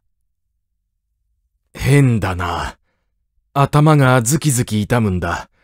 どうしたんだろう。君、すまないが、ご主人の様子を見てくれ。なんだかおかしい塩梅なんだ。これはただごとでないと感じたので、後から来た書生はいきなり主人の部屋のドアをノックして、そっとそれを開いてみた。おい、ベッドは空っぽだぜ。え？ご主人がいないのか？ふらふらと立ち上がって部屋の中へ入ってみたが、石田氏の姿はどこにも見えなかった。騒ぎを聞きつけて、他の書生や刑事なども集まってきた。一同で手分けをして、書斎その他で主人のいそうな部屋部屋、手洗い所から湯殿まで探し回ったが、石田氏はまるで神隠しにでもあったように、どこにも姿を見せないのであった。ところが、この珍事を一郎に知らせようと、その部屋の前へ行った書生が、そこの見張り番もぐったりと眠り込んでいるのを発見したので、騒ぎは一層大げさになった。一郎の部屋へ入ってみると、そのベッドも空っぽであることが分かった。主人ばかりでなく、一郎青年まで神隠しにあってしまったのだ。残る家族といっては、78歳の祖母、ただ一人。あの人もやられているのではないかと、急いでその部屋へ行ってみたが、ここの見張り番はちゃんと起きていて、老人は無事であることが分かった。隠しておこうと思ったのだけれど、この騒ぎを隠し寄せるものでなく、老人は間もなく二人の神隠しを気づいてしまった。そして、半ば強せるがごとき彼女は、泣き悲しむ代わりに、一層神がかりのようになって、銀髪を逆立て、目を血走らせながら、例の仏間に駆け込んで、わけのわからぬ経文を、高々と読受し始めるのであった。改めて、屋敷内外の大捜索が開始された。先日物置に一郎が倒れていた例もあるので、部屋という部屋は残らず、隅々までも探し回り、3階の円筒の内部は言うまでもなく、母屋の縁の下まで調べ、広い庭園も草を分けるようにして捜索したが、二人の姿はもちろん、足跡その他、手がかりになるようなものは何も発見されなかった。主人の寝室にも、一郎の寝室にも、昨夜11時頃までは何の異常もなかった。というのは、その頃まで二人の部屋の見張り番が正気でいたからである。二人が一度はベッドに寝たことも、シーツの乱れなどから明白であった。だが、見張りの書生は二人とも、11時頃から朝までのことを全く知らなかった。その少し前、女中の運んでくれた紅茶を飲んだのだが、どうやらその中に眠り薬が入っていたらしいのである。女中が取り調べられたことは言うまでもないが、彼女は石田家に2年も勤めている素性のよくわかった女で、黒覆面の共犯者とは考えられなかった。眠り薬を入れたものは他にあって、彼女は何も知らず、ただそれを運んだばかりのように察せられた。では、眠り薬を入れたのは何者であったか。台所へは誰でも出入りできるのだから、家内のものすべて疑えば疑えぬことはなかったが、差し詰め三人の女中が厳重な取り調べを受けた。しかし、女中たちには、これといって疑わしい点もないように見えた。女中を除くと、あとは祖母と書生たちであったが、老人には何を尋ねても、ただ一心不乱に教文をつぶやくのみで、全く要領を得なかったし、書生たちのうちに犯人がいようとも思えなかった。次には、二人がどこから出て行ったか、あるいは連れ去られたかという点が問題になったが、不思議なことに、玄関も裏口も、出入りのできる場所はすべて内部から戸締まりがしてあって、書生や女中が起きるまでは、どこにも異常がなかったことが確かめられた。すると、窓からでも出たのであろうか。なるほど。開花に寝室のある一郎は、窓から出ることもできたであろうが、二階の石田氏が高い窓から飛び降りたとは、ちょっと想像できないことであった。つまり、二人は一夜の間に蒸発し、あるいは妖怪してしまったかのような感じであった。見張り番が眠り薬を飲まされていた点から考えても、無論これは例の怪物の仕業に違いなかった。だが、あの黒覆面の癖者が、二人の大の男を、少しの物音も立てず、やすやすとどこかへ連れ去ったとは、一体、どんな手段によったのであろう。第一、出入り口すらもわからないのである。怪物は、人間界の法則を無視した妖術を心得ていたのであろうか。その黒覆面の怪物とは何者であったか。その正体は二十歳を越したばかりの美しい娘ではなかったか。人々はそれに思い当たると、立然として肌の寒くなるのを感じないではいられなかった。彼女は父親と弟とを盗み去ったのだ。何の目的で言うまでもない。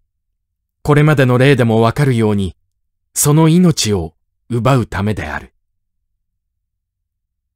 ああ、核のごときことが、果たして人間界に起こり得るのであろうか。もしかしたら、これは現実の出来事ではなくて、石田屋敷の異様な建物の容器が、人々を市場の悪夢に誘い込んでいるのではあるまいか。だが、これらの取り調べには、主として警視庁から出張していた刑事たちが当たったので、書生たちはまだ未練らしく、庭のあちこち、木の茂みなどを覗き歩いていたのだが、そうして歩き回っているうちに、書生の一人が、ふと、妙な顔をして立ち止まった。おい、どうしたんだし、静かにしたまえ。君、あれが聞こえないか？ほら、なんだか人の声のようじゃないか？言われて聞き耳を立てると、いかにも遠くから人の叫び声のようなものが聞こえていた。誰か来てくれって言ってるようだね。救いを求めているんだ。だが、一体どこだろう？ひどく遠いようだが、塀の外じゃないだろうか。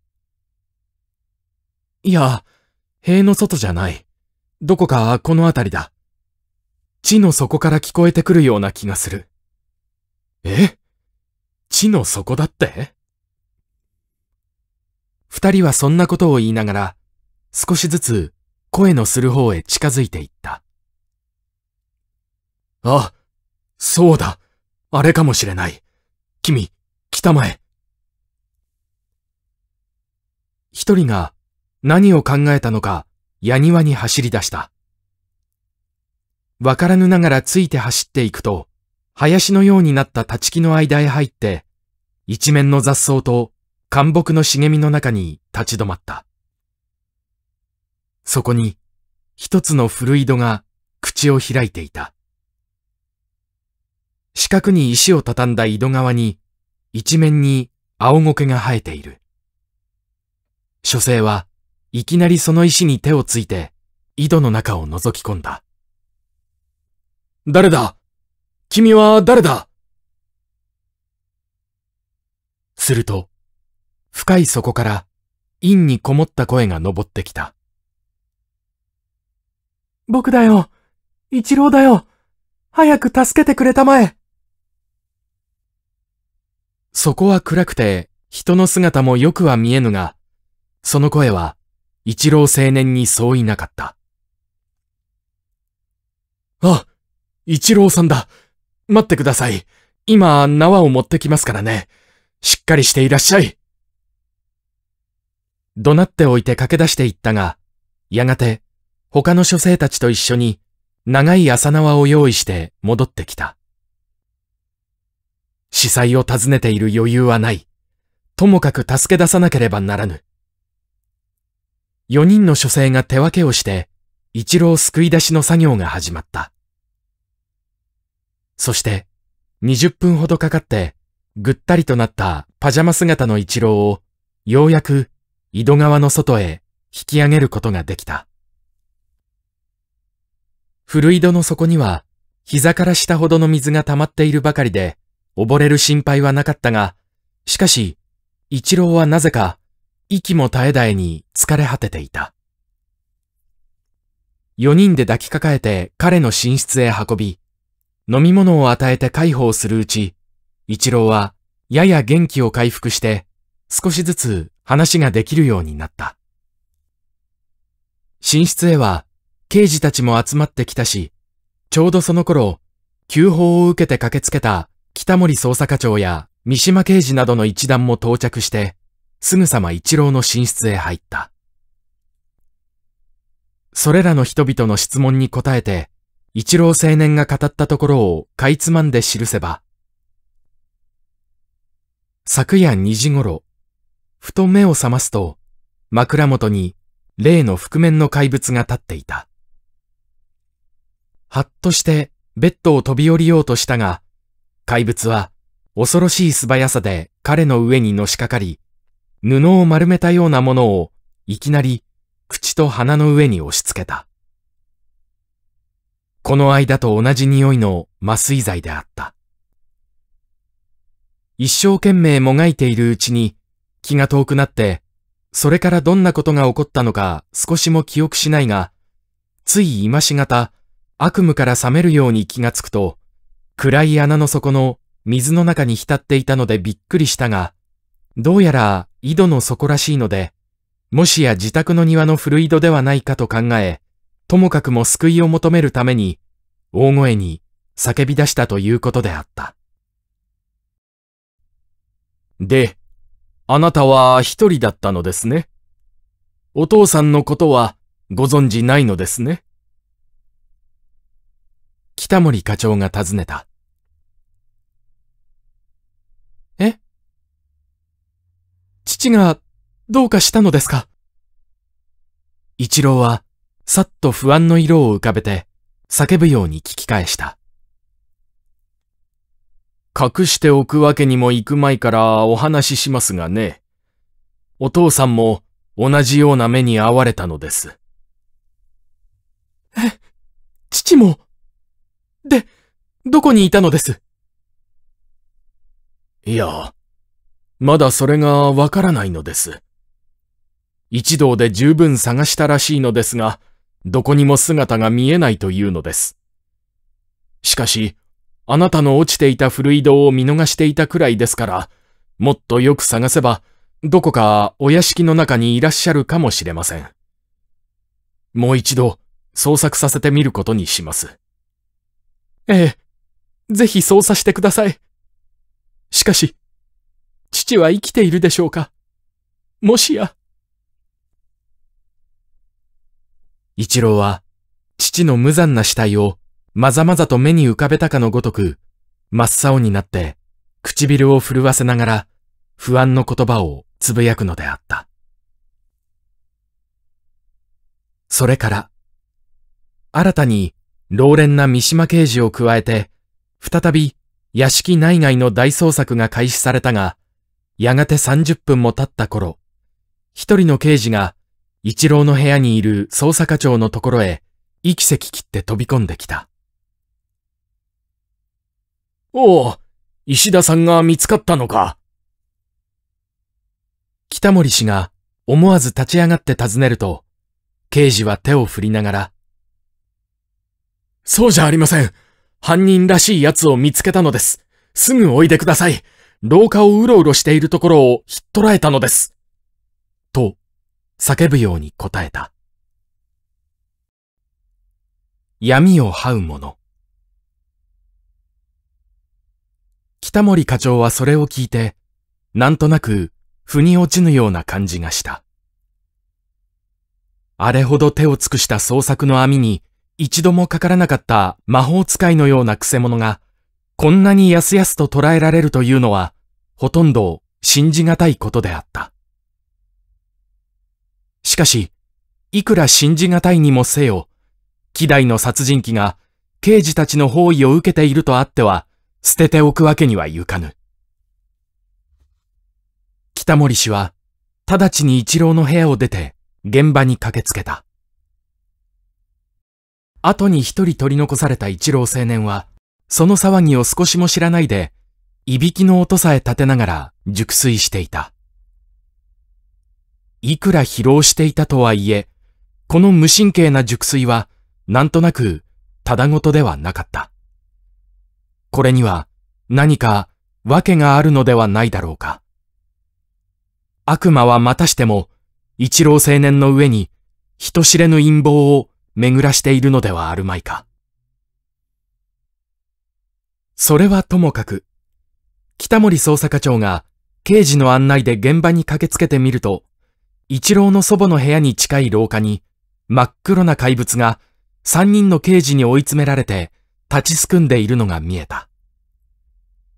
刑事たちは、じりじりと怪物の方へ詰め寄っていた。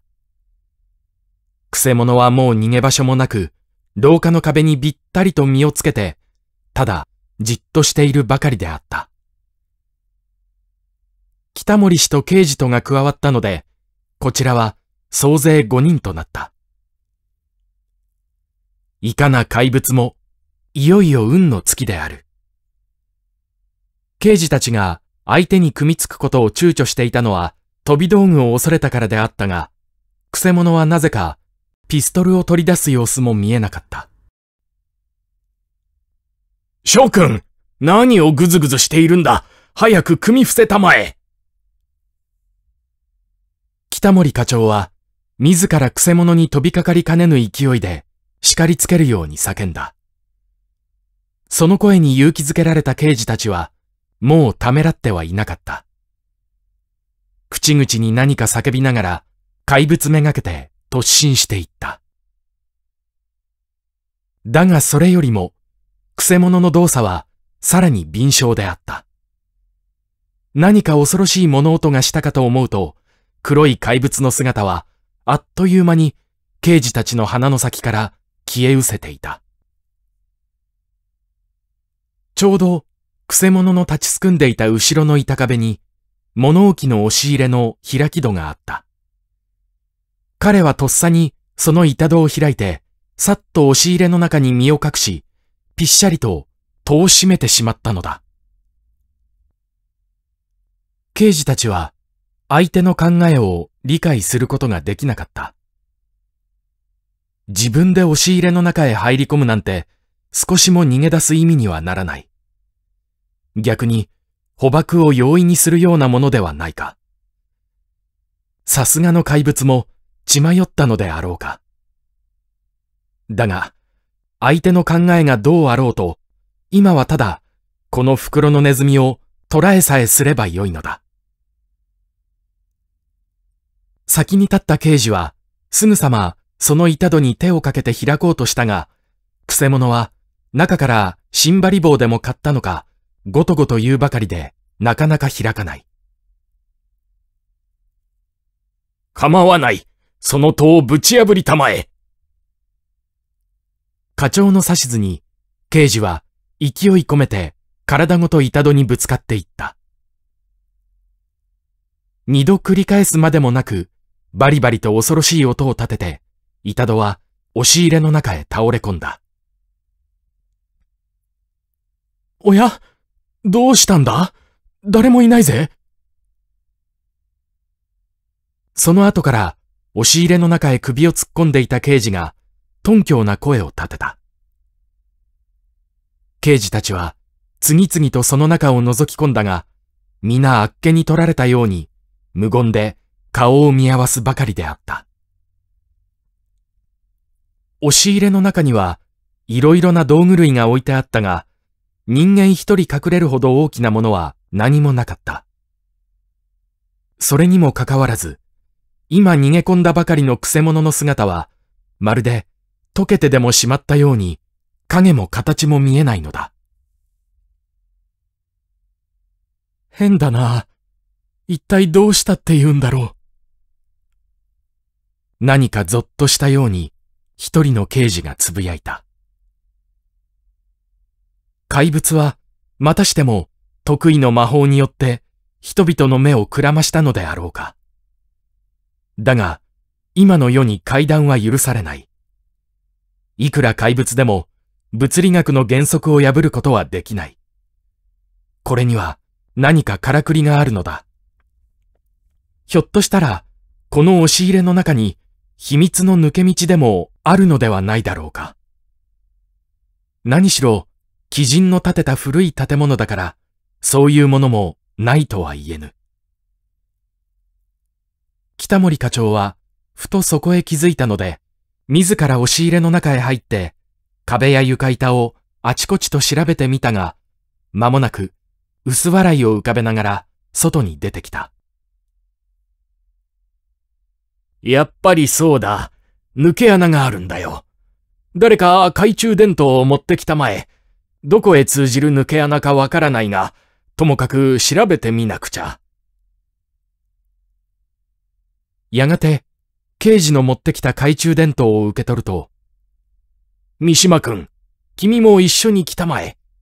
と言いながら、課長は先に立って、押し入れの中へ入った。その中は、三方とも板壁になっているのだが、一方の隅に高さ三尺ほどの小さな隠し戸がついていて、それが向こう側へ開いている。その奥は、深さも知れぬ闇だ。おそらくここは、地下道の入り口なのであろう。やっこさん、よっぽど慌てたと見えて、隠し戸の締まりを忘れていったのだよ。ちょっと手で押してみると、何の造作もなく開いたのだ。君、用心したまえ。相手は気違いだからね。僕は幸いピストルを持ち合わせているから、いざといえば引けは取らないつもりだが、君は空手なんだからね。僕の後ろからついてきたまえ。北森氏は、懐中電灯を後ろの三島刑事に持たせ、自分はピストルを握って、大胆にも闇の地下道へと這い込んでいった。懐中電灯で照らしてみると、上下左右とも石で畳んだ細い地下道で、よほど年代の経ったものと見え、石畳はところどころ崩れているし、一面にカビとも苔ともつかぬものが生え、何とも言えぬ湿っぽい土の匂いが鼻をつく。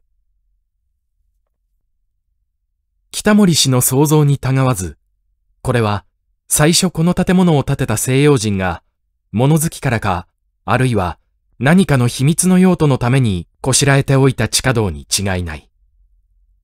それを犯人が発見して隠れ場所に使用しているのだ。覆面の怪物は、この邸内をまるで我が家のように自由自在に歩き回り、しかも幾度追い詰められてもかき消すように姿をくらましていたのだが、こんな抜け穴があるのでは何の不思議もないことであった。あの身辺不可思議の魔法の種は、ここにあったのだ。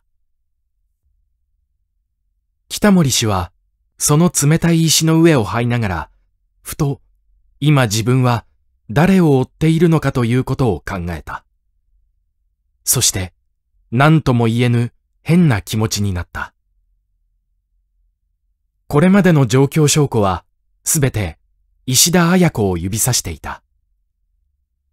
石田家の家族の一員であるあの美しい娘さんが恐るべき殺人犯人と目されていた。すると、この冷たい暗い地下道の中を四つん這いになって逃げていく覆面の怪物は、やはりその美しい綾子でなければならない。ああ、そんなことがあり得るのだろうか。用心に用心をしながら這い進んでいくと、ふと懐中電灯の淡い光が一軒ほど向こうにうごめいている黒いものの姿を照らし出した。怪物のマントであった。足を隠すほど長いインバネスの裾が石畳の上を吸ってずんずん向こうへ這ってゆく。待て声をかけてもひるむ様子はなかった。ここまでおいでと言わぬばかりに、速度を速めて遠ざかってゆく。その黒い怪物が、か弱い二十歳の娘なのかと考えると、現実家の北森氏も三島刑事も、地底の冷たい風が運んでくる危機に、思わず立然としないではいられなかった。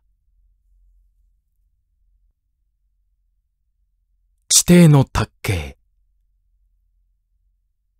地下道は案外短く、四五軒も進むと、突然、天井も左右の壁も遠ざかって、大きな部屋のような場所に出た。北森氏は、ピストルの引き金に指をかけて、真っ暗な広間に立った。三島刑事もそれに続いて、目の前の闇に懐中電灯の光を向けた。その丸い光の中に、黒いものがこちらを向いて、すっくと立っているのが見えた。黒布の覆面の二つの穴から、ギラギラ光る目が覗いていた。さてはくせ者は、二人をここまでおびき寄せておいて、手向かいするつもりなのであろうか。手を挙げろ出ないと北森氏は、相手の剣幕に愕然として、汽船を制するためにいきなりピストルを突きつけながら恐ろしい勢いで怒鳴りつけた。すると突然、実に意外なことが起こった。覆面のくせ者が爆発するように笑い出したのである。はっきりした男の声で、さも快活に笑い出したのである。こちらの二人は、この気違いめいた出来事にあっけに取られて立ちすくんでいると、くせ者は悠然として顔の覆面を取り外し、マントを脱ぎ捨てた。その下から現れたのは、若い娘の姿であったか。それとも、凶悪無残の野獣のような男子であったか。いや、そこには、一人の背広姿の勝者たる紳士が立っていた。あ？君は？明智です。びっくりさせて申し訳ありません。その紳士は、明智小五郎であった。北森氏とは親しい間柄の私立探偵であった。ああ、これはどうしたというのだ？覆面の怪物の正体は明智探偵であったのか。すると、石田家の殺人事件の真犯人も彼なのであろうか。いや、そんな馬鹿なことがあるはずはない。世に聞こえた名探偵の明智が意味もない人殺しをする道理がない。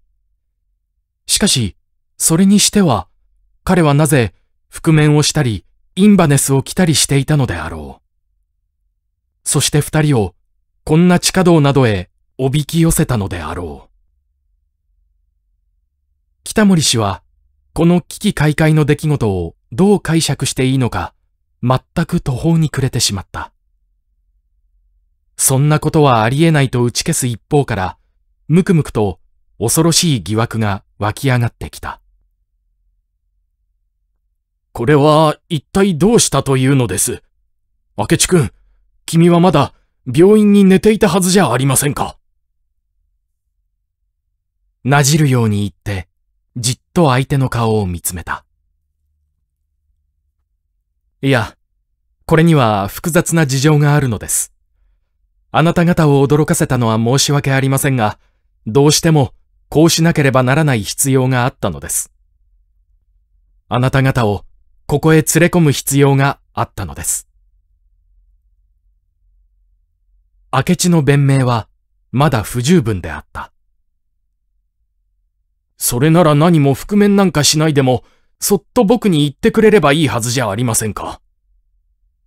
いや、それができない事情があったのです。ここのうちの者に僕が来たことを知られたくなかったのです。僕はまだ病院にいると思い込ませておく必要があったのです。それにしても、君は一体、その覆面や街灯をどこで手に入れたのですか？まさか、わざわざ新しく作らせたのではありますまい。この地下道の入り口にあったのです。ご想像の通り、ここが犯人の隠れ家なんです。ここに一切の秘密があるのです。変装用具も無論、ここに置いてあったのです。僕は、ちょっとそれを拝借したまでですよ。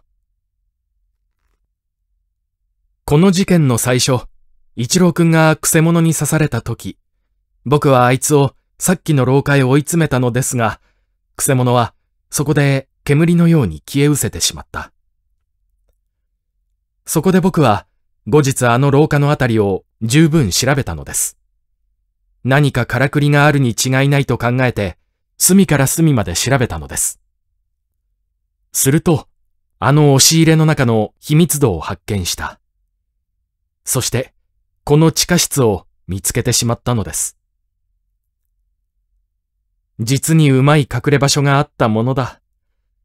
この家を建てた外人がこんな風変わりな穴蔵なんかこしらえておくものだから、今度のような犯罪も起こることになったのです。これがなければ、いくら賢い犯人でも、ああまで出没自在に振る舞うことはできませんからね。そうでしたか。いつもながら君の手腕には敬服です。北森氏は、ほっとしたように私立探偵を褒めたが、何かまだ腑に落ちぬ点があるらしく。君は今、ここのうちの者に見られたくないと言いましたね。すると、犯人の同類が邸内にいるとでも言うのですか？と尋ねる。そうです。同類がいるかどうかはわかりませんが、何しろ、犯人自身がこのうちのものですからね。じゃあ、やっぱり、あの、綾子という娘が？いや、そのことは後でゆっくりお話ししましょう。今はそれよりも、もっと急を要することがあるのです。え？急を要するとはちょっと、その懐中電灯をお貸しください。明智は、三島刑事の差し出す電灯を受け取ると、それを振り照らしながら、穴蔵の奥へ進んでいった。あ、やっぱりそうだ。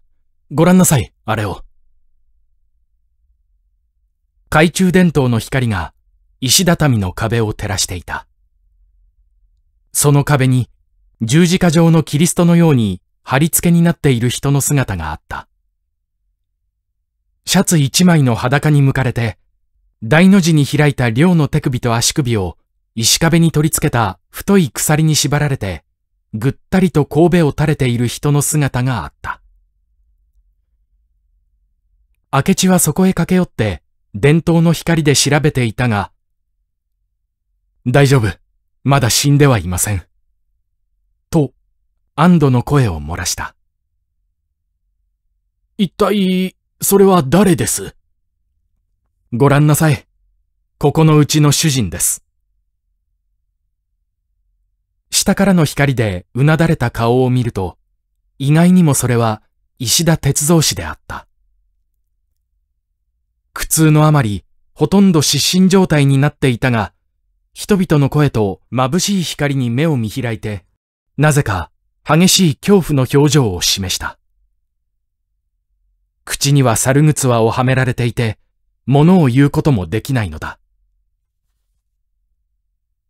石田氏の貼り付けになっていたのは、足先が地上から2尺も離れているほど高い場所なので、何か台がなければ助け下ろすこともできなかったが、幸い、すぐそのそばに脚立が放り出してあるのを見つけたので、三人はそれを立てて、いろいろ骨を折って、石田氏を地上に下ろし、猿靴輪も外してやった。石田氏は、明智に助けられたことは十分意識している様子であったが、立っている気力もなく、ぐったりと地上に倒れて、何かわけのわからないことをつぶやきながら、力ない手で、しきりと穴蔵の一方を指さすのであった。明智は、石田氏が何を言おうとしているのかを確かめるために、その指先の示す方角へ懐中電灯を振り照らした。おや、あそこにもなんだか人がいるようじゃありませんか？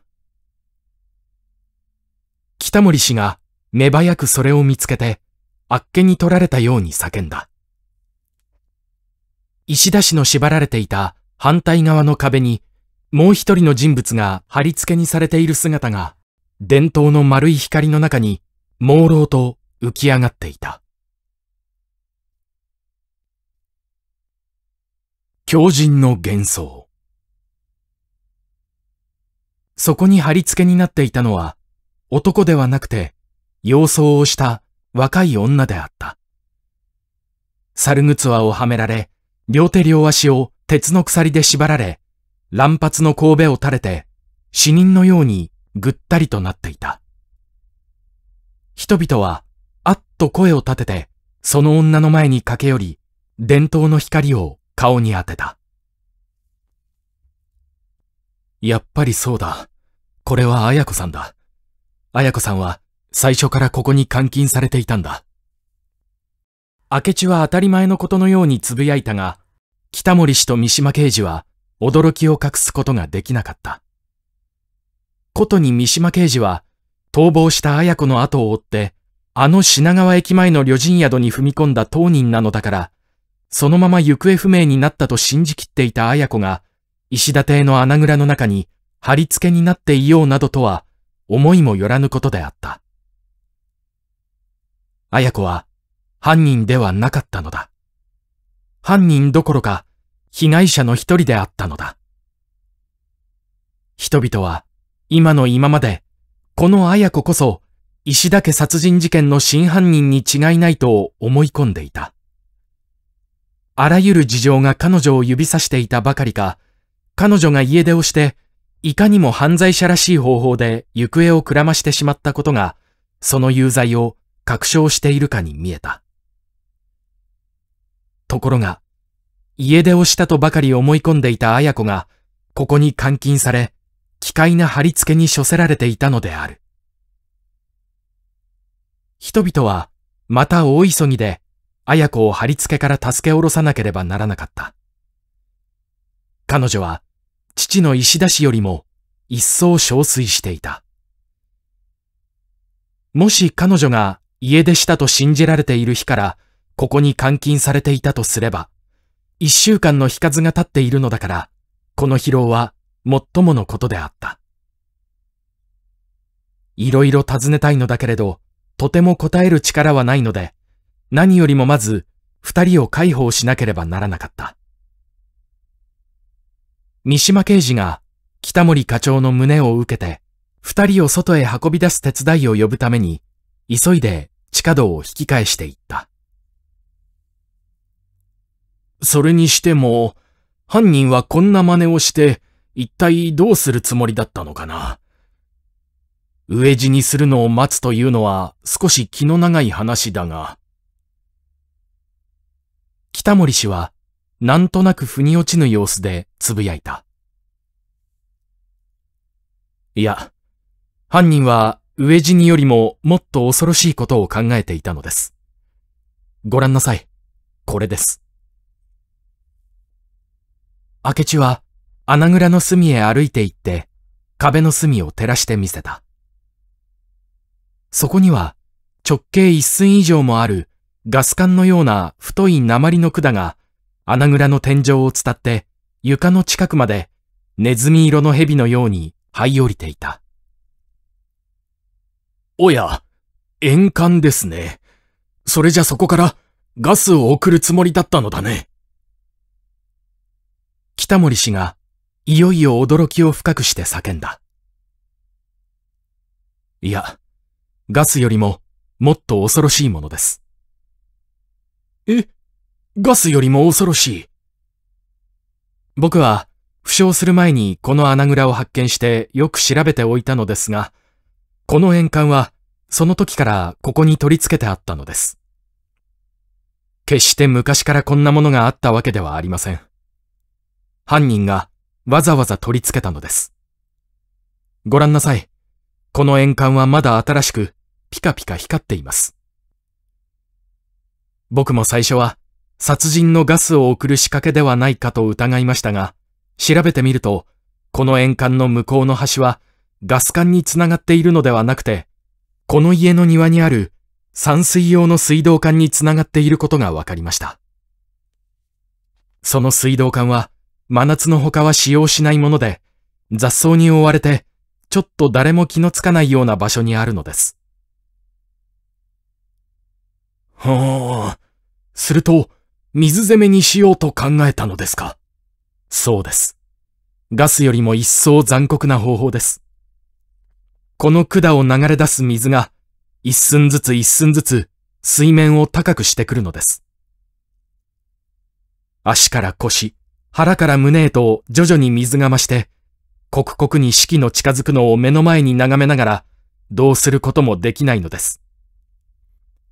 何が恐ろしいと言って、刻一刻、時計のように正確に、全く逃れる術のない死が近づいてくるのを、じっと見ていなければならないほど恐ろしいことが、この世にあるでしょうか。犯人はこの二人に、その恐怖を味わわせようとしたのです。いや、そればかりではありません。犯人は、もっともっと恐ろしいことを考えていたのです。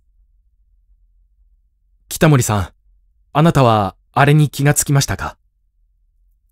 綾子さんの縛られていた位置は、床に足がつくほど低いのに比べて、石田さんの縛られていたのは、それより2尺も高い位置です。これは偶然でしょうか？もし偶然でなければ何を意味するのでしょう。僕はたった今そこへ気がついて、犯人の着想の恐ろしさにゾーッとしたのですよ。捜査課長は、明智の言葉の意味を悟りかねて、いぶかしげに相手の顔を見つめた。明智は、無残な推理を続ける。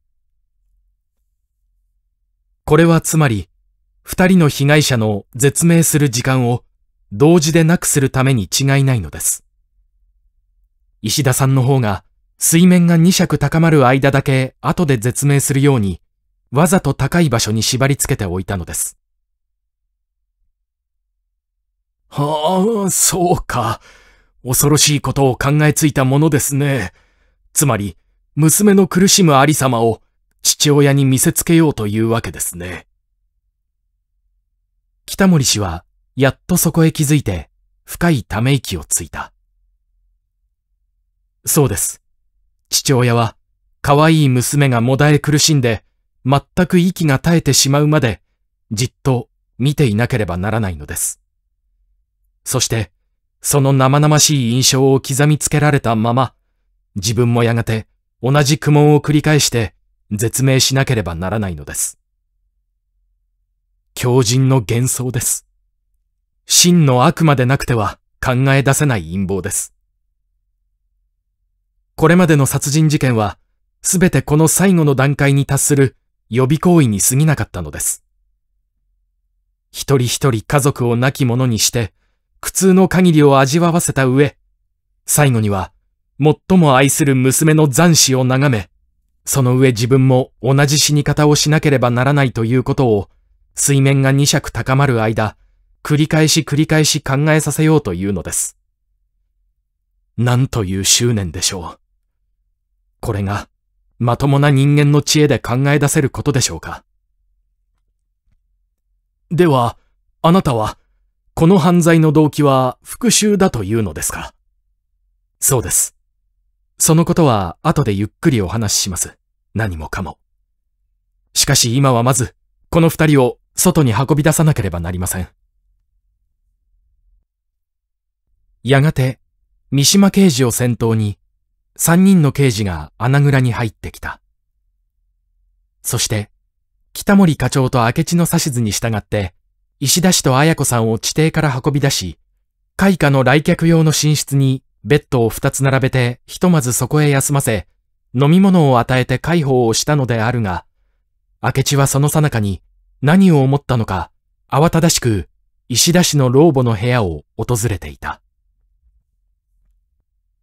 ドアを開くと、襖の向こうの日本間から陰気な度胸の声が聞こえてきた。この数日来、老人は仏壇の前に座り続けて、狂気のように仏を念じているのだ。明智は、控えの間を通り抜けて襖の外に立ち、しばらく様子を伺っていたが、やがて、そっと襖を開いて、部屋の中を覗き込んだ。そこには、立派な金ピカの仏壇が安置され、開け放った扉の前には、妙な形のろうそく立てに何十本という小ろうそくが、チロチロと赤い炎を揺るがしていた。老人は、祈祷者かなんぞのような白衣を着て、仏壇に向かって短座し、数珠をつまぐりながら、歯のない口を不気味に動かして、襖の開いたのも知らぬげに、一心不乱に経文を読受していた。撫でつけにした銀髪が長く手入れもしないのか、もじゃもじゃと乱れて、青ざめたしわくちゃの顔の中に、メガネの中に落ちくぼんだ両目だけが、異様に鋭く、気違いめいた光を放っていた。この80歳にも近い老人は、何を書くまで熱心に祈っているのであろう。打ち続く不幸に心も乱れて、せめては残る家族の無事を念じてこのように一心不乱になっているのであろうが、その部屋の異様に陰気な、気違いめいた雰囲気は、ともすればその逆に、何かしら不気味な呪いとでも言うようなものを連想せしめた。明智はその様子を、細めに開いた襖の隙からそっと覗いていたが、老人が最前からの騒ぎに少しも気づいていないらしいことを確かめると、別に言葉をかけるでもなく、そのまま、また音のせぬように襖を閉めて廊下に出た。そして、廊下の向こうを通りかかった書生を手招きして、その耳に妙なことを囁いたのである。君、このドアの前でね、ご老人の見張りをしていてくれたまえ。少しの間、地下室の出来事をご老人に知らせたくないのだ。もし部屋を出られるようなことがあったら、後をつけて、あちらの僕たちのいる部屋へ来られないように計らってくれたまえ。そして、もし何か変わったことがあったら、すぐ僕に知らせるんだ。わかったかね？書生がうなずくのを見て、明智はそこを立ち去ったが、次には、廊下の他の端にある一郎青年の寝室に急いで、そっとドアを開き、部屋の中を覗き込んだ。見ると一郎は、ベッドの上に軽いいびきを立てて熟睡していた。長い時間、古井戸の底に水浸しになっていた疲労のためとはいえ、昼日中、この熟睡はなんとなくただごとでないように思われたが、明智は別に怪しむ様子もなく、彼が何も知らないで眠っているのを確かめると、そのままドアを閉めて、石田氏と綾子さんの運ばれた部屋へ引き返した。誰が犯人か。一室にベッドを並べて横たわっていた石田氏と綾子さんは、それから一時間ほど後には、いくらか元気を取り戻して、少しずつ人々の問いに答えられるようになっていた。北森課長と明智とは、二人の枕元に腰掛けて、体に触らぬ程度に要点だけを質問していった。その結果判明したところによると、まず綾子さんの方は、あの海青年、荒川翔太郎変死事件のあった日、すなわち、綾子さんが家出をしたと信じられている日以来、例の覆面の怪物のためにあの地下室に押し込められ、昨日まではただ手足を縛られ、猿靴輪をはめられて、逃亡の自由を奪われていたばかりであったが、夕べ、石田氏が同じ穴蔵へ連れ込まれると同時に、あの恐ろしい貼り付けの姿で、石壁に縛り付けられたというのである。一週間の監禁中、昨夜までは一日に二度くらいずつ、覆面の怪物自身でパンと飲み物を運んでくれ、その都度猿靴輪を外して手の縄を解いてくれたので、気活に耐えぬというほどではなかったが、それよりも、一体この先、どんな恐ろしい目に遭わされるのかと思うと、食事どころではなく、全く生きた空はなかったという。父の石田氏の方は、昨夜、全く知らぬ間に地下室へ連れ込まれ、ふと気がつくと、いつの間にか貼り付けの形で壁に縛られていた。おそらく犯人が何かの飲み物の中に麻酔薬を混ぜておいたものであろう。そして、その昏睡中の石田氏を地下室に担ぎ込み、目覚めぬ間に壁に縛り付けてしまったものに違いない。だから、犯人がどんな風をしていたかさえ知らないのだということであった。彼は幸せにも、まだ水攻めの陰謀には気づいていなかったので、それほどの恐怖は感じなかったが、しかし、目の前に娘の綾子が同じように縛られているのを見ながら、助けてやることも、声をかけることさえできない苦しさを、目覚めてから今まで七八時間も味わわされたのであった。一郎はどうしているのでしょう？あれもどうかされたのじゃありませんか。なぜここへ来てくれないのでしょう。石田氏は、一通り問答が済んだ後で、キョロキョロとあたりを見回しながら、気遣わしげに尋ねた。いや、一郎くんには別状ありません。ご安心ください。ちょっと僕が行って呼んできましょう。明智は何気なく答えて立ち上がると、そのまま部屋を出て一郎の寝室へ急いだ。一郎の部屋の前には三島刑事が腕組みをして立っていたが、明智を見ると、腑に落ちぬ様子で声をかけた。まだ寝続けているんですよ。どうしたんでしょう。いくら疲れていると言っても、少し変じゃありませんか。いや、心配したことはないでしょう。僕が起こしてやりますよ。明智は気軽に行って部屋に入り、ベッドに近づくと、いきなり一郎を揺り起こした。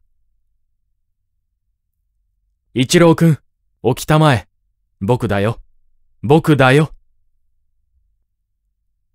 幾度も同じことを繰り返しているうちに、一郎はやっと目を覚まして、ぼんやりした顔で、キョロキョロとあたりを見回していたが、明智の顔を意識すると、びっくりしたようにベッドの上に起き直った。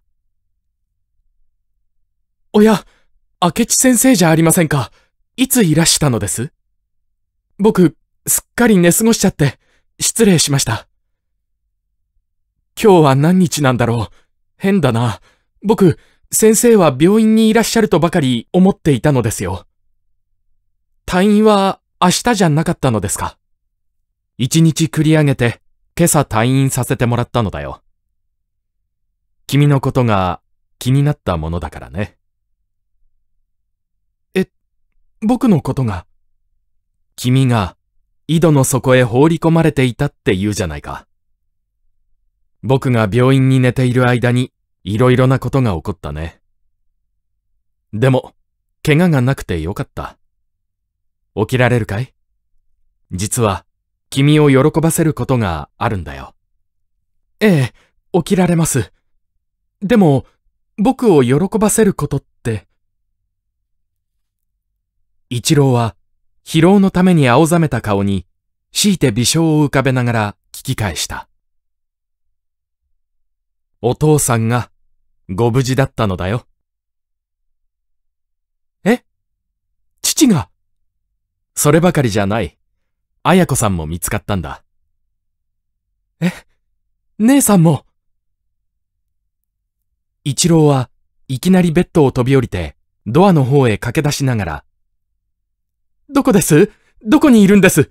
早く会わせてくださいと、狂気のように叫ぶのであった。そんなに慌てることはない。二人ともあちらの部屋のベッドにいるんだよ。しかし、非常に疲労しているから、あまり騒ぎ立ててはいけない。お父さんたちの無事な姿を一目見たら、またこの部屋に帰って、今後の捜査についてよく相談することにしよう。さあ、僕と一緒に来たまえ。一郎は明智に助けられて、よろめきながら、父と綾子の横たわっている部屋にたどり着いた。彼もまだ普通の体ではなく、それだけ歩くのにも、はっはっと息を切らしていた。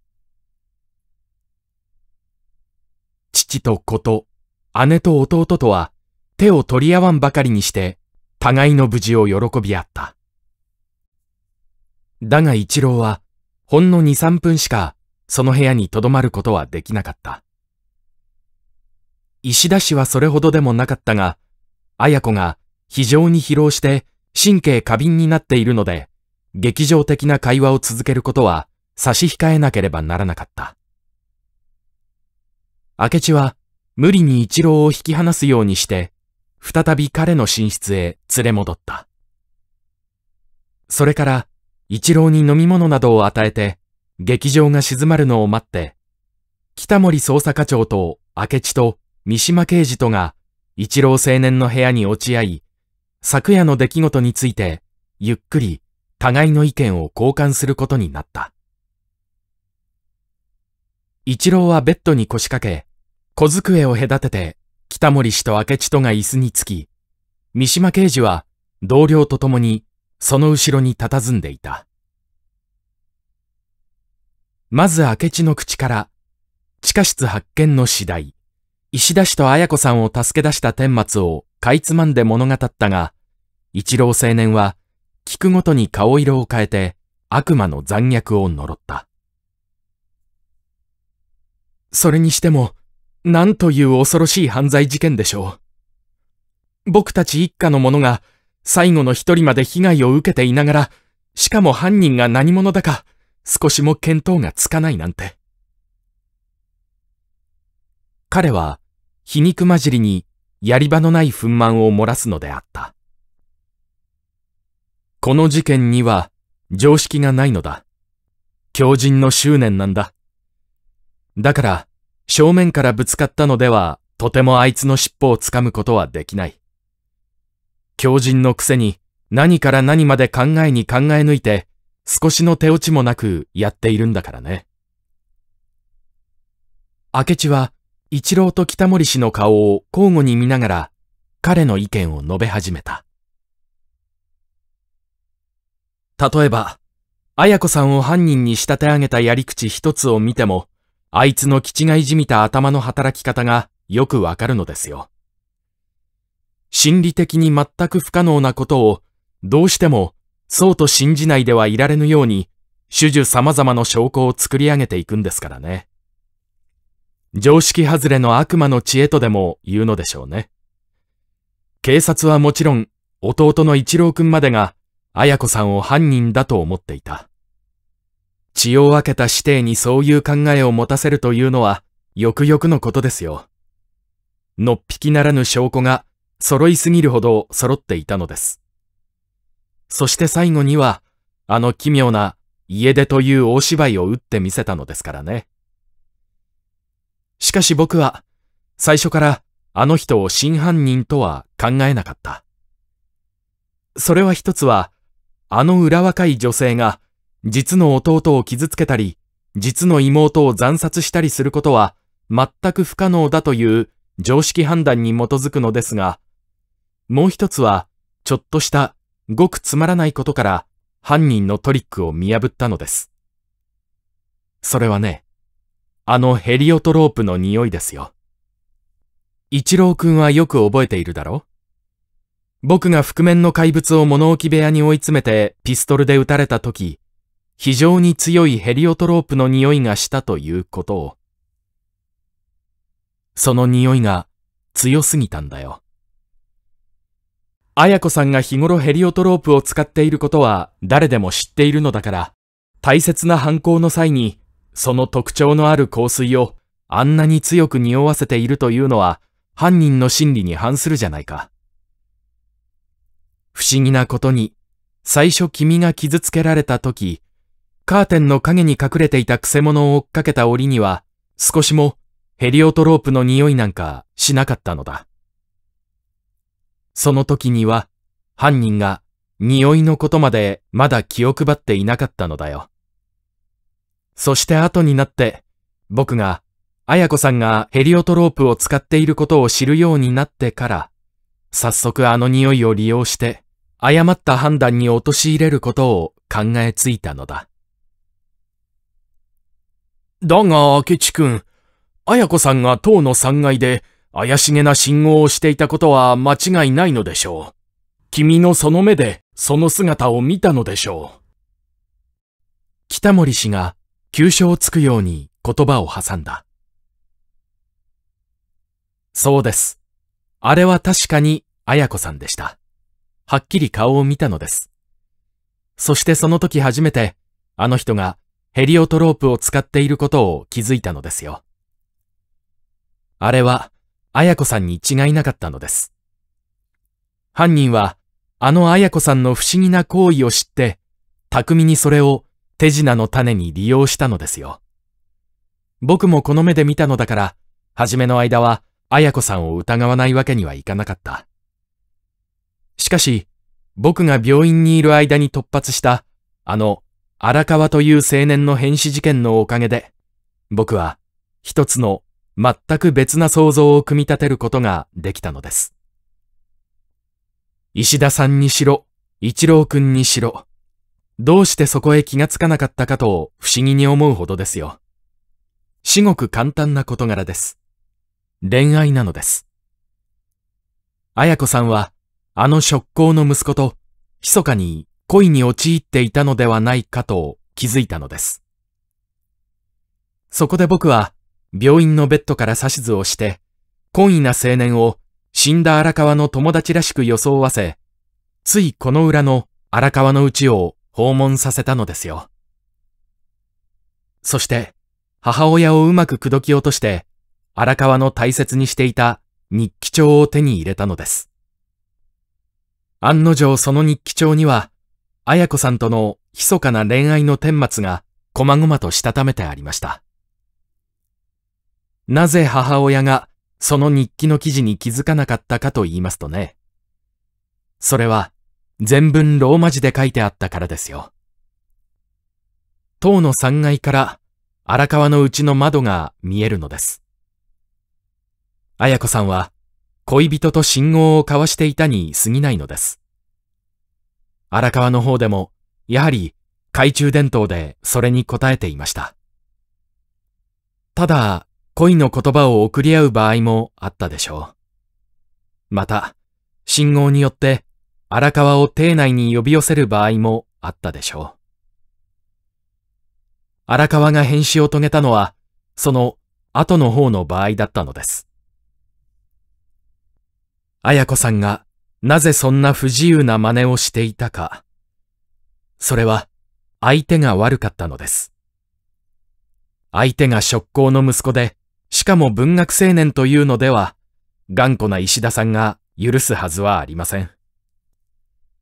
二人は最初から親の許しを受けることは諦めていたのです。それに綾子さんにしては、物語にあるような孤島の上から胸躍らせながら秘密の通信を取り交わすという冒険的な恋愛に人知れぬ喜びを味わっていたことでしょう。ですから、荒川青年を撃ったのは、無論、綾子さんではありません。あの夜、小林が見たという塔の窓の白い人影も、綾子さんではなくて、犯人がそういう服装をして待ち構えていたのでしょう。荒川を信号でそこへ呼び寄せたのも、おそらく、真犯人の仕業ですよ。犯人は、一応綾子さんに嫌疑をかけることに成功したものの、いつ綾子さんが本当のことを喋らないとも限らぬ。殺人犯人と疑われるよりは、いくら恥ずかしくても恋愛を打ち明けた方がマシですからね。犯人は、それを恐れたのです。そこで、綾子さんを家出させ、行方不明にしてしまうことを考えついた。しかし、綾子さんを隠してしまっても、相手の荒川が生きていては、あの青年の口から秘密がバレないとも限らぬので、まず荒川をおびき寄せて殺害した上、綾子さんを地下室へ監禁しておいて、綾子さんの替え玉を作り、変装用の古着を買わせたり、品川駅前の安宿に泊まらせたり、いろいろな証拠を残して、品川駅から汽車に乗って遠くへ逃亡したように見せかけたのです。一方、庭に残された荒川の死体は、この事件の回帰性を一層深める役にも立ったわけです。全く見知らぬ男が夜の間に死体になって邸内に倒れているなんて、実に申し分のない戦場的な光景ですからね。明智がそこでちょっと言葉を切ると、北森氏は勘に耐えたように口を挟んだ。なるほど、そうだったのか。そう聞いてみれば、よく筋道が立っていますね。恋愛問題とは誰も気がつかなかった。我々は階段ばかりに気を取られて、色っぽい方のことはすっかり忘れていたのですね。しかも、その発見の手がかりがたった一冊のローマ字の日記帳だったとは面白い。あなた、それをお持ちですか？後でゆっくり拝見したいものですね。北森氏は思わず笑い声を立てたが、すぐ思い直したように真面目な顔になって、最も重要な点に触れていった。それで、綾子さんが犯人でないことはよくわかったのですが、すると、真犯人は一体何者でしょう？僕はなんだか、いよいよ迷路の中へ追い込まれたような気がするんだが、明智くん、君はこの点についても何か我々の知らない材料を握っているんじゃありませんか？すると、明智小五郎は、もじゃもじゃの頭の毛を指でかき回しながら、にっこり笑って答えた。お察しの通りです。僕は、実に非常な材料を握っているのです。病院のベッドの中でそれを手に入れたのです。ええ、ベッドの中で？北森氏も一郎青年もびっくりしたように明智の顔を見つめた。ええ、ベッドの中でそれを手に入れる手段を思いついたのです。そして、ある腹心のものを使って、うまくその貴重な材料をつかむことができました。犯人が僕を撃って重傷を負わせたのは、一時僕をこの家から遠ざけるためでした。そして、僕のいない間に彼の計画を完了するためでした。ところが、それがかえって僕には幸せだったのですよ。病院で静かに寝ていたからこそ、その貴重な資料に気がついたのですからね。もし僕が無事で、この家に見張りを続けていたら、あるいは、石田さんや綾子さんが穴蔵の中へ監禁されるようなことはなくて済んだかもしれませんが、その代わりに、あの重大な資料は手に入れることができなかったでしょう。そして、真犯人は永久に発見し得なかったかもしれません。その資料というのは、それほど決定的な証拠物件なのです。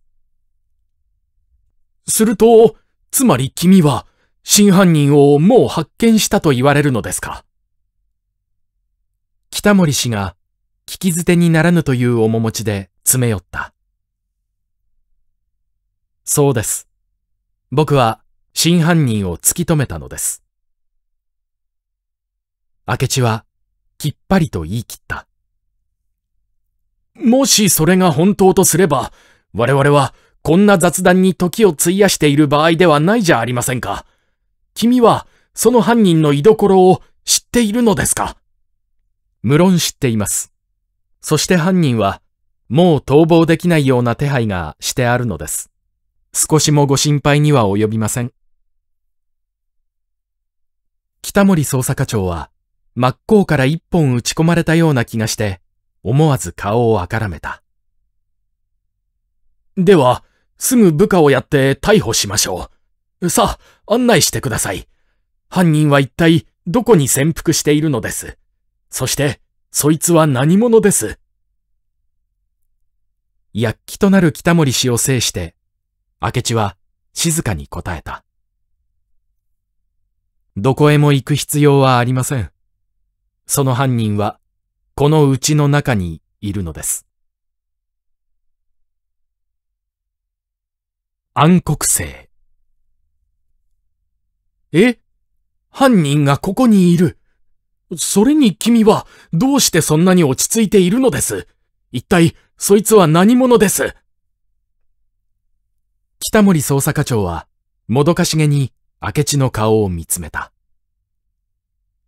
しばらくお待ちください。その犯人を指摘する前に少し説明しなければならない点があるのです。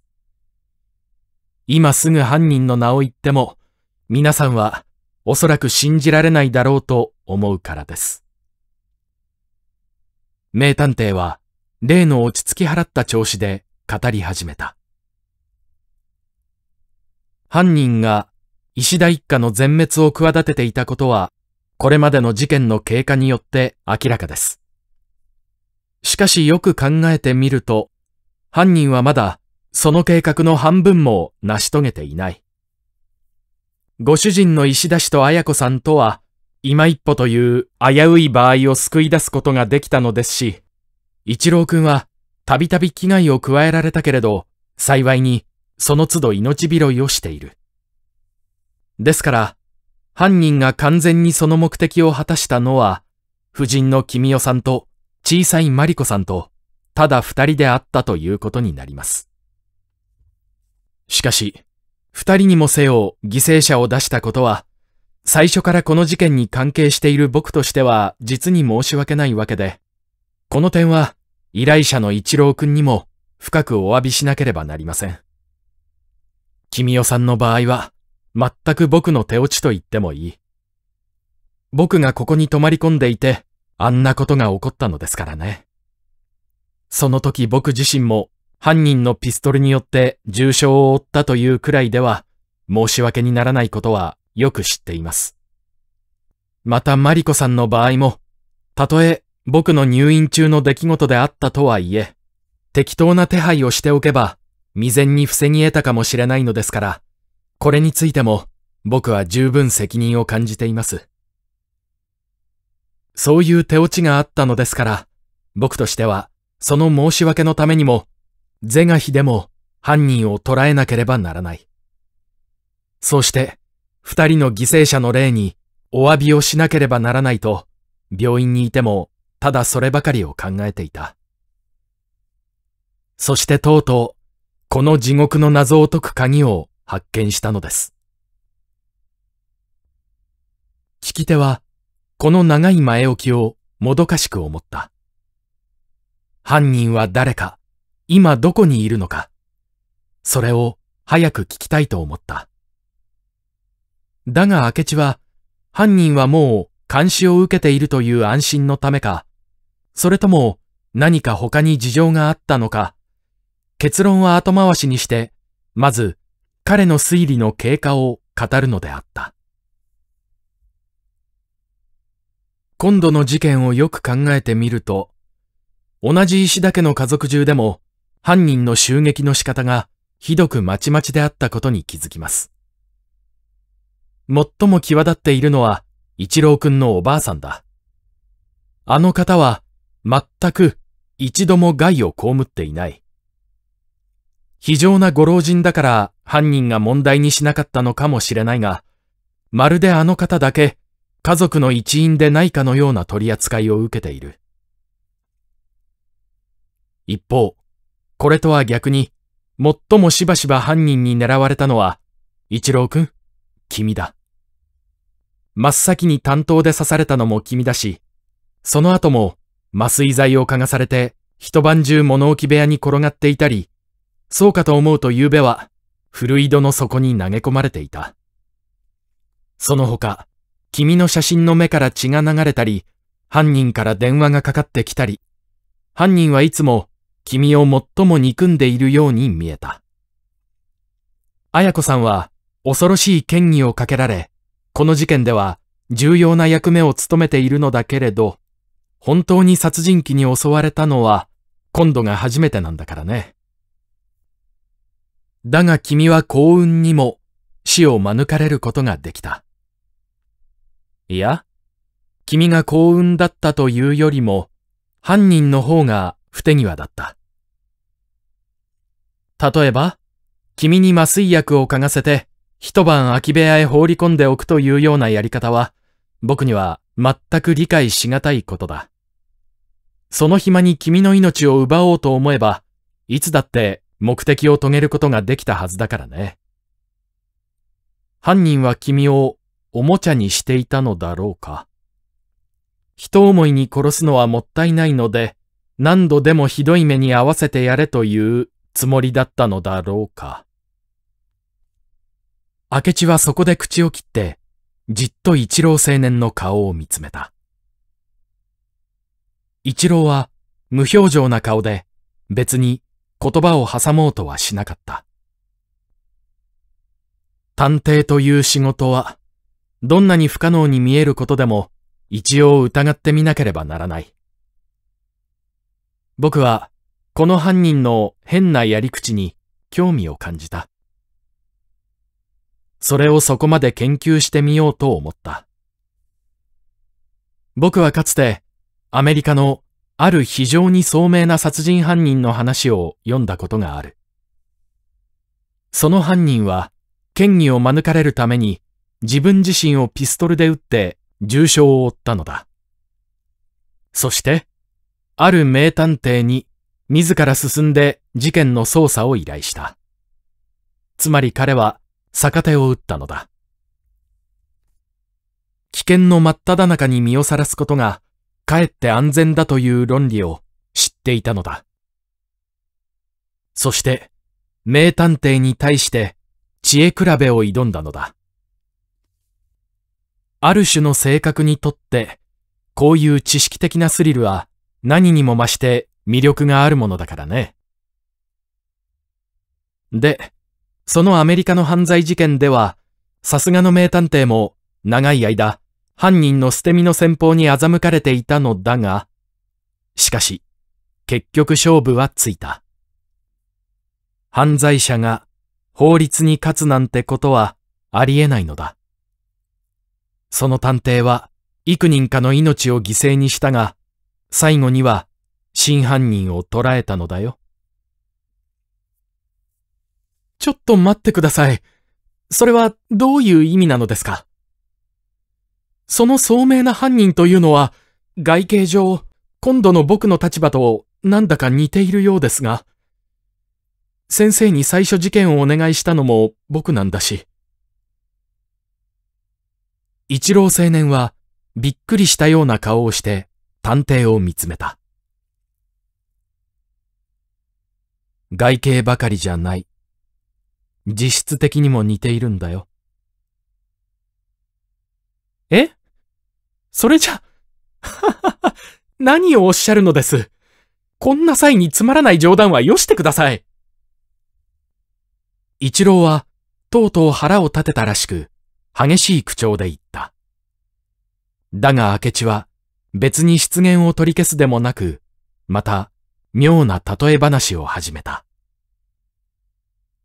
どこかの天文学者が暗黒星という天体を想像したことがある。星というものは必ず自分で発光するか他の天体の光を反射するかして明るく光っているものだが暗黒星というのは全く光のない星なんだ。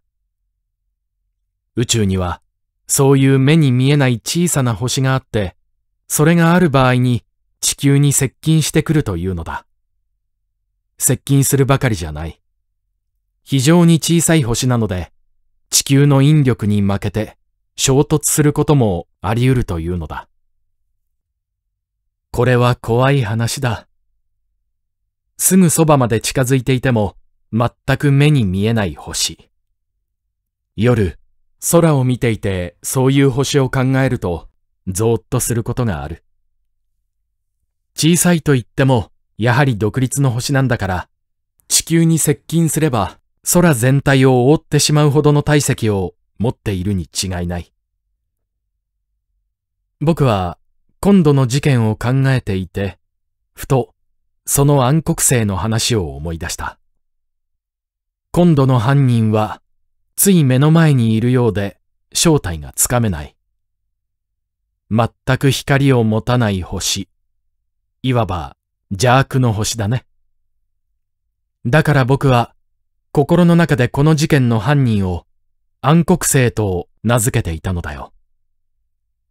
で、その暗黒星は何者だとおっしゃるのですか？明智のもどかしい話し方を我慢ができないというように一郎青年が怒鳴った。美しい顔が腹立たしそうにパッと赤らんでいた。君が考えている通りさ。え？僕が考えている？うん。君が一番よく知っていると思うんだ。君自身のことだからね。え？それじゃやっぱり先生は僕が犯人だと？何か意味があるのかい？明智は少しも声の調子を変えないで言った。論争。何をおっしゃるのです。もしそれが冗談でないとしたら、先生は今日はどうかなすっているのですよ。まだ体の具合が良くないのじゃありませんか？そんなつまらない邪推なんか弁解するのもバカバカしいくらいです。僕が真実の父や姉を殺そうとしたとおっしゃるのですか？真実の妹を殺したとおっしゃるのですか？母は本当の母じゃありませんでしたが、あの優しいお母さんに何の恨みがありましょう？僕が気違いでない限り、そんな無意味な殺人罪などを犯す道理がないじゃありませんか？それとも、先生は僕を殺人狂だとでもおっしゃるのですか？また、たとえ僕に殺人の動機があったとしてもです。現実の反証がいくらだってあります。先生はもうお忘れになったのですか？最初僕がやられた時、先生は電話であいつと僕との格闘の音をお聞きになったじゃありませんか。そして駆けつけてくだすって、僕を介抱していてくださる時に、犯人はカーテンの後ろに隠れていて、先生の目の前を逃げ出していったじゃありませんか。あの時、僕と真犯人とは同時に先生の前にいたのです。僕が犯人だとすれば、分身の魔法でも使わない限り、そういうことは起こり得ないじゃありませんか。犯人が庭の塀の上を歩いた時だってそうです。僕はみんなと一緒にマリコの部屋の窓からそれを見ていたのです。そのことは書生にお聞きくだされば、はっきりわかるはずです。一郎は、明智の疑いを一挙に粉砕してみせた。彼の論拠は、ことごとく動かすことのできないものばかりのように見えた。電話の声なんか、少しお芝居気があれば、どんな真似だってできる。それは問題ではないが、君の言うように、君と犯人とが同時に人の前に現れたことが幾度かある。この見事なトリックが最初の間僕を騙していたのだ。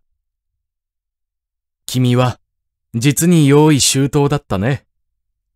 自ら傷ついてみせ、自ら井戸の底に落ち込んでみせ、その上、君自身が僕に犯人捜査を依頼するというトリックだけではまだ危ういと思ったのだ。そこで君は、君と一緒にあの覆面の怪物を表してみせたのだ。無論あれは君の替え玉だったのだ。実際の犯行の場合には、君があの覆面をつけ、インバネスを着たのだが、犯人はこの通り他にいるという証拠を作るために、二度ばかり替え玉を使った。覆面と街頭で顔も体も隠しているのだから、この替え玉は少しの疑いも受けることはなかった。替え玉ですって？うまい考えですね。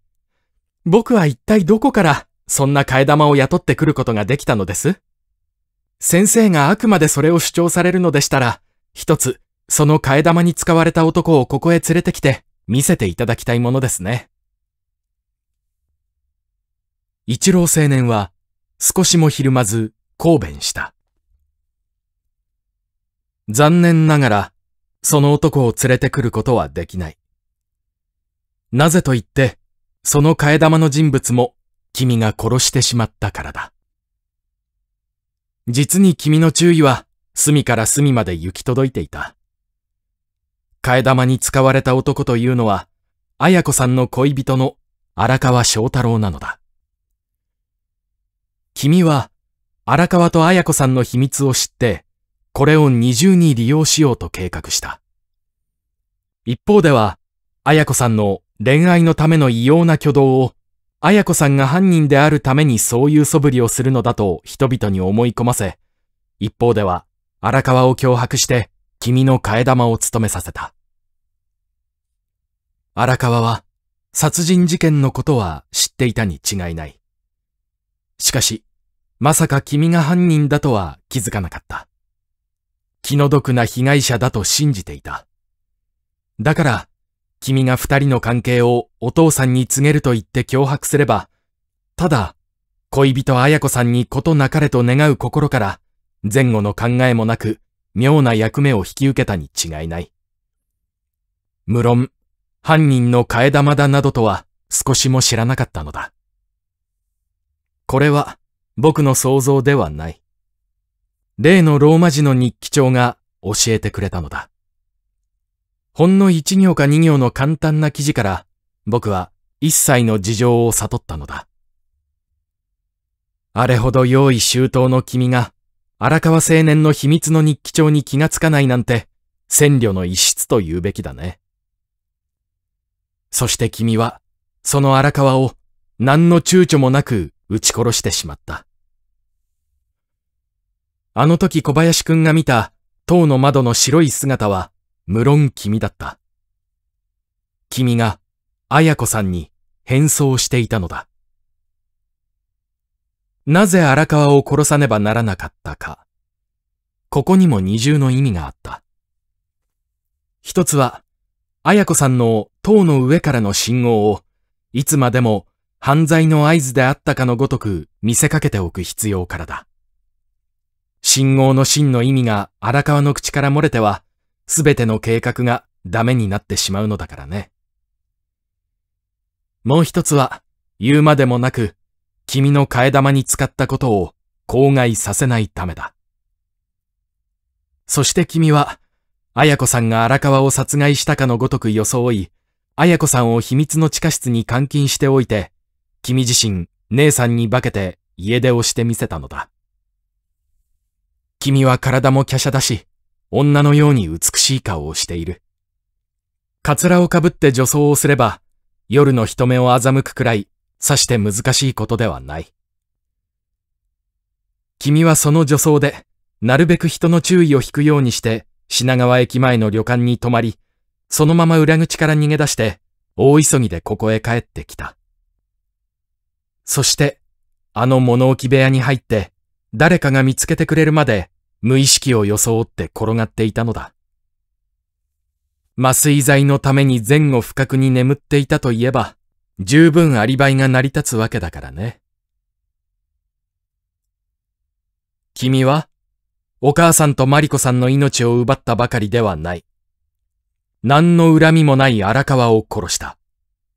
この僕に重傷を負わせたのも、無論君だ。君は、僕を殺す意志はなかった。公敵種の命を絶っては、せっかくのスリルがなくなってしまうのだからね。ただ重傷を負わせて、数日の間、僕をこの家から遠ざけさえすればよかったのだ。その間に一切の計画を完了して、僕が病院を出るのを待って、ざまを見ろと嘲笑うつもりだったのだ。だから君は絶えず病院を訪ねて、僕の心の中を探ろうとした。いや、そればかりではない。綾子さんに権威をかけるための巧みな推理を組み立てて、僕に同意させようとさえした。あの、綾子さんとマリコさんの部屋の境の壁に仕掛けてあったピストル装置も、無論君の仕業だ。二人の留守の折にどちらかの部屋へ入ってあの仕掛けをするのは、わけのないことだからね。そして、君自身仕掛けておいた装置を、さも手柄らしく発見してみせたのだ。僕は、あの時君の推理を聞いている間に、初めて君を疑う心が起こった。それまでは、君の美貌に欺かれて、そんな若い美しい青年に人殺しができるなどとは夢にも考えなかったのだ。あの時まで、僕は心から君の友達だった。しかし、君のまことしやかな推理を聞いて以来、僕は君の敵になった。君を犯人と仮装して、あらゆる関係を考察した。そして、君こそ犯人だという結論に達したのだ。そこで僕は、ちょっとしたトリックを用いて君を油断させた。昨日君が病院へ電話をかけてきた時、僕は明日退院すると言った。それまではどうしても君の家へ行くことはできないから、十分気をつけて身を守るようにと言った。そう言って君を油断させておいて、一日早く今日僕はここへやってきた。君はそれを全く予期していなかった。明日までは大丈夫だと、高をくくっていたのだ。僕はここへ着くとすぐ、書生が君のところへ運ぶ紅茶の中へ多量の眠り薬を混ぜて、しばらく君を眠らせておいた。君が地下室の発見されたことを気づいて逃げ出すようなことがあってはいけないからだ。その時、突然ドアにノックの音がして、書生が名刺を持って入ってきたので、明智は話を中絶して、それを見なければならなかった。明智への来客らしく、彼は書生に、ちょっと待たせておいてくれたまえと答えて、追い出すように部屋を去らせた。すると、相手の言葉の途切れるのを待ち構えていた一郎が、その木を捉えて、恐ろしい勢いで公弁を始めた。面白いお考えです。小説としては実に面白いと思います。しかし、確証が一つもないじゃありませんか。ローマ字の日記帳とやらを除いては、ことごとくあなたの空想に過ぎないじゃありませんか。また、その日記帳にしても、それを書いた男は文学青年なのですからね。文学青年の頭には現実と空想のけじめがないのです。そこに何が書いてあったにしても、そんなものは取るに足らぬ幻想です。何の確実性もないのです。それに、あなたは先ほど僕の言ったもう一つの重大な点に、まだ少しも触れないじゃありませんか。それは動機です。強人でもない僕が、なぜ真実の父や姉を殺そうとし、真実の妹を殺害しなければならなかったかという、その理由です。動機が全く不可能とすれば、その他の点がいかにまことしやかに説明されても、そんなものは一個の価値もありません。僕には、殺人の動機が全く欠けているのです。絶対に不可能なのです。それが君の最後の城郭だね。そういう言い抜けの道があればこそ、君はさっきから少しも不安を感じなかったのだ。お父さんや綾子さんが救い出されたのを見ても、平然としてこの捜査会議の席に列することができたのだ。しかし一郎くん、僕が動機を確かめないでこんなことを言い出すと思うのかね僕は、それほどボンクラ男ではないつもりだ。では、この僕が、あの可愛い血を分けた妹を殺したとおっしゃるのですかところが、君はマリコさんの兄ではないのだ。石田さんの子でもなければ、綾子さんの弟でもないのだ。明智は、実に驚くべき言葉をズバリと言ってのけた。執念の子。え？何ですって？あなたは一体正気でそんなことをおっしゃるのですか？僕が石田の子でないなんて、もしそうだとすれば、父がそれを知っているはずです。姉がそれを知っているはずです。あなたは、父や姉に、それを確かめてご覧になったのですか？一郎は、憤怒に青ざめて、声を震わせて叫んだ。いや、お父さんや綾子さんは、そのことを少しもご存じないのだ。え？父が知らないんですって？僕が父の子でないことを、父自身が知らないのですって？これはおかしい。一体そんなことが世の中にあるもんでしょうか？それでは、今君に確かな証拠を見せてあげよう。明智は、つかつかと立って行ってドアを開き、廊下に居合わせた一人の書生に、一間に待たせてあったさっきの客を、ここへ連れてくるようにと命じた。しばらくすると、書生に案内されて、34、5歳の背広を着た会社員風の男が、彼より10歳ほど年上の質素な身なりをした女を伴って入ってきた。これは、僕の手伝いをしていてくれる越野くんです。こちらの婦人は、今から20年以前、区内の近藤産科病院の看護婦を務めていた宮本聖子さんです。明智は、一同に両人を引き合わせた。読者はかつて、明智が病院のベッドの上で捜査の短所を掴んだと言って狂気したことを記憶されるであろう。その時、看護婦に電話をかけさせて病院へ呼び寄せたのが、今ここにいる越野であった。僕はこの越野くんに重大な資料の収集を依頼したのですが、越野くんは実に申し分なくやってくれました。越野くんはまず、石田一郎がどこで生まれたかを調べたのですが、それは簡単にわかりました。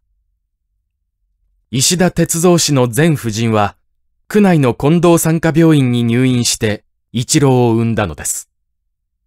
いや、一郎ではなくて、今はどこにいるとも知れぬ夫人の本当の子を産んだのです。という意味は、やはり同じ病院で3日ばかり前に生まれた別の女の赤ん坊と石田夫人の赤ん坊とが密かに取り替えられたのです。その不正の手先を働いたのが、ここにいる宮本さんでした。越野くんは、この宮本さんを随分骨を折って探し出してくれたのです。僕は宮本さんに詳しく当時の様子を聞いているのですが、僕の言葉がデタラメでないことを称するために、宮本さん自身の口から簡単にそれを話してもらうことにします。宮本さん、あなたは、後に石田一郎という名を付けられた赤ちゃんを知っているでしょうね。その赤ちゃんは、本当は誰の子だったのですか？宮本聖子は、ドアの前に小腰をかがめて、おずおずしながら答えた。私、本当に申し訳ないことをいたしました。今ではどんなにか後悔いたしておりますが、その頃はまだ二十歳を越したばかりの世間知らずで、ついお金に目がくれまして。で、そのあんたに頼んだ人というのは？はい、瀬下、瀬下良一とかいう方でございました。ちょうどその方の奥さんが同じ病院でお産をなさいまして、その赤ちゃんを石田さんの奥さんの赤ちゃんとこっそり取り替えてくれたら、これこれのお礼をするからとおっしゃって、莫大なお金を見せられたものでございますから、つい間が差しまして。宮本聖子がそこまで喋った時、恐ろしい叫び声が部屋中に響き渡った。もういいわかった。わかった。もうたくさんだ。その先は、僕が言う。僕に言わしてください。僕は、親の意志を半分しか果たせなかった。だが、やれるだけやったのだ。そして、負けたのだ。一郎青年が、見るも無残な形相で、ベッドの前に立ちはだかっていた。僕は、明智小五郎を見くびっていた。青二歳のくせに、天下の名探偵を軽蔑したのが間違いだった。この秘密だけは、絶対に漏れるはずはないと安心しきっていた。それを明智さんは、すっかり調べ上げてしまった。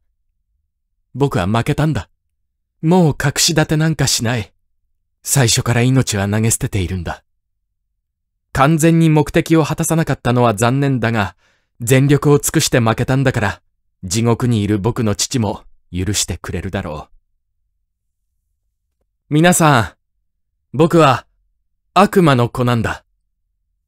復讐の一年に凝り固まった悪魔の子なんだ。瀬下良一というのは僕の本当の父です。僕はその父の呪いの血を受けて復讐の機会としてこの世に生まれてきた人外の生き物です。父は命がけで愛していた恋人を石田哲三のために奪われた。その恋人というのが僕の前の母、石田の千夫人です。父は恋人を奪われたばかりではない。商売敵の石田のために事業を奪われ、財産を奪われ、ついに人の軒下に立つ小敷にまで霊落してしまった。父はその小敷姿で、恨み重なる石田家の門前に立たなければならなかった。敵の憐れみを請う他に、全く思案が尽きてしまったのです。そのかわいそうな父を、石田は虫けらのように取り扱った。父の昔の恋人の前で侮辱の限りを尽くした。父は石田家の門前で自殺をするか、復讐の鬼となるか、二つに一つを選ばなければならなかったのです。そして、悔しさの歯ぎしりで口を血だらけにしながら、復讐の鬼となることを誓ったのです。ただ相手を殺すくらいでは飽き足りない。自分が受けた十層倍も辛い苦しい思いをさせてやらなければ気が済まぬ。そこで父は復讐の資金を得るためにある手段を取った。その金で家を持ち、妻をめとった。その妻となった私の母は、やはり石田の悪辣な搾取にあって家を滅ぼした人の娘だった。父は、そういう娘を探し出して、めとったのだ。そして二人の呪いを一つにして、僕という執念の子を産んだのだ。父は、絶えず石田家の同性を探っていたから、石田夫人が妊娠したということもすぐに分かった。ところが不思議なことに、ちょうど同じ時、僕の母も僕を身ごもっていた。その偶然の一致が、父に悪魔の計略を授けた。石田夫人の入院した病院へ僕の母も入院した。そして、父は泥棒した金で一人の看護婦を買収したのだ。人知れず赤ん坊のすり替えが行われたのだ。僕は石だけで育ったが、僕の父と父が探し出してきた悪魔の申し子のような小娘とによって、絶えず、密かに復讐の教育を受けていた。父はその小娘を手を回して石だけの女中に住み込ませた。僕とその女中とはすぐ仲良しになった。そして小娘は毎日のように僕を遊ばせに連れ出して、ある場所で僕の本当の父に会わせていた。僕は父から僕の使命を聞かされ、あらゆる悪魔の知恵を授かった。そうして僕は大きくなったのだ。学校へ通うようになると、その行き帰りには必ずある場所で父に会った。僕は父が気の毒だった。父のためならどんなことをしてもいいと思った。その父は今から5年前に亡くなったが、臨終のとこで血を吐きながら僕の手を砕けるほど握りしめて復讐の誓いを立てさせた。その時父の執念がそのまま僕に乗り移ってしまったのだ。僕はそれからの5年間、今度の復讐の計画を立てるために夜の目も寝ないで考えた。考えに考え抜いた計画だった。だが僕は自分の年齢を忘れていた。いくら考え抜いても、子供の知恵は子供の知恵に過ぎないことを忘れていた。明智探偵に挑戦するなんて、身の程を知らぬ虚栄心だった。そして、負けたのだ。見事に負けたのだ。もう逃げたって逃げおせないことはよく知っている。父の分と一緒にお仕置きを受けるまでだ。そして、早く地獄へ行って、父の顔が見たいばかりだ。一郎は、血走った目で狂気のように呼び続けたが、そこで言葉が途切れたかと思うと、ガバとベッドの上に身を投げて、激しく泣き出した。まるで、四五歳の幼児のように、わーわーと声を立てて、止めどもなく泣き続けた。僕はすっかり面食らってしまった。明智さん、君の名察にも驚きましたが、この青年の告白には一層面食らいました。長い警察生活の間にも、珍しい例です。人間がこういう心持ちになるというのは、僕らにはほとんど理解の及ばないところですね。北森捜査課長は、呆れ果てたという様子で、明智の顔を眺めた。我々の知っている人間とは、全く別物のようですね。さっき自分でも言っていた通り、この青年は執念の子に違いありません。親子二代にまたがる邪念の結晶です。さすがの明智小五郎も、言うすべを知らぬかのように、無然として腕をこまねくのであった。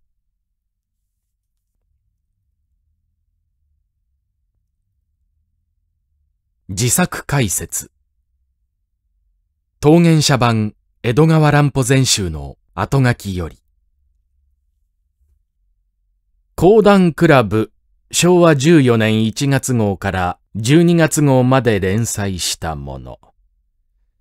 昭和14年といえば、戦前の私の作家活動の末期に属する。この年に書いたこれと、地獄の道化師、富士と、勇気の塔、日の出の三つが戦前連載ものの最後であった。翌昭和15年あたりから探偵小説が書けなくなった。15年6月にはドイツ軍のパリ占領、9月には日独位三国同盟の成立、そして16年12月には真珠湾吸収と進展したのである。戦争中、探偵小説がいかに禁圧を受けたか、その間私が何をしていたかは、探偵小説40年に詳しい。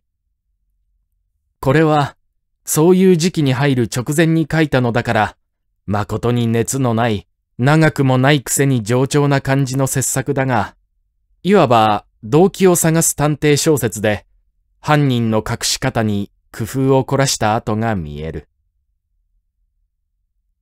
昭和37年5月。